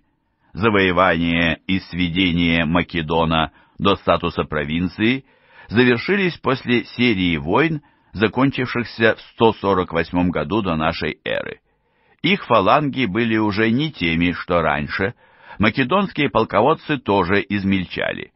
По ходу дела города Греции – низвели до статуса вассалов и заставили прислать в Рим заложников. Из-за вмешательства сирийского царя римские войска впервые перешли на территорию Малой Азии. Потом настала очередь царства Пергама, которое прекратило свое существование римского господства в бассейне Эгейского моря и учреждение в 133 году до нашей эры новой азиатской провинции – повсеместно покорение остальной территории Испании, кроме северо-запада, провозглашение зависимой конфедерации в Иллирии и разделение на провинции Южной Франции в 121 году до нашей эры означали то, что побережье от Гибралтара до Фессалии теперь находилось под властью Рима. В 149 году до нашей эры появился шанс, которого ждали враги Карфагена. Началась третья, и последняя – Пуническая война. Три года спустя этот город лежал в развалинах, на его месте распахали поля, и вместо царства Карфаген основали новую римскую провинцию, включавшую западный Тунис, Африка. Так возникла империя, образованная властью республики. Как все империи, но, возможно, с большей очевидностью, чем предыдущие, появилась она по воле случая и настолько же благодаря человеческим замыслам. Страх, идеализм и в конечном счете алчность одновременно служили побуждениями, гнавшими легионы все дальше от родного дома. Единственной опорой Римской империи оставалась ее военная мощь, и подпитывалась она за счет непрерывной экспансии. Перевес в силе решил исход карфагенской кампании. Защитникам Карфагена хватало опыта и упорства, зато римская армия взяла численным превосходством. Римляне располагали возможностью наращивать свою военную мощь за счет первоклассных ратников, поставлявшихся их союзниками и сателлитами, а республиканский режим обеспечивал порядок и постоянное управление новыми субъектами их государства – Основными административными единицами Римской империи числились ее провинции, каждый из которых управлял губернатор с проконсульскими полномочиями, формально назначаемый на один год. При нем числился налоговый чиновник. Внутри возникшей империи неизбежно возникли политические последствия от смены режима. Прежде всего, стало еще труднее обеспечивать участие широких масс народа, то есть привлекать к решению общих вопросов бедных граждан в управлении государством. Затянувшаяся война послужила укреплению обыденной власти и морального авторитета Сената, и нужно сказать, что его послужной список выглядит убедительно. К тому же расширение территории добавило новые недостатки к уже имевшимся после распространения римской власти на всю Италию недочетам, один из недостатков заключался в милитаризации общества и соответствующем положении военачальников. В 149 году до нашей эры пришлось созывать специальный суд для рассмотрения уголовных дел, касающихся откровенного лихаимства чиновников и военачальников. Вне зависимости от природы этого лихаимства, единственную возможность получить обещанное им богатство – можно было приобрести через участие в политике, так как именно в Сенате для новых провинций подбирали губернаторов, и как раз в Сенате назначали сборщиков податей, сопровождавших губернаторов, причем их кандидатуры искали среди людей состоятельных, но не относящихся к дворянскому сословию «эквитес» или «всадников». Еще одна слабость государственного организма возникла потому, что принцип ежегодных выборов членов магистратов все чаще и чаще на практике старались обходить стороной. Война и мятежи в провинциях служили источниками обострения ситуации, разрешение которой консулы, выбранные за их политические умения, могли счесть непосильным для себя делом. Понятно, что проконсульская власть неизбежно переходила в руки тех, кто по роду деятельности привык преодолевать чрезвычайные ситуации то есть в руки проверенных военачальников. Не стоит видеть в республиканских полководцах профессиональных солдат в современном толковании этого понятия, они принадлежали к правящему сословию и вполне могли преуспеть на поприще карьерного государственного служащего, судьи, адвоката, политика и даже священника. Одним из ключей к административной сноровке в Риме было согласие с принципом отсутствия у его правителей какой-либо специальности. Зато некий полководец, находившийся при своем войске на протяжении многих лет, становился совсем иной разновидностью политического творения по сравнению с проконсулами Римской Республики на заре ее существования, которые командовали армией на протяжении всего одной кампании и снова возвращались в Рим к политике. Существовало даже своего рода укоренившаяся в обществе продажность, ведь все римские граждане получали выгоду от империи, в которой появлялась возможность освобождения от любых прямых поборов. Жителям провинции приходилось платить дань за родную землю. Осознание такого рода пороков не требует особого осуждения со стороны записных морализаторов и разговоров о закате империи в первом столетии нашей эры, когда они уже превратились в фатальный фактор. Еще одно изменение, привнесенное империей, состояло в приобщении новых народов к греческой культуре и религии – эллинизация. Здесь возникают сложности с определением масштаба ее распространения. Еще до того, как римляне приступили к завоеванию территорий за пределами Италии, римская культура уже в известной мере подверглась эллинскому влиянию. Неким показателем этого представляется сознательная поддержка республикой дела независимости греческих городов Македона. При этом, чем бы Рим уже не обладал, он мог приобрести еще очень многое только после непосредственного общения с народами, привлеченными к греческой культуре и религии. На худой конец многим грекам Рим представлялся еще одной варварской державой, ничуть не лучшей, чем Карфаген. Обратите внимание на символизм легенды о смерти Архимеда при падении Сиракуз, которого во время решения им геометрической теоремы на песке поразил мечом римский ратник, представления не имевший, кто находится перед ним. В условиях империи – общение между народами стало прямым, а влияние греческой культуры и религии многогранным и частым.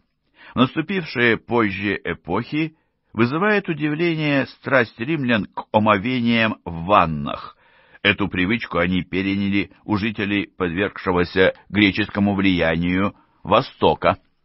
Первые произведения римской литературы были переводами на латинский язык греческой драмы, а первые комедии на латинском языке выглядят подражанием греческим образцам. Произведения искусства начали поступать в Рим в виде трофеев, награбленных ратниками, однако с греческим стилем, прежде всего в архитектуре, римляне уже познакомились на примере западных греческих городов.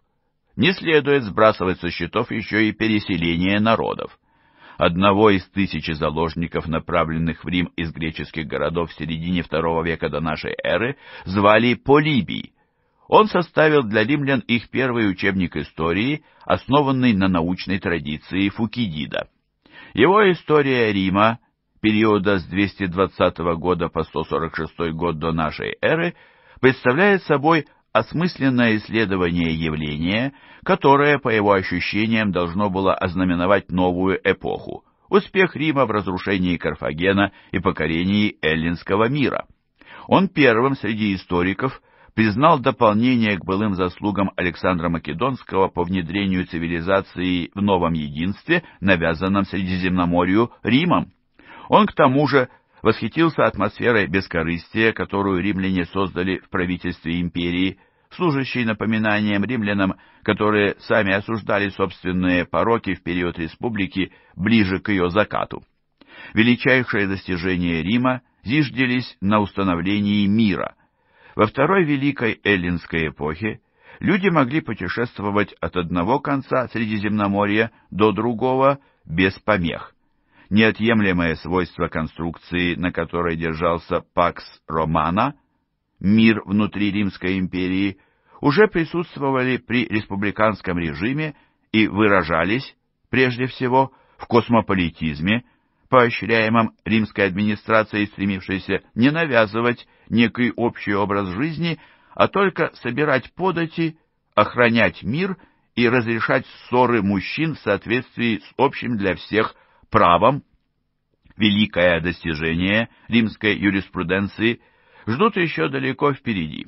Но на заре республики около 450 года до нашей эры зарождалось римское право с его историей определения через консолидацию 12 таблиц, которые маленькие римские мальчики, счастливые тем, что им выпало пойти в школу, все еще должны были заучивать наизусть сотни лет спустя, на них в конечном счете выстроился каркас, на основе которого могли сохраниться многочисленные культуры, внесшие вклад в общую цивилизацию. Повествование о распространении республиканского режима правления до его пределов целесообразно закончить перед тем, как вывести заключение о том, как такое достижение в конечном счете привело к гибели республики. Ваальпийская Галлия Южная Франция в 121 году до нашей эры числилась римской провинцией, но, как и всей Северной Италии, ей продолжали досаждать кельтские племена, время от времени совершавшие грабительские набеги. Долине реки По присвоили статус провинции одновременно с Цезальпийской Галлией в 89 году до нашей эры и без малого 40 лет спустя, в 51 году до нашей эры, остальная часть Галлии, грубо Северная Франция и Бельгия, покорилась римлянам. После этого с кельтской угрозой удалось покончить навсегда. Между тем на востоке продолжались захваты новых территорий. Последний царь Пергама передал свое царство в распоряжение Рима в 133 году до нашей эры. За Пергамом в начале первого века до нашей эры последовало приобретение римлянами Киликии и потом серия войн с правителем Понтийского царства на Черном море Митридатом. Итогом стало перекраивание границ государств Ближнего Востока. Рим получил побережье, простиравшееся от Египта до Черного моря, причем расположенное между зависимыми княжествами или провинциями, одну из которых назвали Азией. В 58 году до нашей эры аннексии подвергся остров Кипр. Как ни странно, в противоположность постоянным и неопровержимым успехам на иноземных территориях внутри империи нарастали распри. Суть дела состояла в том, что представителям правящего сословия запрещалось наниматься на государственную службу. Избирательное право и политические соглашения вступили в противоречие из-за двух серьезных перезревших проблем. Прежде всего, следует назвать неуклонное обнищание итальянского земледельца, являвшегося характерной фигурой республики на заре ее появления. Причин этого было несколько, но корень зла лежал в ужасных издержках Второй Пунической войны. Мало того, что мобилизованные ратники на многие годы отлучились для проведения практически безостановочных колониальных кампаний, так еще Южной Италии был нанесен огромный физический ущерб. Между тем, те, кому все-таки улыбнулась удача, и удалось накопить на имперских предприятиях некоторое состояние, тут же вложили его в единственное надежное и достойное инвестиции дело в покупку земли. Конечный эффект состоял в сосредоточении собственности с образованием крупных поместий, на которых обычно трудились рабы, значительно подешевевшие из-за войн. Мелким землевладельцам никакого места при таких поместьях не оставалось, и им приходилось переезжать в города и как-то устраиваться там, оставаясь римскими гражданами на словах, не превратившись в пролетарии на деле. При этом за гражданами сохранялось право голоса. Для обладателей состояний и политических амбиций римский гражданин стал объектом подкупа или запугивания. Так как путь к доходному местечку на государственной службе лежал через всеобщие выборы, политика республики все больше упиралась во власть денег. Власть денег, к тому же, распространилась на всю Италию. Как только голосу избирателя присвоили цену в деньгах, граждан пролетария Фрима вряд ли обрадовала его постоянная девальвация за счет предоставления гражданских прав новым итальянцам, даже при том, что союзникам Рима приходилось брать на себя воинскую повинность. Очередную проблему вызвало изменение в армии. История легионов под властью республики насчитывает больше 400 лет, и их развитие едва ли можно выразить простой формулой. Но, если эту формулу все-таки поискать, возможно, лучше всего сказать, что армия становилась все более профессиональной организацией. После пунических войн невозможно было больше полагаться исключительно на ратников, на какое-то время отвлеченных от земледелия. Бремя воинской повинности всегда было тяжелым для них, а теперь полностью утратило популярность среди народа. Когда в ходе военной кампании мужчины из года в год уходили все дальше от дома, а гарнизоны в захваченных провинциях иногда приходилось держать на протяжении нескольких десятков лет, даже римский мобилизационный запас рекрутов начал демонстрировать признаки истощения. В 107 году до нашей эры случилось формальное признание всего происходящего. Отменили имущественный ценз для призыва на военную службу. Данную реформу предложил консул по имени Гай Марий, который таким способом решил проблему комплектования легионов ратниками, так как теперь вполне хватало нищих добровольцев, а в призыве необходимость отпала. На военную службу по-прежнему брали исключительно граждан Рима, но зато их было в достатке.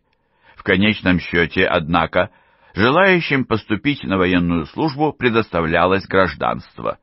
Еще одним нововведением Мария была выдача легионам их орлов, то есть штандартов, служивших символом «esprit de corps», духа воинского единства, или чем-то между предметом слепого поклонения и современной полковой эмблемой.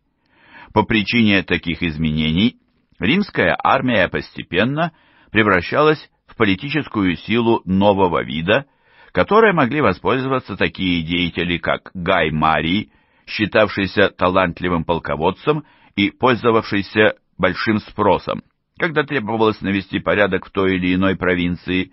Он требовал у всех ратников, поступивших под его командование, принимать личную присягу верности. Растущая пропасть между богатыми и бедными в Центральной Италии по причине того, что наделы земледельцев уступили место крупным поместьям, приобретенным за деньги, причем вместе с рабами, из осколков империи – и новые возможности, открывшиеся для политизированных военачальников, в конечном счете оказались фатальными для республики. Ближе к завершению II века до нашей эры народные трибуны братья Гракхи попробовали решить социальную проблему Рима единственным возможным для земледельческой системы хозяйствования способом через земельную реформу, а также ограничение произвола Сената и предоставление эквитес, сословию всадников, больше полномочий в правительстве. Они попытались фактически провести передел богатства империи, но их попытки закончились гибелью. На примере братьев Гракхов можно судить о росте ставок в политике. В последнем столетии республики фракционная борьба достигла своего пика – потому что ни для кого не было секретом, что участие в политической борьбе может стоить жизни. К тому же наступило время того, что назовут «римской революцией», так как конвенции римской политики пришлось отбросить в сторону, когда тогдашний консул Тиберий Гракх, старший брат, убедил плебеев сместить трибуна, наложившего вето на его законопроект о земле, и тем самым заявил о своем неприятии традиционной уловки в виде права трибуна на запрет формальной воли народа. Сползание республики в неразбериху ускорилось в 112 году до нашей эры из-за новой войны, когда один североафриканский царь вырезал множество римских торговцев. Чуть позже волна захватчиков-варваров с севера – создала угрозу римскому правлению в Галлии. В сложившейся опасной ситуации на передовые позиции выдвинулся консул Гай Марий, который успешно разделался с врагами республики, но сделал это ценой конституционных нововведений, приведших к тому, что его пять лет подряд избирали на должность консула. Он был фактически первым в череде военачальников, правивших республикой на протяжении последнего ее столетия, так как стремительно следовали одна война за другой, нарастали требования по поводу распространения римского гражданства на остальные латинские и итальянские государства. В конечном счете эти союзники, соции, в 90-м году до нашей эры подняли мятеж, не совсем справедливо называемый союзнической войной. Усмирить их удалось только с помощью уступок, которые свели на нет представление о том, что римские народные собрания являются показателем абсолютного суверенитета. Гражданство присвоили практически всему населению Италии. Потом пришло время новых азиатских войн, на фоне которых появился еще один полководец с политическими претензиями по имени Луций Корнелий Сулла. Прошла гражданская война, Гай Марий умер, еще раз заняв должность консула, а Сулла в 82 году до нашей эры вернулся в Рим, чтобы установить диктатуру, одобренную Сенатом, причем править начал с безжалостного объявления вне закона своих противников. Вывесили списки их имен с наделением правом всех, кто их встретит, немедленно с ними расправиться. Отмены конституционных норм о правах населения и попытки восстановления прав Сената. Одним из бывших соратников и протеже Суллы считается молодой человек по имени Гней Помпей. Сулла двигал его по карьерной лестнице через назначение на должности, обычно принадлежавшие только консулам, и в 70-м году до нашей эры Помпея тоже выбрали на эту должность. Три года спустя его отправили на восток, чтобы он покончил с пиратами из Средиземноморья и продолжил завоевание огромных азиатских территорий в ходе войн против Понтийского царства юного, успешного и талантливого Помпея стали бояться как потенциального диктатора. Но разобраться в хитросплетениях римской политики было дано немногим. Годы шли, а порядка в столице оставалось все меньше, зато продажность в правящих кругах только расцветала. Страх перед наступлением диктатуры нарастал, но эти страхи терзали участников одних олигархических фракций по отношению к другим, а так как существовало их немало, откуда исходит настоящая угроза, разобраться было сложно. Более того, на одну опасность никто долго не обращал внимания, а потом уже было поздно. В 59 году до нашей эры еще одного аристократа, приходящегося племянником жене Гая Мария, избирают консулом. Им оказывается молодой Гай Юлий Цезарь. Какое-то время он пользовался поддержкой Гнея Помпея. В должности консула он встал во главе армии и за последующие семь лет провел в Галлии череду блистательных военных кампаний, закончившихся полным покорением данной провинции. Все эти годы Цезарь внимательно следил за политическими событиями находясь вдали от Рима, где из-за бандитизма, казнократства и убийств общественная жизнь выглядела уродливой, а Сенат утратил доверие граждан. За годы отсутствия в столице он сказочно разбогател и воспитал преданное, опытное и уверенное в себе войско, рассчитывавшее на его руководство, достойную оплату их ратного труда, продвижение по службе и новые победы в будущем. Он к тому же зарекомендовал себя как хладнокровный, упорный и немилосердный человек. Сохранилась притча о том, как он шутил во время игры в кости с несколькими пленившими его пиратами. Цезарь вроде бы в шутку пообещал распять их на кресте, когда освободится. Пираты посмеялись, а он все-таки приказал их распять. Кое-кто из сенаторов забеспокоился, когда Гай Юлий Цезарь, этот загадочный мужчина, изъявил желание задержаться в Галлии во главе своей армии в провинции, хотя ее покорение завершилось, сохранив за собой должность командующего до очередных выборов консула. Его противники требовали отозвать Цезаря в столицу, для предъявления обвинений в попрании закона во время пребывания в должности консула. Тогда Цезарь предпринял шаги, которые, при том, что ни он сам, ни кто-либо еще не мог об этом догадываться, означали начало конца республики. Он повел свою армию на форсирование реки Рубикон, обозначавшей границу его провинции, тем самым начав поход, закончившийся в Риме. Это произошло в январе 49 года до нашей эры. Тем самым он допустил откровенное предательство, хотя и клялся, будто защищал свою республику от ее врагов. В такой ситуации Помпею поступило обращение Сената с просьбой защищать республику. В отсутствии вооруженных сил в Италии Помпей отправился через Адриатику собирать новое войско. Консулы и чуть ли не весь Сенат составили ему компанию. Гражданская война теперь казалась неотвратимой. Цезарь организовал стремительный переход в Испанию, чтобы разгромить там семь легионов, преданных Гнею Помпею. С ними тогда обошлись достаточно мягко, чтобы привлечь на свою сторону как можно больше солдат. Он мог проявлять немилосердность и даже жестокость, но считал благоразумным и дальновидным обращаться со своим политическим противником сдержанно. Цезарь заявил, что не собирается подражать Сулле. Потом он двинулся за Помпеем, нагнал его в Египте, но Помпей был предательски убит заговорщиками. В Египте Цезарь оставался достаточно долго, чтобы поразвлечься участием в египетской гражданской войне и практически случайно вкусить любви легендарной Клеопатры.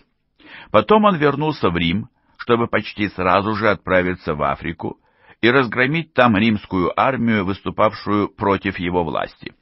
Наконец он снова возвратился в Испанию и разгромил войско, мобилизованное сыновьями Помпея. Это случилось в 45 году до нашей эры, спустя четыре года после переправы через Рубикон. Блистательность таких деяний одними только победами на поле боя не ограничивалась. Какими бы краткосрочными ни были последние посещения Рима Цезарем, он сумел ловко организовать себе политическую поддержку и назначить в Сенат своих людей. Одержанные победы принесли ему великие почести и реальную власть. Его избрали пожизненным диктатором, и Цезарь превратился в фактического монарха, пусть под иным названием. Своей властью он пользовался без какой-либо оглядки на чувства других политиков и без создания видимости того, что его правление обеспечит успехи на долгую перспективу. Хотя навел должный порядок на римских улицах и предпринял шаги, чтобы покончить с влиянием ростовщиков на политику. Мы в долгу перед ним за одну важную реформу, определившую будущее Европы. Заведение юлианского календаря. Как и еще очень многое, что мы считаем римским, новый календарь пришел из эллинской Александрии, где некий астроном намекнул Цезарю на то, что в году насчитывается 365 дней с дополнительным днем, приходящимся на каждый четвертый год, и с введением такого календаря можно будет избавиться от сложностей традиционного римского календаря. Такой новый календарь внедрили с 1 января 45 года до нашей эры. 15 месяцев спустя, 15 марта 44 года до нашей эры, на пике своей карьеры Цезарь погиб от рук группы сенаторов. Причины покушения на его жизнь участников заговора были разные. На выбор момента для его убийства, несомненно, повлияло сообщение о его намерении организовать грандиозную восточную кампанию против парфян. Если бы он возглавил свое войско, то мог вернуться с новой великой победой и еще более недосягаемым для врагов, чем когда бы то ни было раньше. Шли разговоры о переходе к монархии. Кто-то видел признаки наступления эллинской деспотии. Сложным побуждением его врагов придавало благоприличие отвращение тех, кто ощущал возмутительное унижение республиканской традиции в фактической деспотии одного человека. Мелкие акты пренебрежения Конституцией побуждали к сопротивлению некоторых других граждан, и в конечном счете его убийцы представляли собой сложное сочетание обиженных ратников, лелеющих свой интерес олигархов и оскорбленных консерваторов. Его убийцы не могли дать рецепта решения проблем, на которые у Цезаря не нашлось времени, а их предшественники откровенно потерпели неудачу, взявшись за их решение. Долгое время чувствовать себя в безопасности им не пришлось. Республику провозгласили восстановленной, но действия актов Цезаря тоже подтвердили. Заговорщики у всех вызывали чувство отвращения, и в скором времени им пришлось бежать из столицы. В течение двух лет всех их умертвили, а Гая Юлия Цезаря объявили богом.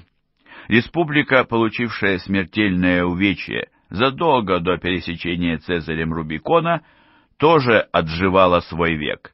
Ведь душа покинула ее конституцию, невзирая на все попытки по ее восстановлению. Однако ее мифы, ее идеология и формы продолжали жить в латинизированной Италии. Римляне не могли заставить себя повернуться спиной к формальному наследию и признать, что они сделали с ним нечто непоправимое. И все-таки они это сделали, и уже могли напоминать римлян республики разве что по названию и устремлениям. Если вклад греков в цивилизацию можно назвать по сути интеллектуальным и духовным, то вклад граждан Рима выглядел структурным и практичным. По сути, этим вкладом была сама их империя, при том, что ни одному человеку нельзя приписать заслугу создания империи, даже великому Александру Македонскому, ее характер и режим правления в удивительной степени выглядят творением одного человека выдающихся способностей, внучатого племянника Юлия Цезаря и приемного наследника по имени Октавиан. Позже ему присвоят почетное звание Цезаря Октавиана Августа. В его честь назвали целую эпоху, от его имени образовано прилагательное для последующих поколений, возникает ощущение, будто он изобрел практически все, что характеризовало имперский Рим, от новой преторианской гвардии, которая стала первым воинским подразделением с постоянным расквартированием в столице, до обложения податью холостяков. Считается, что он владел совершенным мастерством подавать информацию о своей деятельности в самом выгодном свете. Обратите внимание на то, что до наших дней о нем дошло гораздо больше хвалебных реляций, чем о любом другом римском императоре. Октавиан происходил из незнатной, богатой семьи. От Юлия он в возрасте 18 лет унаследовал аристократические связи, большое состояние и поддержку в военной среде. Какое-то время он сотрудничал с одним из приверженцев Гая Юлия Цезаря по имени Марк Антоний, помогавшим ему в жестоких гонениях на участников покушения на жизнь великого диктатора. С отъездом Марка Антония на восток, где ему предстояло одержать победу над врагами, чего не случилось, и за исключением им неуместного брака с Клеопатрой, когда-то отдавшей предпочтение Юлию Цезарю, у Октавиана появились новые неожиданные возможности.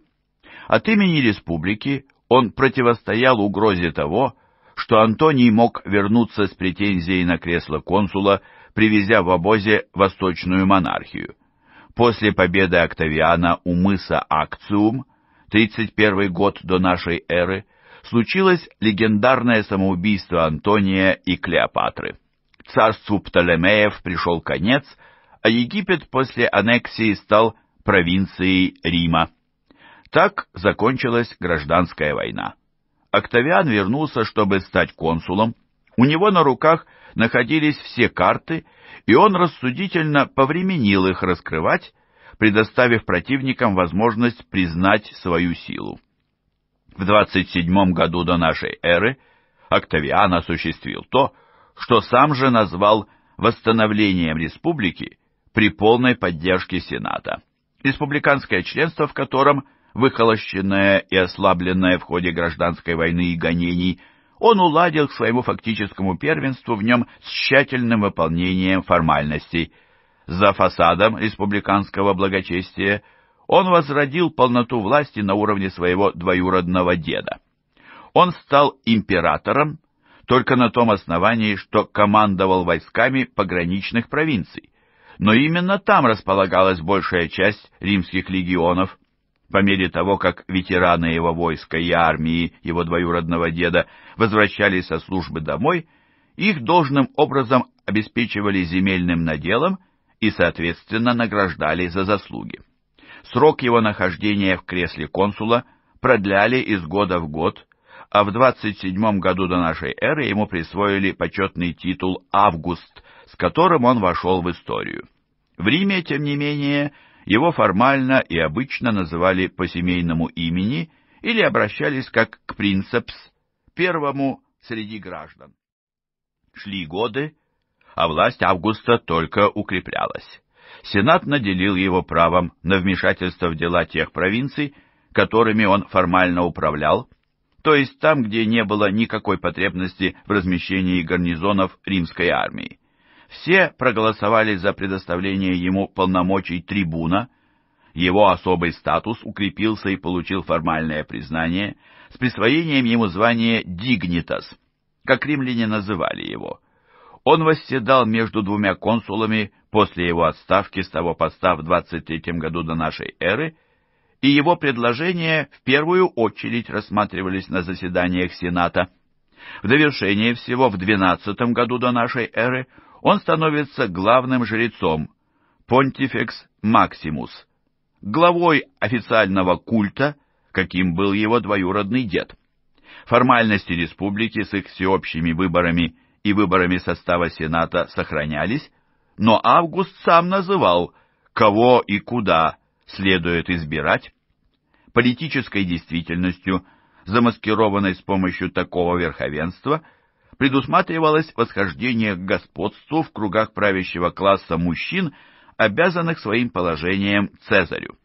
Но представителям новых элит нельзя было позволить вести себя так, как вели себя представители элит прежних относящийся к эпохе Августа доброжелательный деспотизм, послужил упорядочению провинциального управления и армии посредством передачи их в руки послушных людей, чей труд оплачивался за счет казны.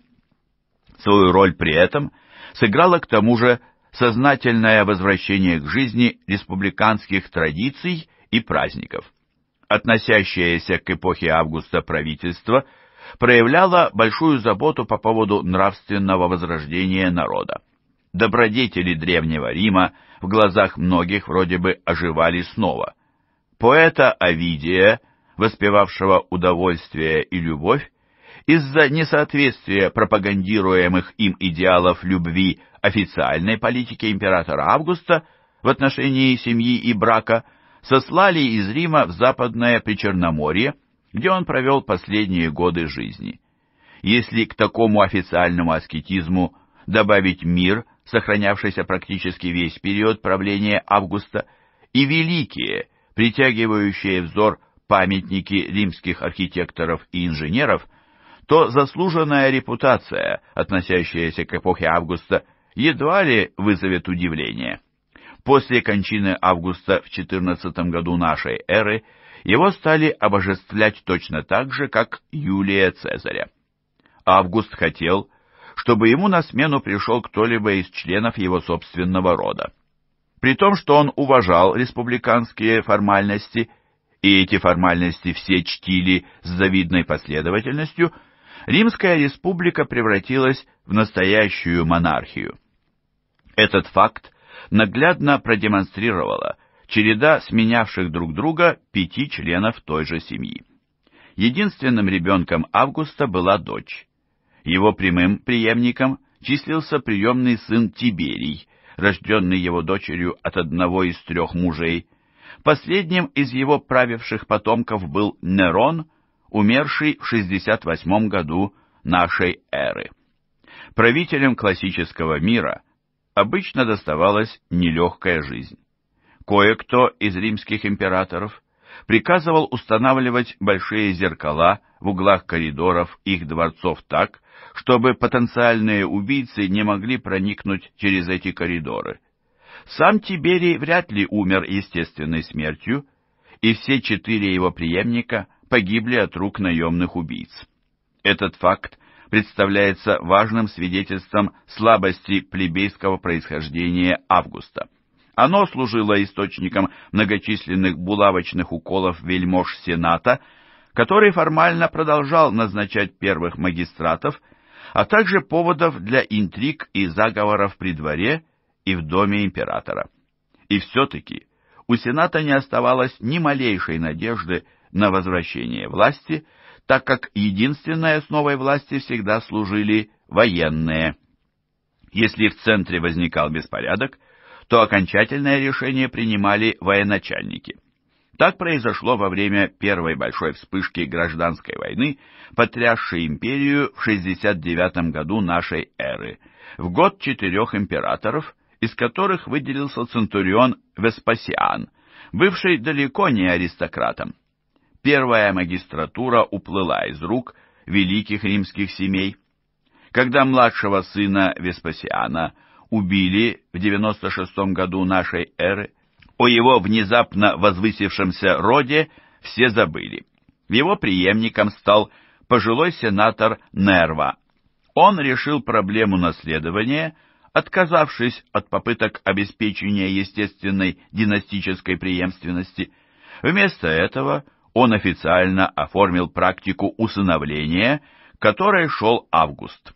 В результате к власти по очереди пришли четыре императора – Троян, Адриан, Антонин Пи и Марк Аврелий, подарившие империи сотню лет достойного правления.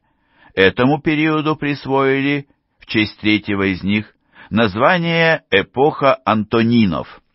Все эти императоры происходили из семей с провинциальными корнями.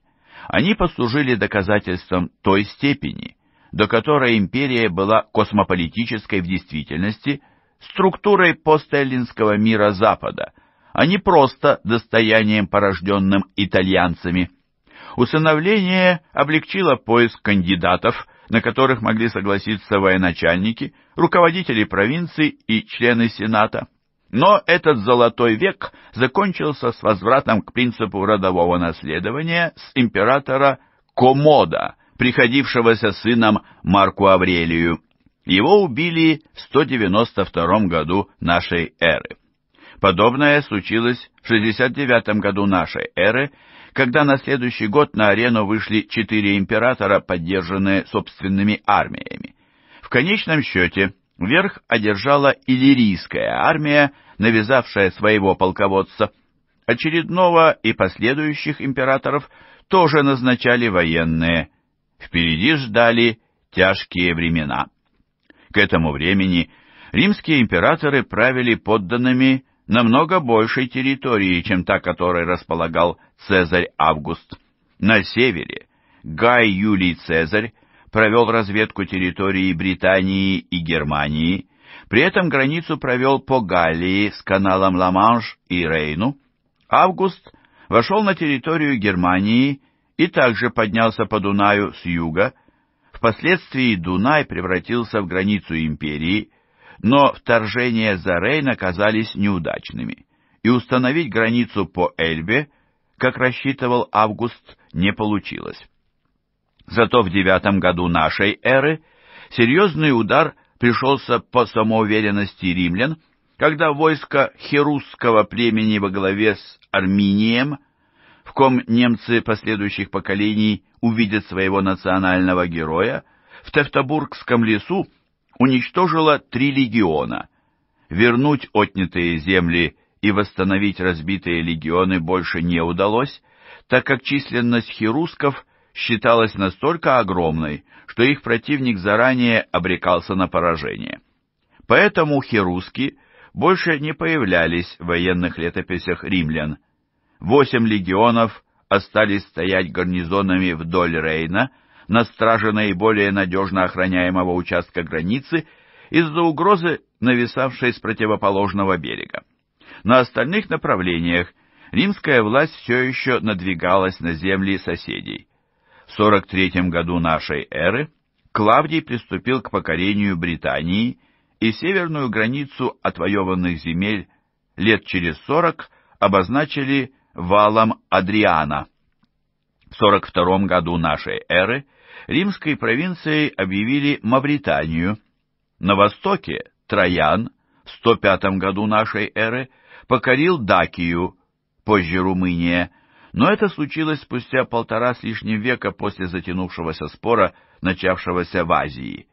Римляне впервые встретились с войнами Парфянского царства на Евфрате, когда армия Суллы в 92 году до нашей эры вела там военную кампанию. Последующие 30 лет ничего важного не происходило до тех пор, пока не началось выдвижение римской армии против Армении. Там наложились друг на друга сферы влияния правителей двух царств, а Помпей одно время выступал в качестве посредника в пограничном споре между армянским и парфянским царями. Затем, в 54 году до нашей эры, римский триумвир Марк Лициний Крас затеял вторжение на территорию Парфянского царства с форсированием Ефрата. Через считанные недели сам он погиб, а римскую армию численностью 40 тысяч человек противник разгромил. Так случилась одна из тяжелейших в римской истории военных катастроф. Всем стало ясно, что в Азии появилась новая великая держава. Парфянская армия состояла из более чем приличных верховых лучников того времени. У нее в распоряжении к тому же находилась тяжелая конница непревзойденного качества с всадниками, катафрактами, защищенными кольчугой и вооруженными тяжелыми пиками. Слава об их прекрасных боевых лошадях дошла даже до далеких китайцев и вызвала у них зависть. Дальше, на протяжении сотни лет, восточная граница Рима на Ефрате оставалась спокойной. Но парфяне особой любви у римлян не вызывали, так как подстрекали к проведению политики гражданской войны, угрожающей Сирии и поощряющей волнения среди палестинских евреев. Марку Антонию, потерявшему 35 тысяч ратников, пришлось позорно отступить на территорию Армении после поражения в злополучном походе на Парфян. Но Парфянское царство тоже пострадало от внутреннего раскола, и в 20 году до нашей эры Август смог добиться возвращения римских штандартов, отобранных у легионов Красса. Тем самым он устранил какую-либо необходимость нападения на парфян ради восстановления репутации своей империи. Но угрозу конфликта устранить полностью не получилось из-за той щепетильности, с которой каждая из держав относилась к Армении, и из-за неустойчивости династической политики Парфянского царства один из императоров по имени Троян захватил парфянскую столицу Ктесифон и прошел войной до самого Персидского залива. Однако его преемник Адриан мудро снискал доверие парфян, возвратив им большую часть завоеваний Трояна.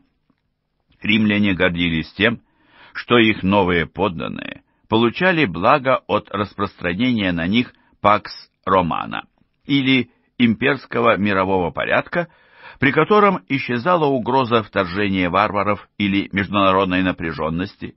В пределах границ империи царил мир и порядок, какого никогда не бывало прежде. В некоторых местах при этом постоянно менялись образы поселений, так как на востоке основывались новые города, или потомки ратников Цезаря оседали в новых военных колониях Галлии, Иногда последствия оказывались еще более далеко идущими.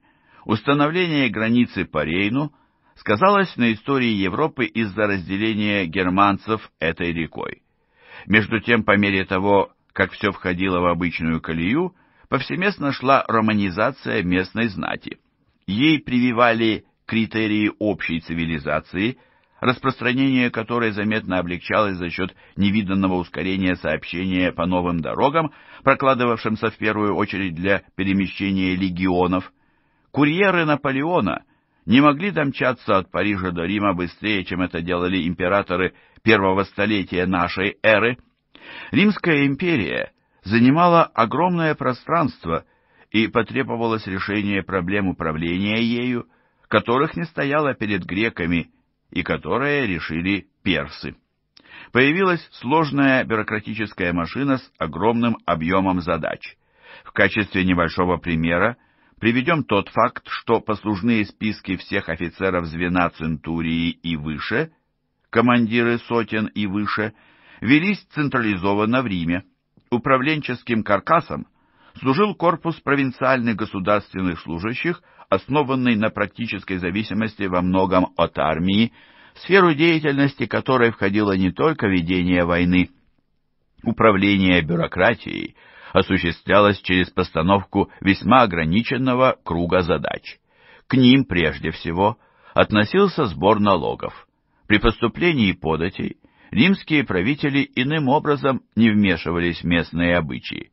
В Риме взяли за правило проявлять терпимость. Правители обеспечивали внешние условия, при которых пример их цивилизации отлучал варваров от врожденного образа жизни. Административная реформа началась при Августе. Назначение на многие посты все еще осуществлялось через Сенат на ежегодной основе, но легатов императора, выступавших от его имени в пограничных провинциях, подбирал он сам по своему усмотрению.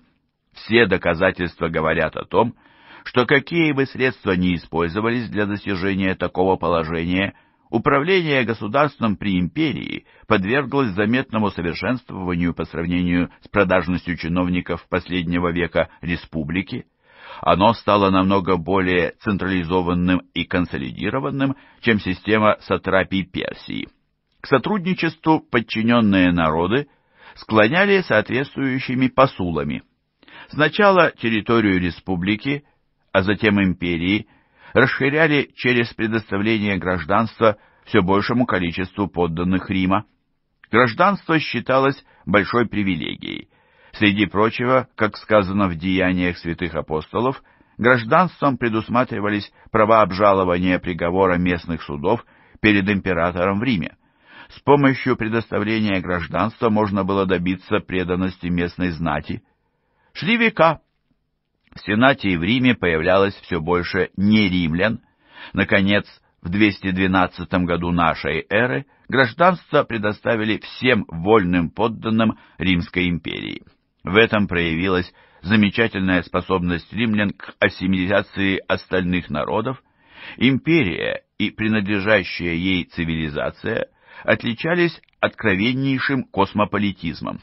Административная ее структура содержала в себе поразительное разноцветие противоположностей и отклонений.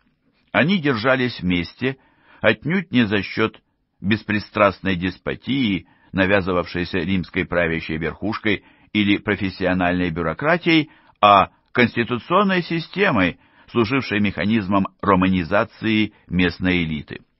С первого столетия нашей эры среди самих сенаторов оставалась лишь тонкая прослойка мужчин итальянского происхождения.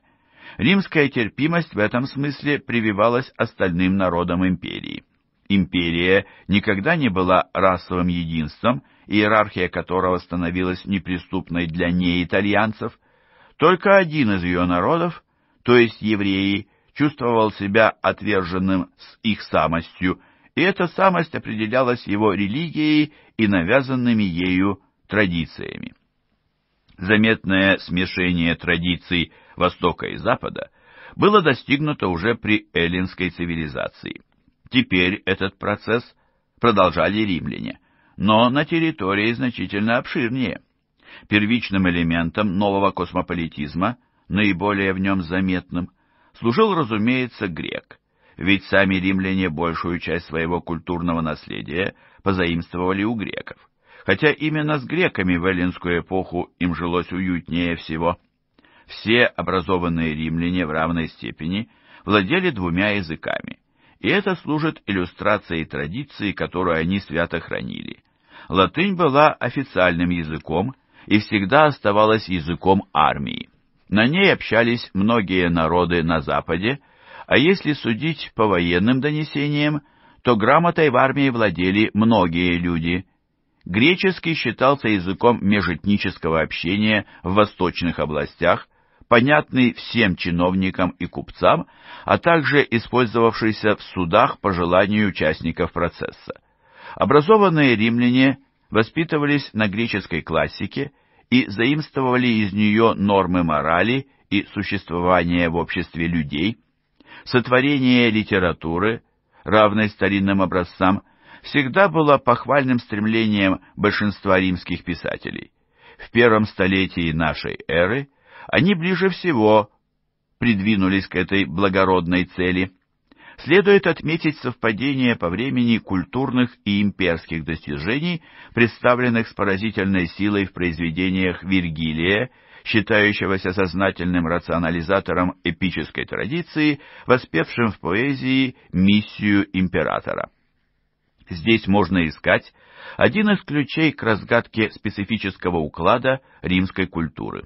Возможно, как раз очевидность и широкая распространенность греческого происхождения лишает римскую культуру атмосферы новизны.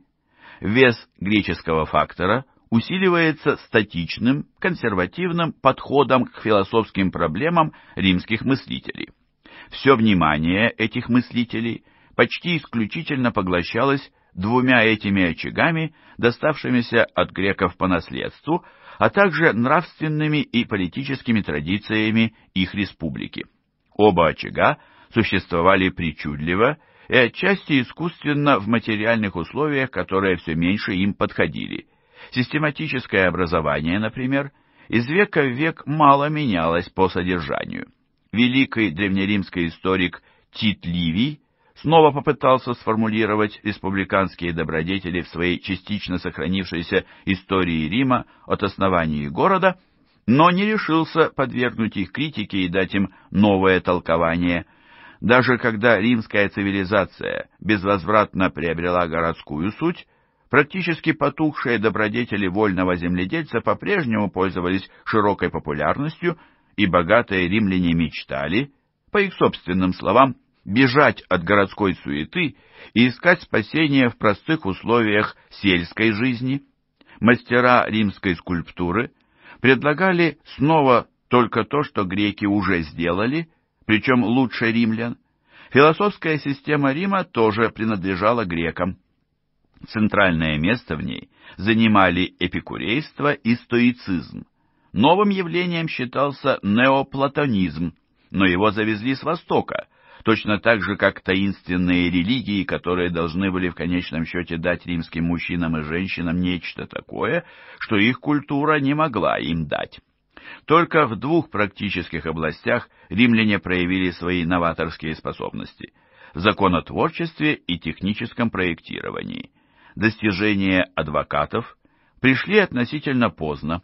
Случилось это во втором веке, в начале третьего века нашей эры – когда римские правоведы приступили к накоплению комментариев, которые послужат бесценным наследием в будущем с передачей кодификации юристам средневековой Европы.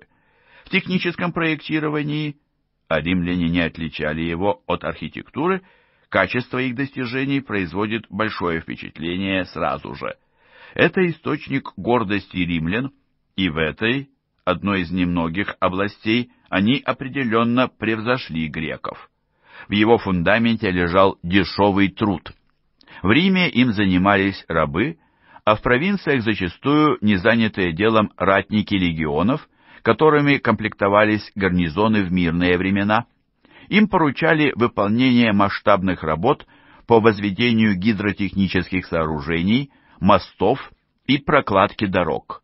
Но речь идет не только о материальных факторах.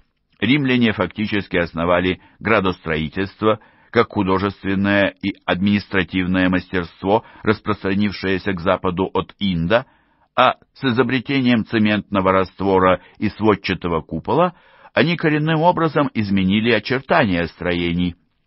Впервые внутреннее пространство зданий перестало считаться только лишь вместилищем нескольких поверхностей для художественного оформления – архитекторы обратились к пространству и освещению внутри строения, что заметно в поздних христианских базиликах.